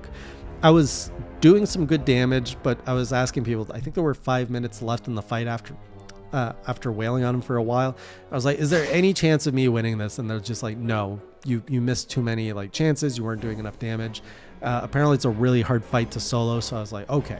So I ended by subquest. So at least I got the victory music. I got to keep all my parts, and it was a fantastic first experience. Even though I didn't, even though I didn't win, like slay it to me i won as a hunter because i learned the fight. I got to do so many cool things. I got a cool story out of it. And it was just such a great time. And another thing that i learned is i couldn't use the demolisher which is like this mega cannon and the thing because i haven't unlocked the fuel to, to use that thing. So you have to go and do all of these lab quests for the professor, all these quests that are assigned by the professor, which apparently then lets you do something at the farm, which lets you eventually buy the fuel to use in that quest. So that's what I started doing in multiplayer, grinding up those quests. I'm not quite there yet. I need another part or two. And then I will be able to buy the fuel. I want to go back in multiplayer just to go after Gog because I feel I know the fight now. I don't want to do another extended 40 minute like solo like I did with Dalamadur just for the sake of it. I know the fight. I want to just end it so that I can finish G3. And then I think uh, we get into the bronze, silver, gold crowns of G rank. And it's just a matter of finding Fatalis, which is somewhere in there. I don't know what that grind looks like. I don't know what to do there, but we're getting there. We're getting very close. I can smell this dragon, and I think we're just a journal or two away before I can finally say pledge complete. So hopefully I'll see you in those journals or on the stream. And until next time, keep it classy.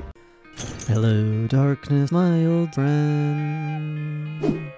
I've come to fight with you again. Because a vision softly creeping left it deep while I was sleeping. And the vision that was planted in my brain still remains within the pledge of for you. Welcome, Classy Crew, to a journal report on my 4U pledge to slay every Fatalis in this game.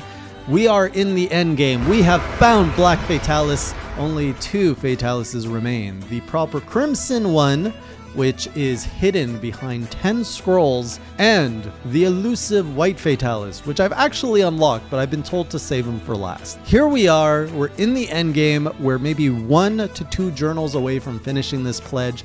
Join me as I share my tale of what, how Black Fatalis compares to Monster Hunter World's Fatalis. But before that, we gotta cover all of the side activities, starting with last time on Hey Jay. I was fighting Gog, I died to Gog, I needed some fuel for my Demolisher to blow up Gog. And so that's what we did. I went straight to the Wyceum dude or the shopkeeper, finished some village requests for him, and that unlocked uh, the Wyceum's fully upgraded catalog of things. We can now carry two stones with us, uh, the Y stones, which, why stones? They're so dumb. I really don't like the white stones. I don't like the mechanic of white stones. I think that they are as silly as some people claim the world mechanic of clutch clawing is. At least with clutch claw, you can clutch claw to your heart's desire and you can soften those monsters as often as you want. With these Y stones, they become essential in the fight for Apex against Apex monsters, in which at one point you need to actually use one if you want to actually not bounce off the Apex. But there's a cooldown on the stone, which means the fight while your stone is cooling down is essentially bonkers. It's a dumb mechanic. I don't like it.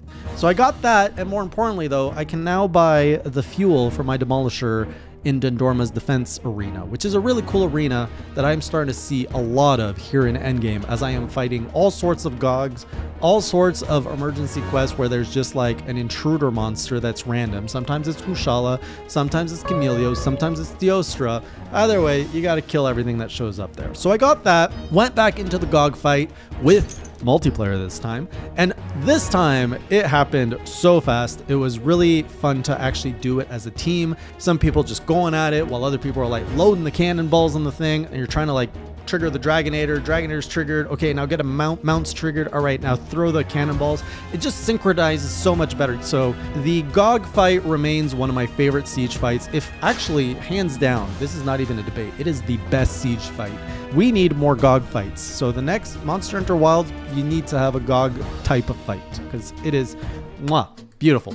So with GOG out of the way, we have now finished G3 and we have unlocked the proper endgame endgame of Monster Hunter 4U, where now the immenseness, his immenseness gives you a scroll that you can't read. You have to kill monsters so that you can unlock what the scroll means. And when you unlock the scroll, you get to fight a new difficult monster.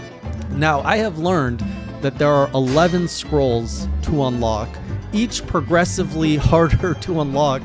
Uh, and when I say harder, I mean it's more of a time sink because the amount of text on the scroll increases. The first one is a line. By the time you get to the 10th one, I heard it's like five lines of code. Uh, and every time you slay an Elder Dragon or an endgame monster, you get anywhere from about two to four characters on the scroll. So each scroll is easy like five, six fights to unlock, which can take quite a while when you're fighting endgame monsters. So I got the first scroll, I unlocked it, and that gave us Molten Tigrex, G rank Molten Tigrex Tigrex. Killed these things. I'm, I'm at this point, I'm playing in multiplayer. I think soloing Endgame Monster Hunter 4U, while doable, I just don't think it's a fun experience. 3U, I kept to the pledge of slaying all monsters once, at least solo. And for, for the most part, I think I've done the same here in 4U, with the exception if the monster is a siege fight. That's the only time where I'm like, I, I tried them solo, but I'm like, if it's meant for multiplayer, I will bring friends and I'll do it the way it was intended and actually have fun with it. My whole goal with experimenting with these Monster Hunter games and playing them is not to hurt myself, but it's actually to enjoy them and appreciate them for the way that they were intended to be designed. Uh, these pledges just make sure I experience that and don't give up. So that's why we're doing all this. So Molten Tigrex, I've unlocked four scrolls so far. The next one is Akantor. He died. Then Apex Seregios. That was a pain. He died. Also multiplayer. And finally, I've unlocked Chaotic Gore but I haven't defeated him yet. I've just unlocked him. I have heard that my final Fatalis, the only one I don't have access to right now, which is a Crimson Fatalis, is hidden behind the 10th scroll. And that, my friends, is the biggest limiter in me completing my pledge right now. I can go and fight White Fatalis right now. I can go and fight the um, event Crimson Fatalis, which we'll also talk about soon. But this whole uh, hidden, that's the one I want to attempt to solo, is the one behind the 10th scroll. So I just got to do that. And the bigger challenge now is I've checked marked all of my G3 quests, like all the endgame quests I've done at least once. So I'm inviting the community at this point in multiplayer to like, oh, let's do quests for, for other people. Let's help each other out. And I think that there's something, a mentality that's happened where everybody's trying to one up each other and like, this is the hardest quest. No, this is the hardest quest. And what this resulted in is an evening of failed quests after failed quests because everybody's bringing their hardest quest to the table and we're failing. Whether I'm dying, other people are dying, we're collectively dying. There's one fight, Teostra did his supernova, everybody died except for your boy Hey Jay, because I know how to dodge. All of that to say, a night of failure really sets me back in my progress because I barely unlocked a scroll that night because all of that dying, all of that time sink was for nothing besides the power of friendship that we made along the way.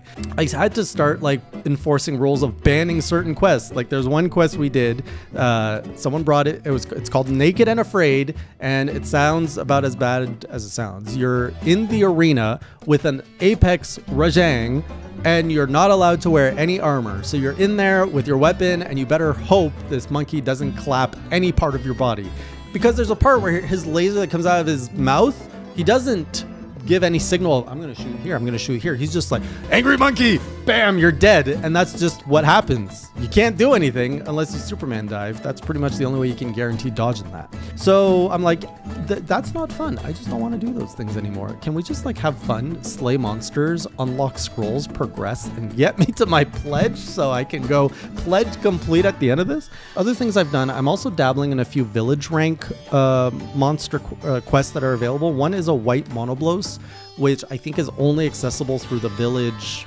quests. So I did that one. And he's a lot faster than your regular Monoblos. Doesn't hit as hard as I thought, but I, it could also be that I'm decked out in endgame armor at this point.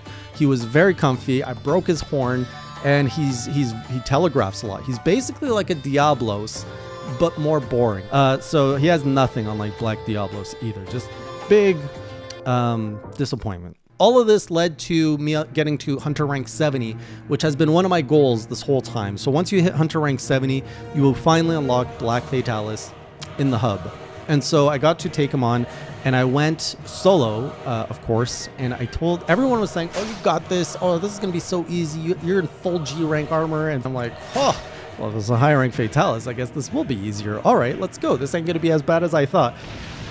What was that? I get in there, and anytime Fatalis pretty much tickles me or looks at me, half my health magically disappears. I was like, how the heck are you guys telling me this is intended for high rank? I'm in full endgame G rank armor here, but still, he is one to he can two shot me very easily. So this is not an easy fight. Sorry, bros.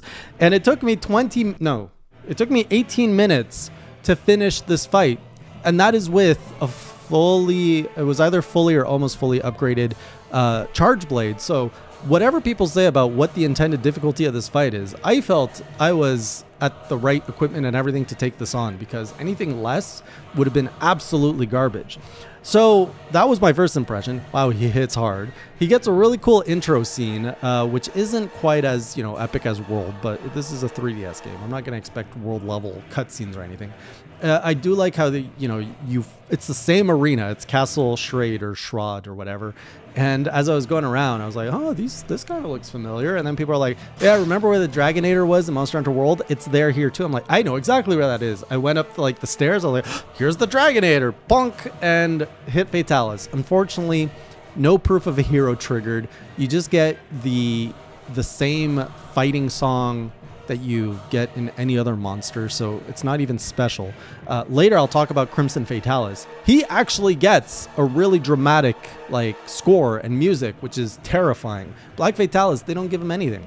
I couldn't use most of the artillery because it doesn't move. There's a cannon that's stationary, so Fatalis has to be in a very specific spot to shoot him. So the only thing I really used was the Dragonator once, and the rest of the time I'm just sticking to his chest and I'm just like unloading aids and sides. No, I didn't unload sides, but for the most part, that's all I had to do. And he had three to four attacks. He had a swipe, which got me almost all the time. And the one that hurt me the most is when he actually goes on all four legs, because I'm usually fighting in front of his chest. If I don't see the tail, the tail that he's coming down, I don't move and I get squished by him, and it hurts a lot. With that said, Black Fatalis is slayed. I beat him after 18 minutes. Uh, and then there was one other Black Fatalis in the game. He's available as an event quest in G rank. You know, I had just done the Hunter rank 70 and I felt that was a good challenge. I felt I understood the fight and everything. The G rank one did not offer anything different other than buffed up attack, buffed up defense. So I'm like, let's let's bring in multiplayer. Let's just do this, and we did it. It took didn't take long, and there was really nothing noteworthy about it other than when you mount Fatalis, when someone else mounts Fatalis, and he turns, his tail is so long, it's pretty much a whole different like it's a whole new attack. I got hit so much because someone else mounted Fatalis and I got hit by the tail because I wasn't far enough away from him. Uh, so that's my experience with Fatalis. Honestly, compared to the other like boss level monsters in 4U, which there are a lot of here, he's not that memorable and he's not that special, and it's a little bit disappointing.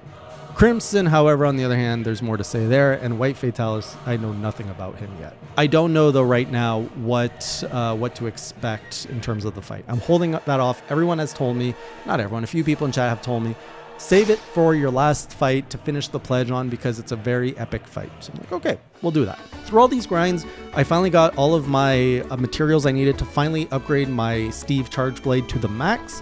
So I had one more upgrade that I needed. Now my attack power has been increased by 10%. I also um, unlocked the ability to hone, which is a new mechanic in Super Endgame, where you can actually upgrade your weapon. If they're maxed out, you can upgrade them one more time with either a, a boost to attack, which I estimate is about a 10% boost to attack, uh, a defense buff, which gives you 60 raw defense plus Divine Blessing, or a life buff, which you get to heal your life when you attack. Right now, I'm really torn. My chat is saying go the defense route. And I was like, I don't need that. I have Divine Blessing already on my armor. I can eat for Divine Blessing. They stack. And people are like, yeah, but this defense buff gives you a third Divine Blessing, which stacks even more. I'm like, that seems excessive. It just seems excessive. So I don't know if the attack is worth it because it's 10% buff. And then there's the life upgrade, which I don't know if I attack enough. Like, I don't know how much health you heal through the attacks. So I don't know if I would actually make use of it. Like, do I attack enough to actually heal a respectable amount of health? I wish I could measure that and test that. And I'll probably look at some videos to make a decision. One of my problems in my fights is I consume way too many potions. So if I can avoid, minimize my potion consumption through this, that would be the way to go and I had to finish a Dah'ren G rank in Village to unlock the honing stuff. And that thing was hard. I never realized the G rank whale was hard because you're on your own. You can't bring friends to that one. And he, uh, when he would like shoot things onto the boat, which locked me from my own artillery, I didn't know that I could place a bomb there. So like at one point when the Dragonator, it was time for the Dragonator, he blew a chunk on it and so I couldn't use it and I'm like banging my like massive axe on this like stump trying to break it. It finally breaks, but then the whale hits the boat and I miss my Dragonator moment. Uh, that said, I made it to phase two. I did get my Dragonator out. It triggered proof of a hero. I'm like, I oh, this feels so good. And I fi- I finished him with the best hit. I didn't even know you could do this in phase two. But if you hit him a certain way, you can actually climb on his back. And I'm like hitting his blowhole, and I got a SAED right down the blowhole, and that explode like that made him blow like explode? Uh, that killed him. It was very satisfying to hit him in his like weakest point and that's how i killed him. So going back to um you know all the hard stuff i was doing and that we were all failing to like everyone was like i said naked and afraid was one of them with an apex Rajang people were bringing guild quests at level 140 which is the highest quest you can get of Shagaru Magala. We've got, we had a Raging Brachydios, which that thing was disgusting. Um, I took on a Shah Dalamadur, which is uh, like a variant of Dalamadur, which is the same thing. It's the same fight. He just has harder skin, which means more annoying. I also learned that that's a scroll I have to do later, and so is Raging Brachy. So we're gonna see those boys again in as I unlock my scrolls. Uh, and then finally, in the events, there are two Crimson Fatalis quests. I figured let's try one. Every for whatever reason, I ended up with just one teammate. For, for some reason, everyone else like either backed out, couldn't connect, uh, or or just join multiplayer. So I went out with uh, one of our community leaders in 4U. His name is Boomwolf in the game, in Discord and Twitch. He goes as Yanga. Shout out to Yanga. He has been so amazing to support the community. Like, if you need help grinding anything in 4U before the servers, I'm going to volunteer him right now because he's been in the Discord for the last few months offering help, uh, helping people get equipment, helping people learn fights, helping me. And so he's like, I want to do a Fatalis fight with you. So we went one on one with Crimson Fatalis. And he's got this amazing set. I think it's a Star Knight set. He's constantly mounting monsters. So he has an insect glaive, first of all. And like literally every two to three minutes, he's mounting a monster. I don't know how it's done, but it creates a lot of openings and makes fights go by so fast. So we go on, Crimson Fatalis, get the epic cutscene, you get the epic music. And I'm just like, oh, he's everything is so red and on fire. This is nothing like the Crimson Fatalis I fought earlier in the game and at high rank, the baby one. I don't know if I would have been able to do this one alone, honestly, because he hits really hard. Everything's always on fire. I absolutely hate the arena because the arena is like uh, sinks down. Sometimes it's on on lava. Uh, there's like lava things just come out of the ground. His feet are on fire if you get too close to Fatalis's feet, which is where you need to be if you're a melee user. You're going to be on fire. Just everything is on fire. The arena sucks. The music is so intense, it raises your stress level. And uh, overall, though, we did it in 12 minutes. So it went pretty good with Yanga. If I did that myself, it would have been 40 minutes of pain, lots of sweat, probably would have carted three times. Uh, I think in this case, I carted once uh, when pretty much he was flying or he ran towards me. I always get trampled by these big monsters, and it always does a ton of damage, which, to be fair, these monsters are heavy, so it would hurt to be trampled by them. So that's where I am right now. Black Fatalis is off the menu. I've done every Black Fatalis quest. There are uh, two Crimson Fatalis quests off the menu. I've done those, the Egg Quest and the one in event here. And then there's another like Super Crimson or something. And then there's Endgame Crimson. So we got those two Fatalis and then the White Fatalis. So I got three to do. And then I can finally say pledge complete and we can go on a little Final Fantasy 14 vacation for a few months before I come back and pledge something in GU, whatever that will be. So stay tuned for all of that. We're almost there. Maybe one more journal. We will see.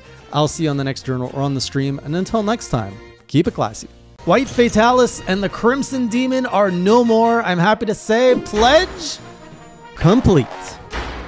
Welcome back, Classy Crew, to the final journal, potentially final journal, in my Monster Hunter 4U journey to slay every Fatalis in the game. And I'm happy to say they are done. And I'm also happy I did not pledge to do these solo. Now, I have attempted all of them solo. Some I have beaten solo, some I have done multiplayer, but I have done all of them. There are six Fatalises in Monster Hunter 4U for those who may be curious, including four. Wait, actually, there may be more than six. There are four Crimson Fatalises, there are two blacks, and one white. So that is seven. But before I get into the Fatalis encounter and specifically what it was like to fight my very first white Fatalis, you, we got to go over the side quests. I left off on the scroll grind, and that is been that has been the biggest limiter to completing this pledge grinding for scrolls and i am so glad i changed my schedule so remember when i first pledged this game over a year ago i used to stream once a week, four hours a week, every Thursday. That's how I progress. And that's how I've been doing these streams for all my pledges for the last three years. But over the last, I would say, two, three months, I have been playing this game three times a week. That's 12 hours a week, Tuesday, Thursday. I'm not playing anything else just to get through this. And it still took this much time to get through the pledge because that final scroll grind is just so long. Now, I actually calculated. It took me about 40 hours from the moment I unlocked the endgame scroll grind to actually unlock uh, Crimson Fatalis, which to me that's a lot, but I'm sure to a lot of Monster Hunter veterans, they're all like, "Wait a minute, I only I spend 400 hours in my game. I spend a thousand hours into my game. What's 40 hours?" In that context, yeah, I guess it's not that much. Now, one thing you'll notice is uh, my little on my icon, I have a silver crown next to my name. I actually didn't get a gold crown because I haven't unlocked the very final scroll, which is scroll number 11 called Monster Hunter, where you fight a marathon of five monsters. I've already done the quest in multiplayer, I've completed it. So if I can just unlock the scroll, I'll get my little gold crown. And in hindsight, had I known this entire mechanic, I think that may have been the nicer pledge to just pledge to get the gold crown next to my name. I feel I don't know. That's that's more of a com- like it, it, takes you through the entire game, all the content, which is oftentimes what I want to do. So, anyways, last time I was on scroll number four with Chaotic Gore Magala. I've unlocked all of them and beaten all of them in multiplayer. I did not solo any of these because man, they're just so hard. The Shah Dalamadur, I talked about him a little bit last journal, but I've actually gone back and fought him with different people in multiplayer who had maybe less optimal sets, which made me actually understand the fight a little bit more and appreciate more what he's doing. And I have to say, with the Shah Dalamadur, I really like these like big hooks he has on his body. So when he slithers around, you can actually get caught by the hooks, but you can also destroy them, which is very satisfying. Also, I've learned that anytime he he's glowing red anywhere, that's when that's where you want to hit it. And it's a lot more like hit here, hit here, which I like that part. I still don't like the fact that he's super bouncy and it's still not a fight I would ever want to solo because it is just super super grindy. He has a lot of HP, and there's no fun to be had there. Oh Goodness. Scroll number six is the Apex Rajang. You guys know how I feel about the Angry Monkey. I hate the Angry Monkey. Speaking of Angry Monkey, though, there are a bunch of side quests. So I did make a little side bet with Gajira about if one of us dies in a in a in a quest, we have to do something like dumb. Anyways, I ended up carting. Dang it! And so he challenged me to do the naked and afraid. It, that's not what it's called, but anyway, fighting Apex Rajang in the arena naked. And luckily, it wasn't do the quest and win, it was just attempt your best. And so I went in. I lasted five minutes. He still killed me. it was very one sided, but hey, lasting five minutes against that thing is an achievement in and of its own. There was also another custom quest that our good friend Immortal brought to the fight, and that was a Rajang on a boat. And I have to say, it was pretty clever. And I think this was actually designed by one of the mods, Mini Guy. And Mini Guy tends to be fair. I like it. So this was a fun quest. There was it was just really crowded because there were Konchu's everywhere. It was just kind of funny to fight a monkey on a boat. Honestly, I think Capcom should lean more into those ah! silly types of quests. That's about all the funnies with the monkey. After that, we unlocked an Enrage Ukanlos quest. It's basically the same quest as regular Ukanlos, but he's constantly enraged, which means he hurts a lot more. That was probably the hardest quest, even in multiplayer, to finish. We did it once and we've never attempted it again because we just kept dying so much. It was just too hard. After that, there's another Gogmazios quest that unlocks at scroll number 9 and I don't really understand the difference between this one and the other one. Uh, it feels the same, so I can't tell you what the difference is. Finally, the Crimson Demon. Crimson Fatalis is what unlocks at scroll number 10. And before I get into this fight, I have to share with you another little side quest related to this, which is around honing, weapon honing, and trying to unlock the best, strongest charge blade for the game. I've been using the, uh, what's it called? The purple, the, what is it called? the Garuda Sedition, which is from dropped from whatever the Purple Bird, and that thing was pretty good. But people were saying actual strongest charge blade in the game is the Ceadeus blade, which is called, and I love it, the Decitus. Freaking awesome name. And to get that, you have to farm Deviljho, and then you trade your Deviljho parts for Ceadeus parts because Ceadeus isn't in the game. So I did that. I upgraded it all the way to the Ceadeus Regalia, which is a freaking awesome name. And I was looking at these two charge blades. I was like, wait a minute, I don't actually think the Ceadeus Regalia is better. Like when you look at everything it has to offer. So let's put them side by side. Hopefully the editor can do something to make this visually pleasing. The Ceadeus Regalia its full attack, it's 1080 versus Gyrudos Edition's 1044. And then the Ceadeus Regalia is a water based weapon versus the Gyrudos Edition, which has no elemental. The elemental stuff, you know, I, I don't quite get it. I think you do extra damage against monsters that are weak to it. How many things are weak to water? Not that many that I actually fight that often. Now, the Ceadeus Regalia has white sharpness, whereas the freaking Edition has purple sharpness plus one, which doesn't really do much. So finally, on the affinity front, the Ceadeus Regalia is 20%, whereas the other one that I'm currently using is 35%. Overall, the Garuda just, I think, tends to have more damage output in the long run just because it's doing more damage on crit, it's uh, sharper, and it gives me a little bit more room to slot in other things. Whereas the Ceadeus Regalia, I have to sacrifice more of my decoration slots to try and get it to the same level as the Gyrudos edition. Uh, so with that said, I ended up abandoning the Ceadeus Regalia only for the final guild quest before I unlocked Crimson Fatalis. I got a rusted weapon, which was a, a Decitus, which was super powerful, which I was like, oh my goodness, did the game just give me like the weapon to, to slay Crimson Fatalis? Now let's pause here and talk about this whole rusted weapon mechanic, which is a part of the game I actually want to cover in this journal because I didn't touch this system at all over my whole journey. And in fact, uh, a couple weeks ago, on my own personal time, I started really looking to understand what guild quests are, how to farm rusted weapons, how to restore them, how to get like absolute like raw weapon power and armor out of it. And it's a really cool system, but it's so grindy. You know I'm never going to touch this. But let me explain it. So we have these expeditions that exist. Out of those expeditions, if you do them, like you just go out and you hunt monsters in expedition, you'll eventually get guild quests. Those guild quests come at a certain level, whatever, it's random. Then, assuming you get a quest you like, you then need to level it up up to a maximum of 140 so that you get better drops from that quest. And then once you grind it, you have to mine and complete the quest multiple times to win collected, uh, to win rusted armor parts and rusted weapons. Once you have that and you find something you like, you then need some abrasives to restore them. And then you have this whole like side aspect of the game where you can upgrade them. You don't upgrade these weapons like you normally do at the man. You got to go to Harth and you get a dwarf to upgrade them for you. And you basically do that and repeat it until you get a super awesome weapon. Everything is randomized, but this is the way that you can get the most ultimate weapon and armor sets, which I have zero appetite to do. It's just such a big time sink. But at the time, if you had no other Monster Hunter games to play, it was actually a pretty cool endgame mechanic, I think. Just really painful on the time. So, anyways, uh, I ended up with, like I said, a, a, a Decitus. It could go up to a max of 1080. It had a 480 elemental damage instead of 310, so significantly more. However, it was a hidden elemental thing, which I'm not sure what that means. I think you need a skill to allow for the water damage to take part, which uh, needs more decoration slots. And it had a higher sharpness of purple, and it had pre-slotted things that I couldn't unslot. So overall, when I, even though it was still better than my base uh, Ceadeus Regalia, I did the calculations. I'm like, I think I'm still better off with my Gyrudos Edition blade. And so I stuck with that.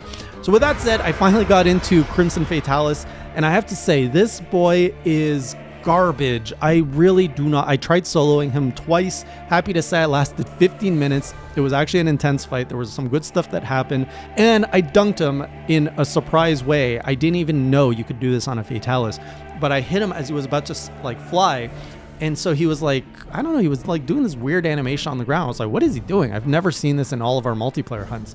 And so people are like, you knocked him out of the sky. And it's like, oh, awesome. It was really cool the whole what I really don't like about this fight is mostly the arena. That is the worst thing. So I am constantly on fire. He's standing. First of all, Fatalis is oftentimes standing on lava, which prevents you from getting close to him. Or if you do get close to him, you have to. You're just taking damage. And then there's like these like lava things that just come out of the ground and knock you over and hurt you.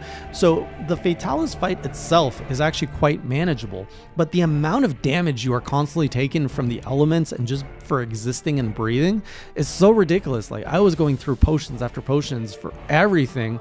I did find the good opening, which is when he's actually about to do like his hot air attack. If you're behind him, there's a big opening there where you can actually like drop a, an AED or a SAED on him. I, like I said, I tried soloing this and I was like, this is just really depressing. It is so hard. And like my pledge is not to solo these Fatalises. It was to defeat them. And so I had already done it in multiplayer. You know, I tried it with solo. I did I gave it my best run just to see what it was. Could I actually do it?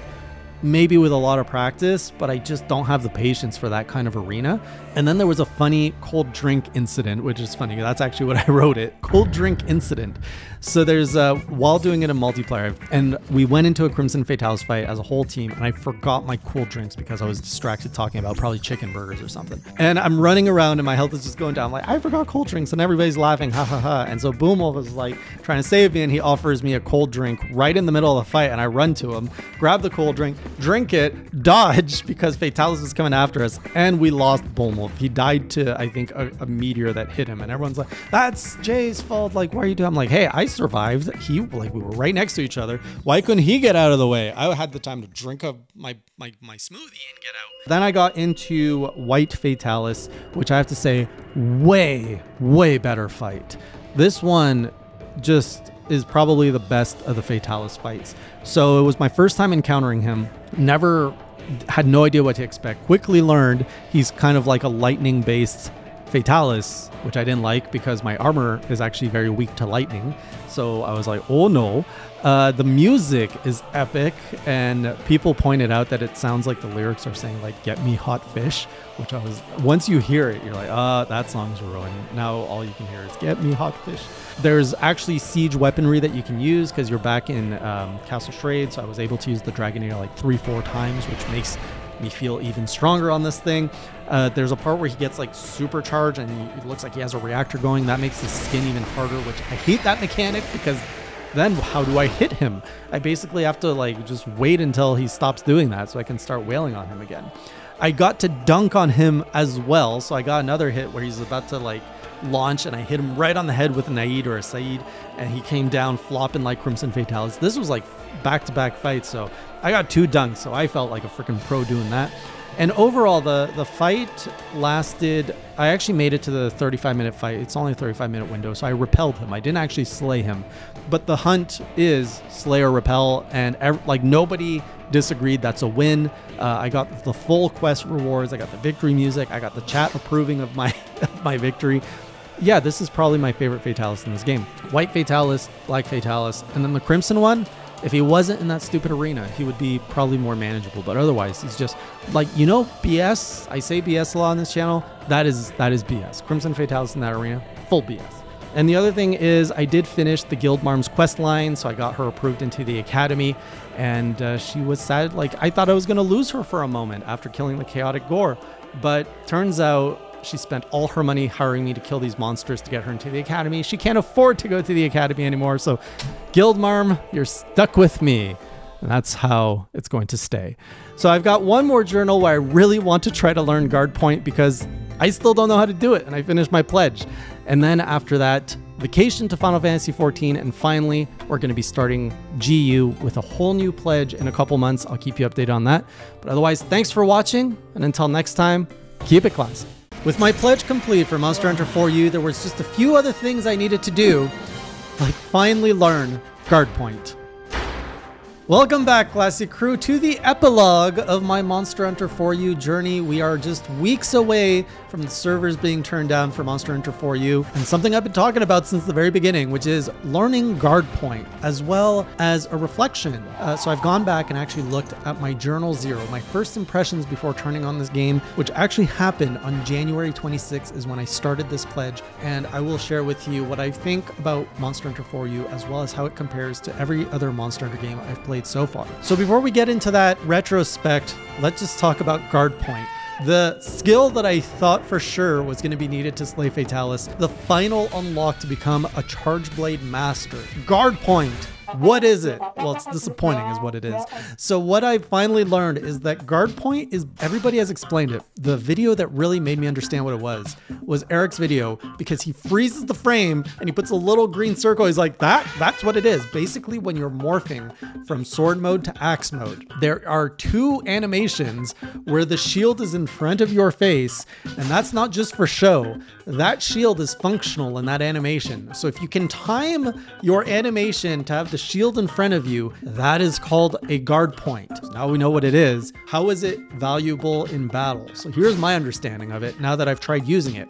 And I honestly can't use it because I've just spent 100 plus hours playing without it. To integrate guard point into my playstyle means relearning how to play Charge Blade. I have to reconfigure my whole brain for how to fight monsters that I've learned how to fight them by either like sidestepping or doing whatever I do with my Charge Blade. What I think guard point allows me to do is so if you look at my footage without guard point, you'll notice that I'm often sheathing, rolling, jumping. With the guard point, I understand that it lets you basically keep your weapon unsheathed all the time. So instead of sheathing and dodging, if you time your animation, you just guard, get out of the way, and then you're already in a position to like move into your combo and offense, which is great in concept and in theory, but in application, it is so hard to get the timing right.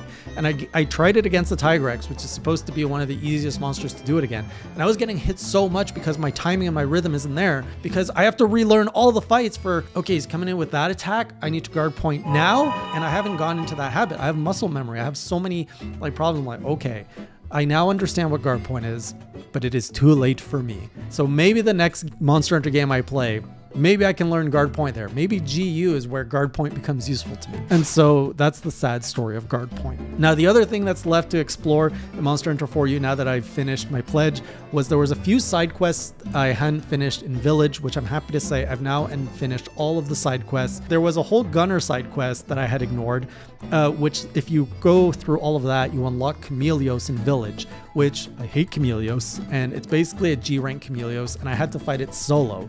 So that was hard, but I overcame it. And then there's the funky feline. I was going to say the frickin' funky feline. That's a lot of F's. His quest line, while it starts out cute with a whole afro and everything, ends up with a Rajang. You have to fight a Furious Rajang, a G rank Furious Rajang, solo because it's in Village. So that was probably the hardest quest, which I was not expecting to be there. Carted twice, almost carted a third time, but I overcame that one as well. And then finally, I figured, hey, let's see what happens when we finish the Caravaneers challenge. It is an absolute disgusting ridiculous hard quests. Even in full G rank endgame armor, I still carted once, and it was still not like crazy hard, but I I can't imagine doing this in high rank armor with a high rank weapon. When you do all that, every NPC in the game wants to talk to you, so it's a huge celebratory moment. You uh, you get uh, an achievement, and also you get the rainbow pigment, which you can see in some of the footage that I've unlocked. So I'm at least happy I know that I did that. There's one for G rank.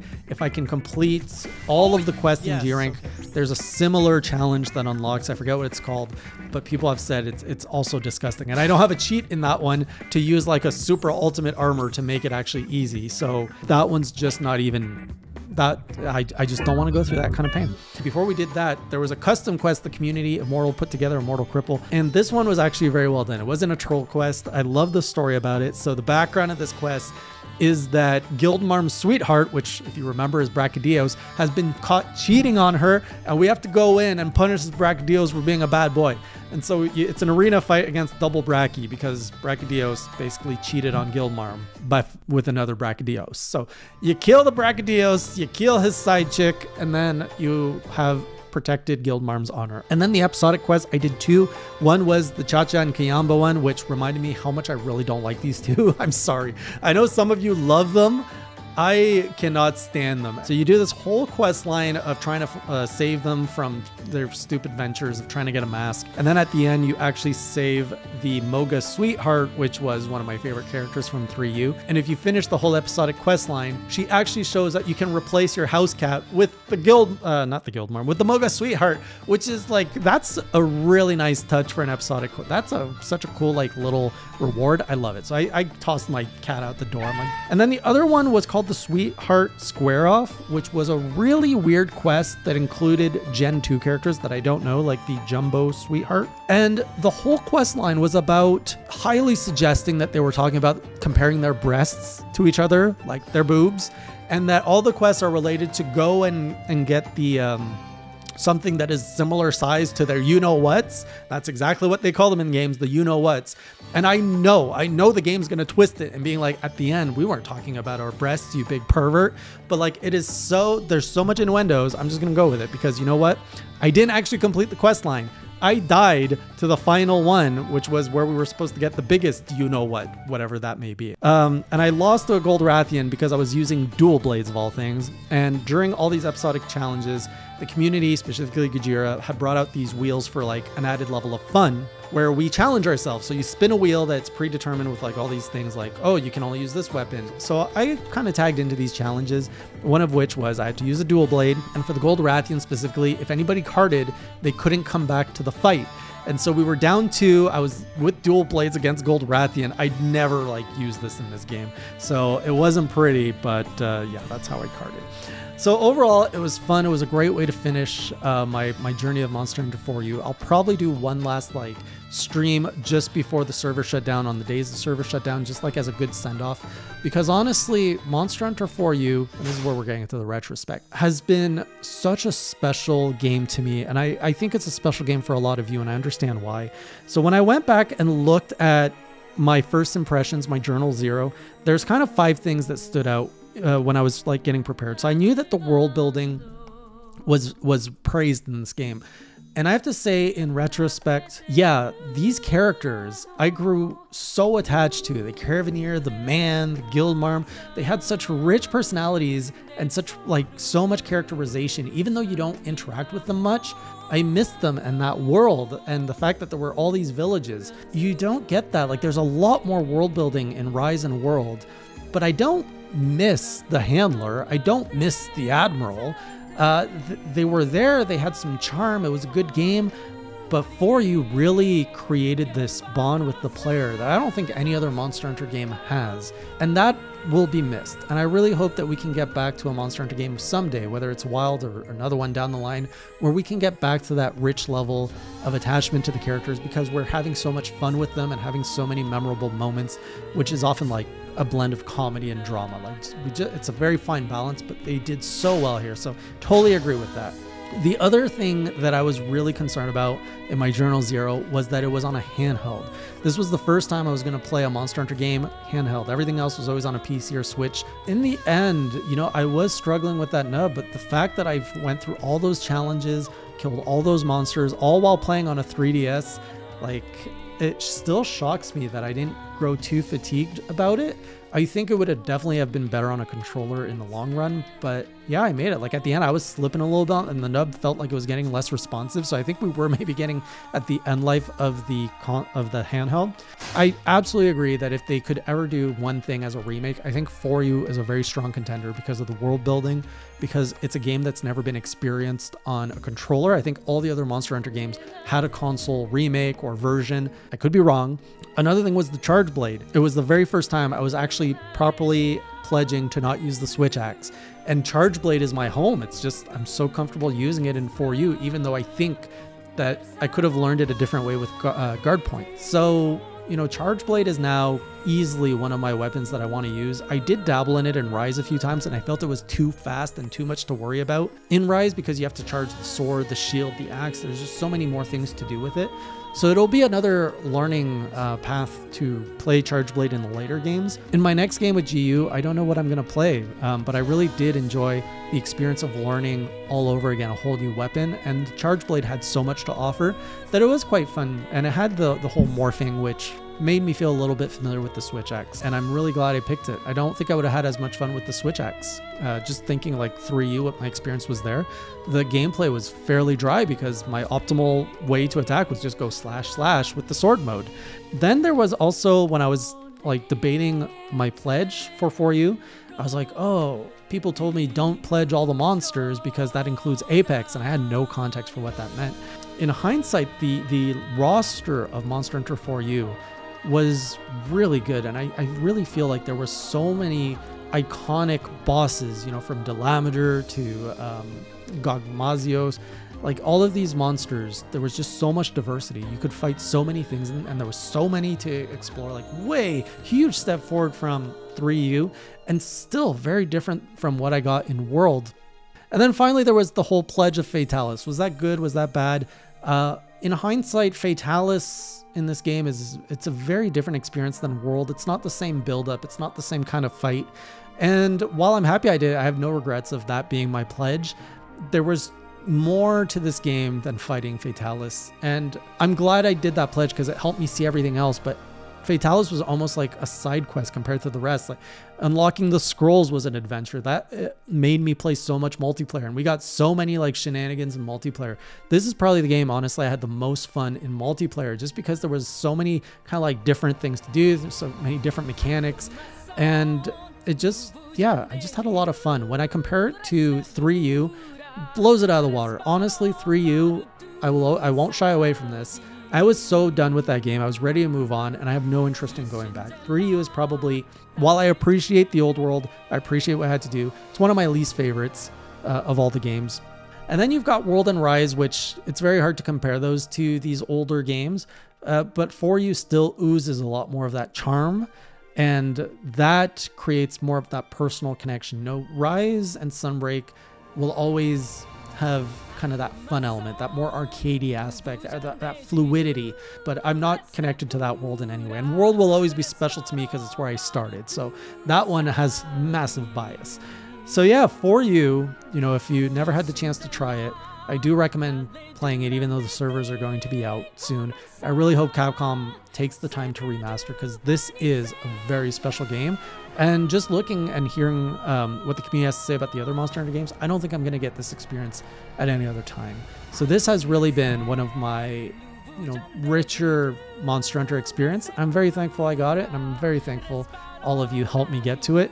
Uh, and help me discover this game. And I'm glad we got to do it with the multiplayer, with the server still on. So that's my thoughts on 4U. It is up there, definitely with World, easily above 3U for me. It's above Rise Sunbreak for me.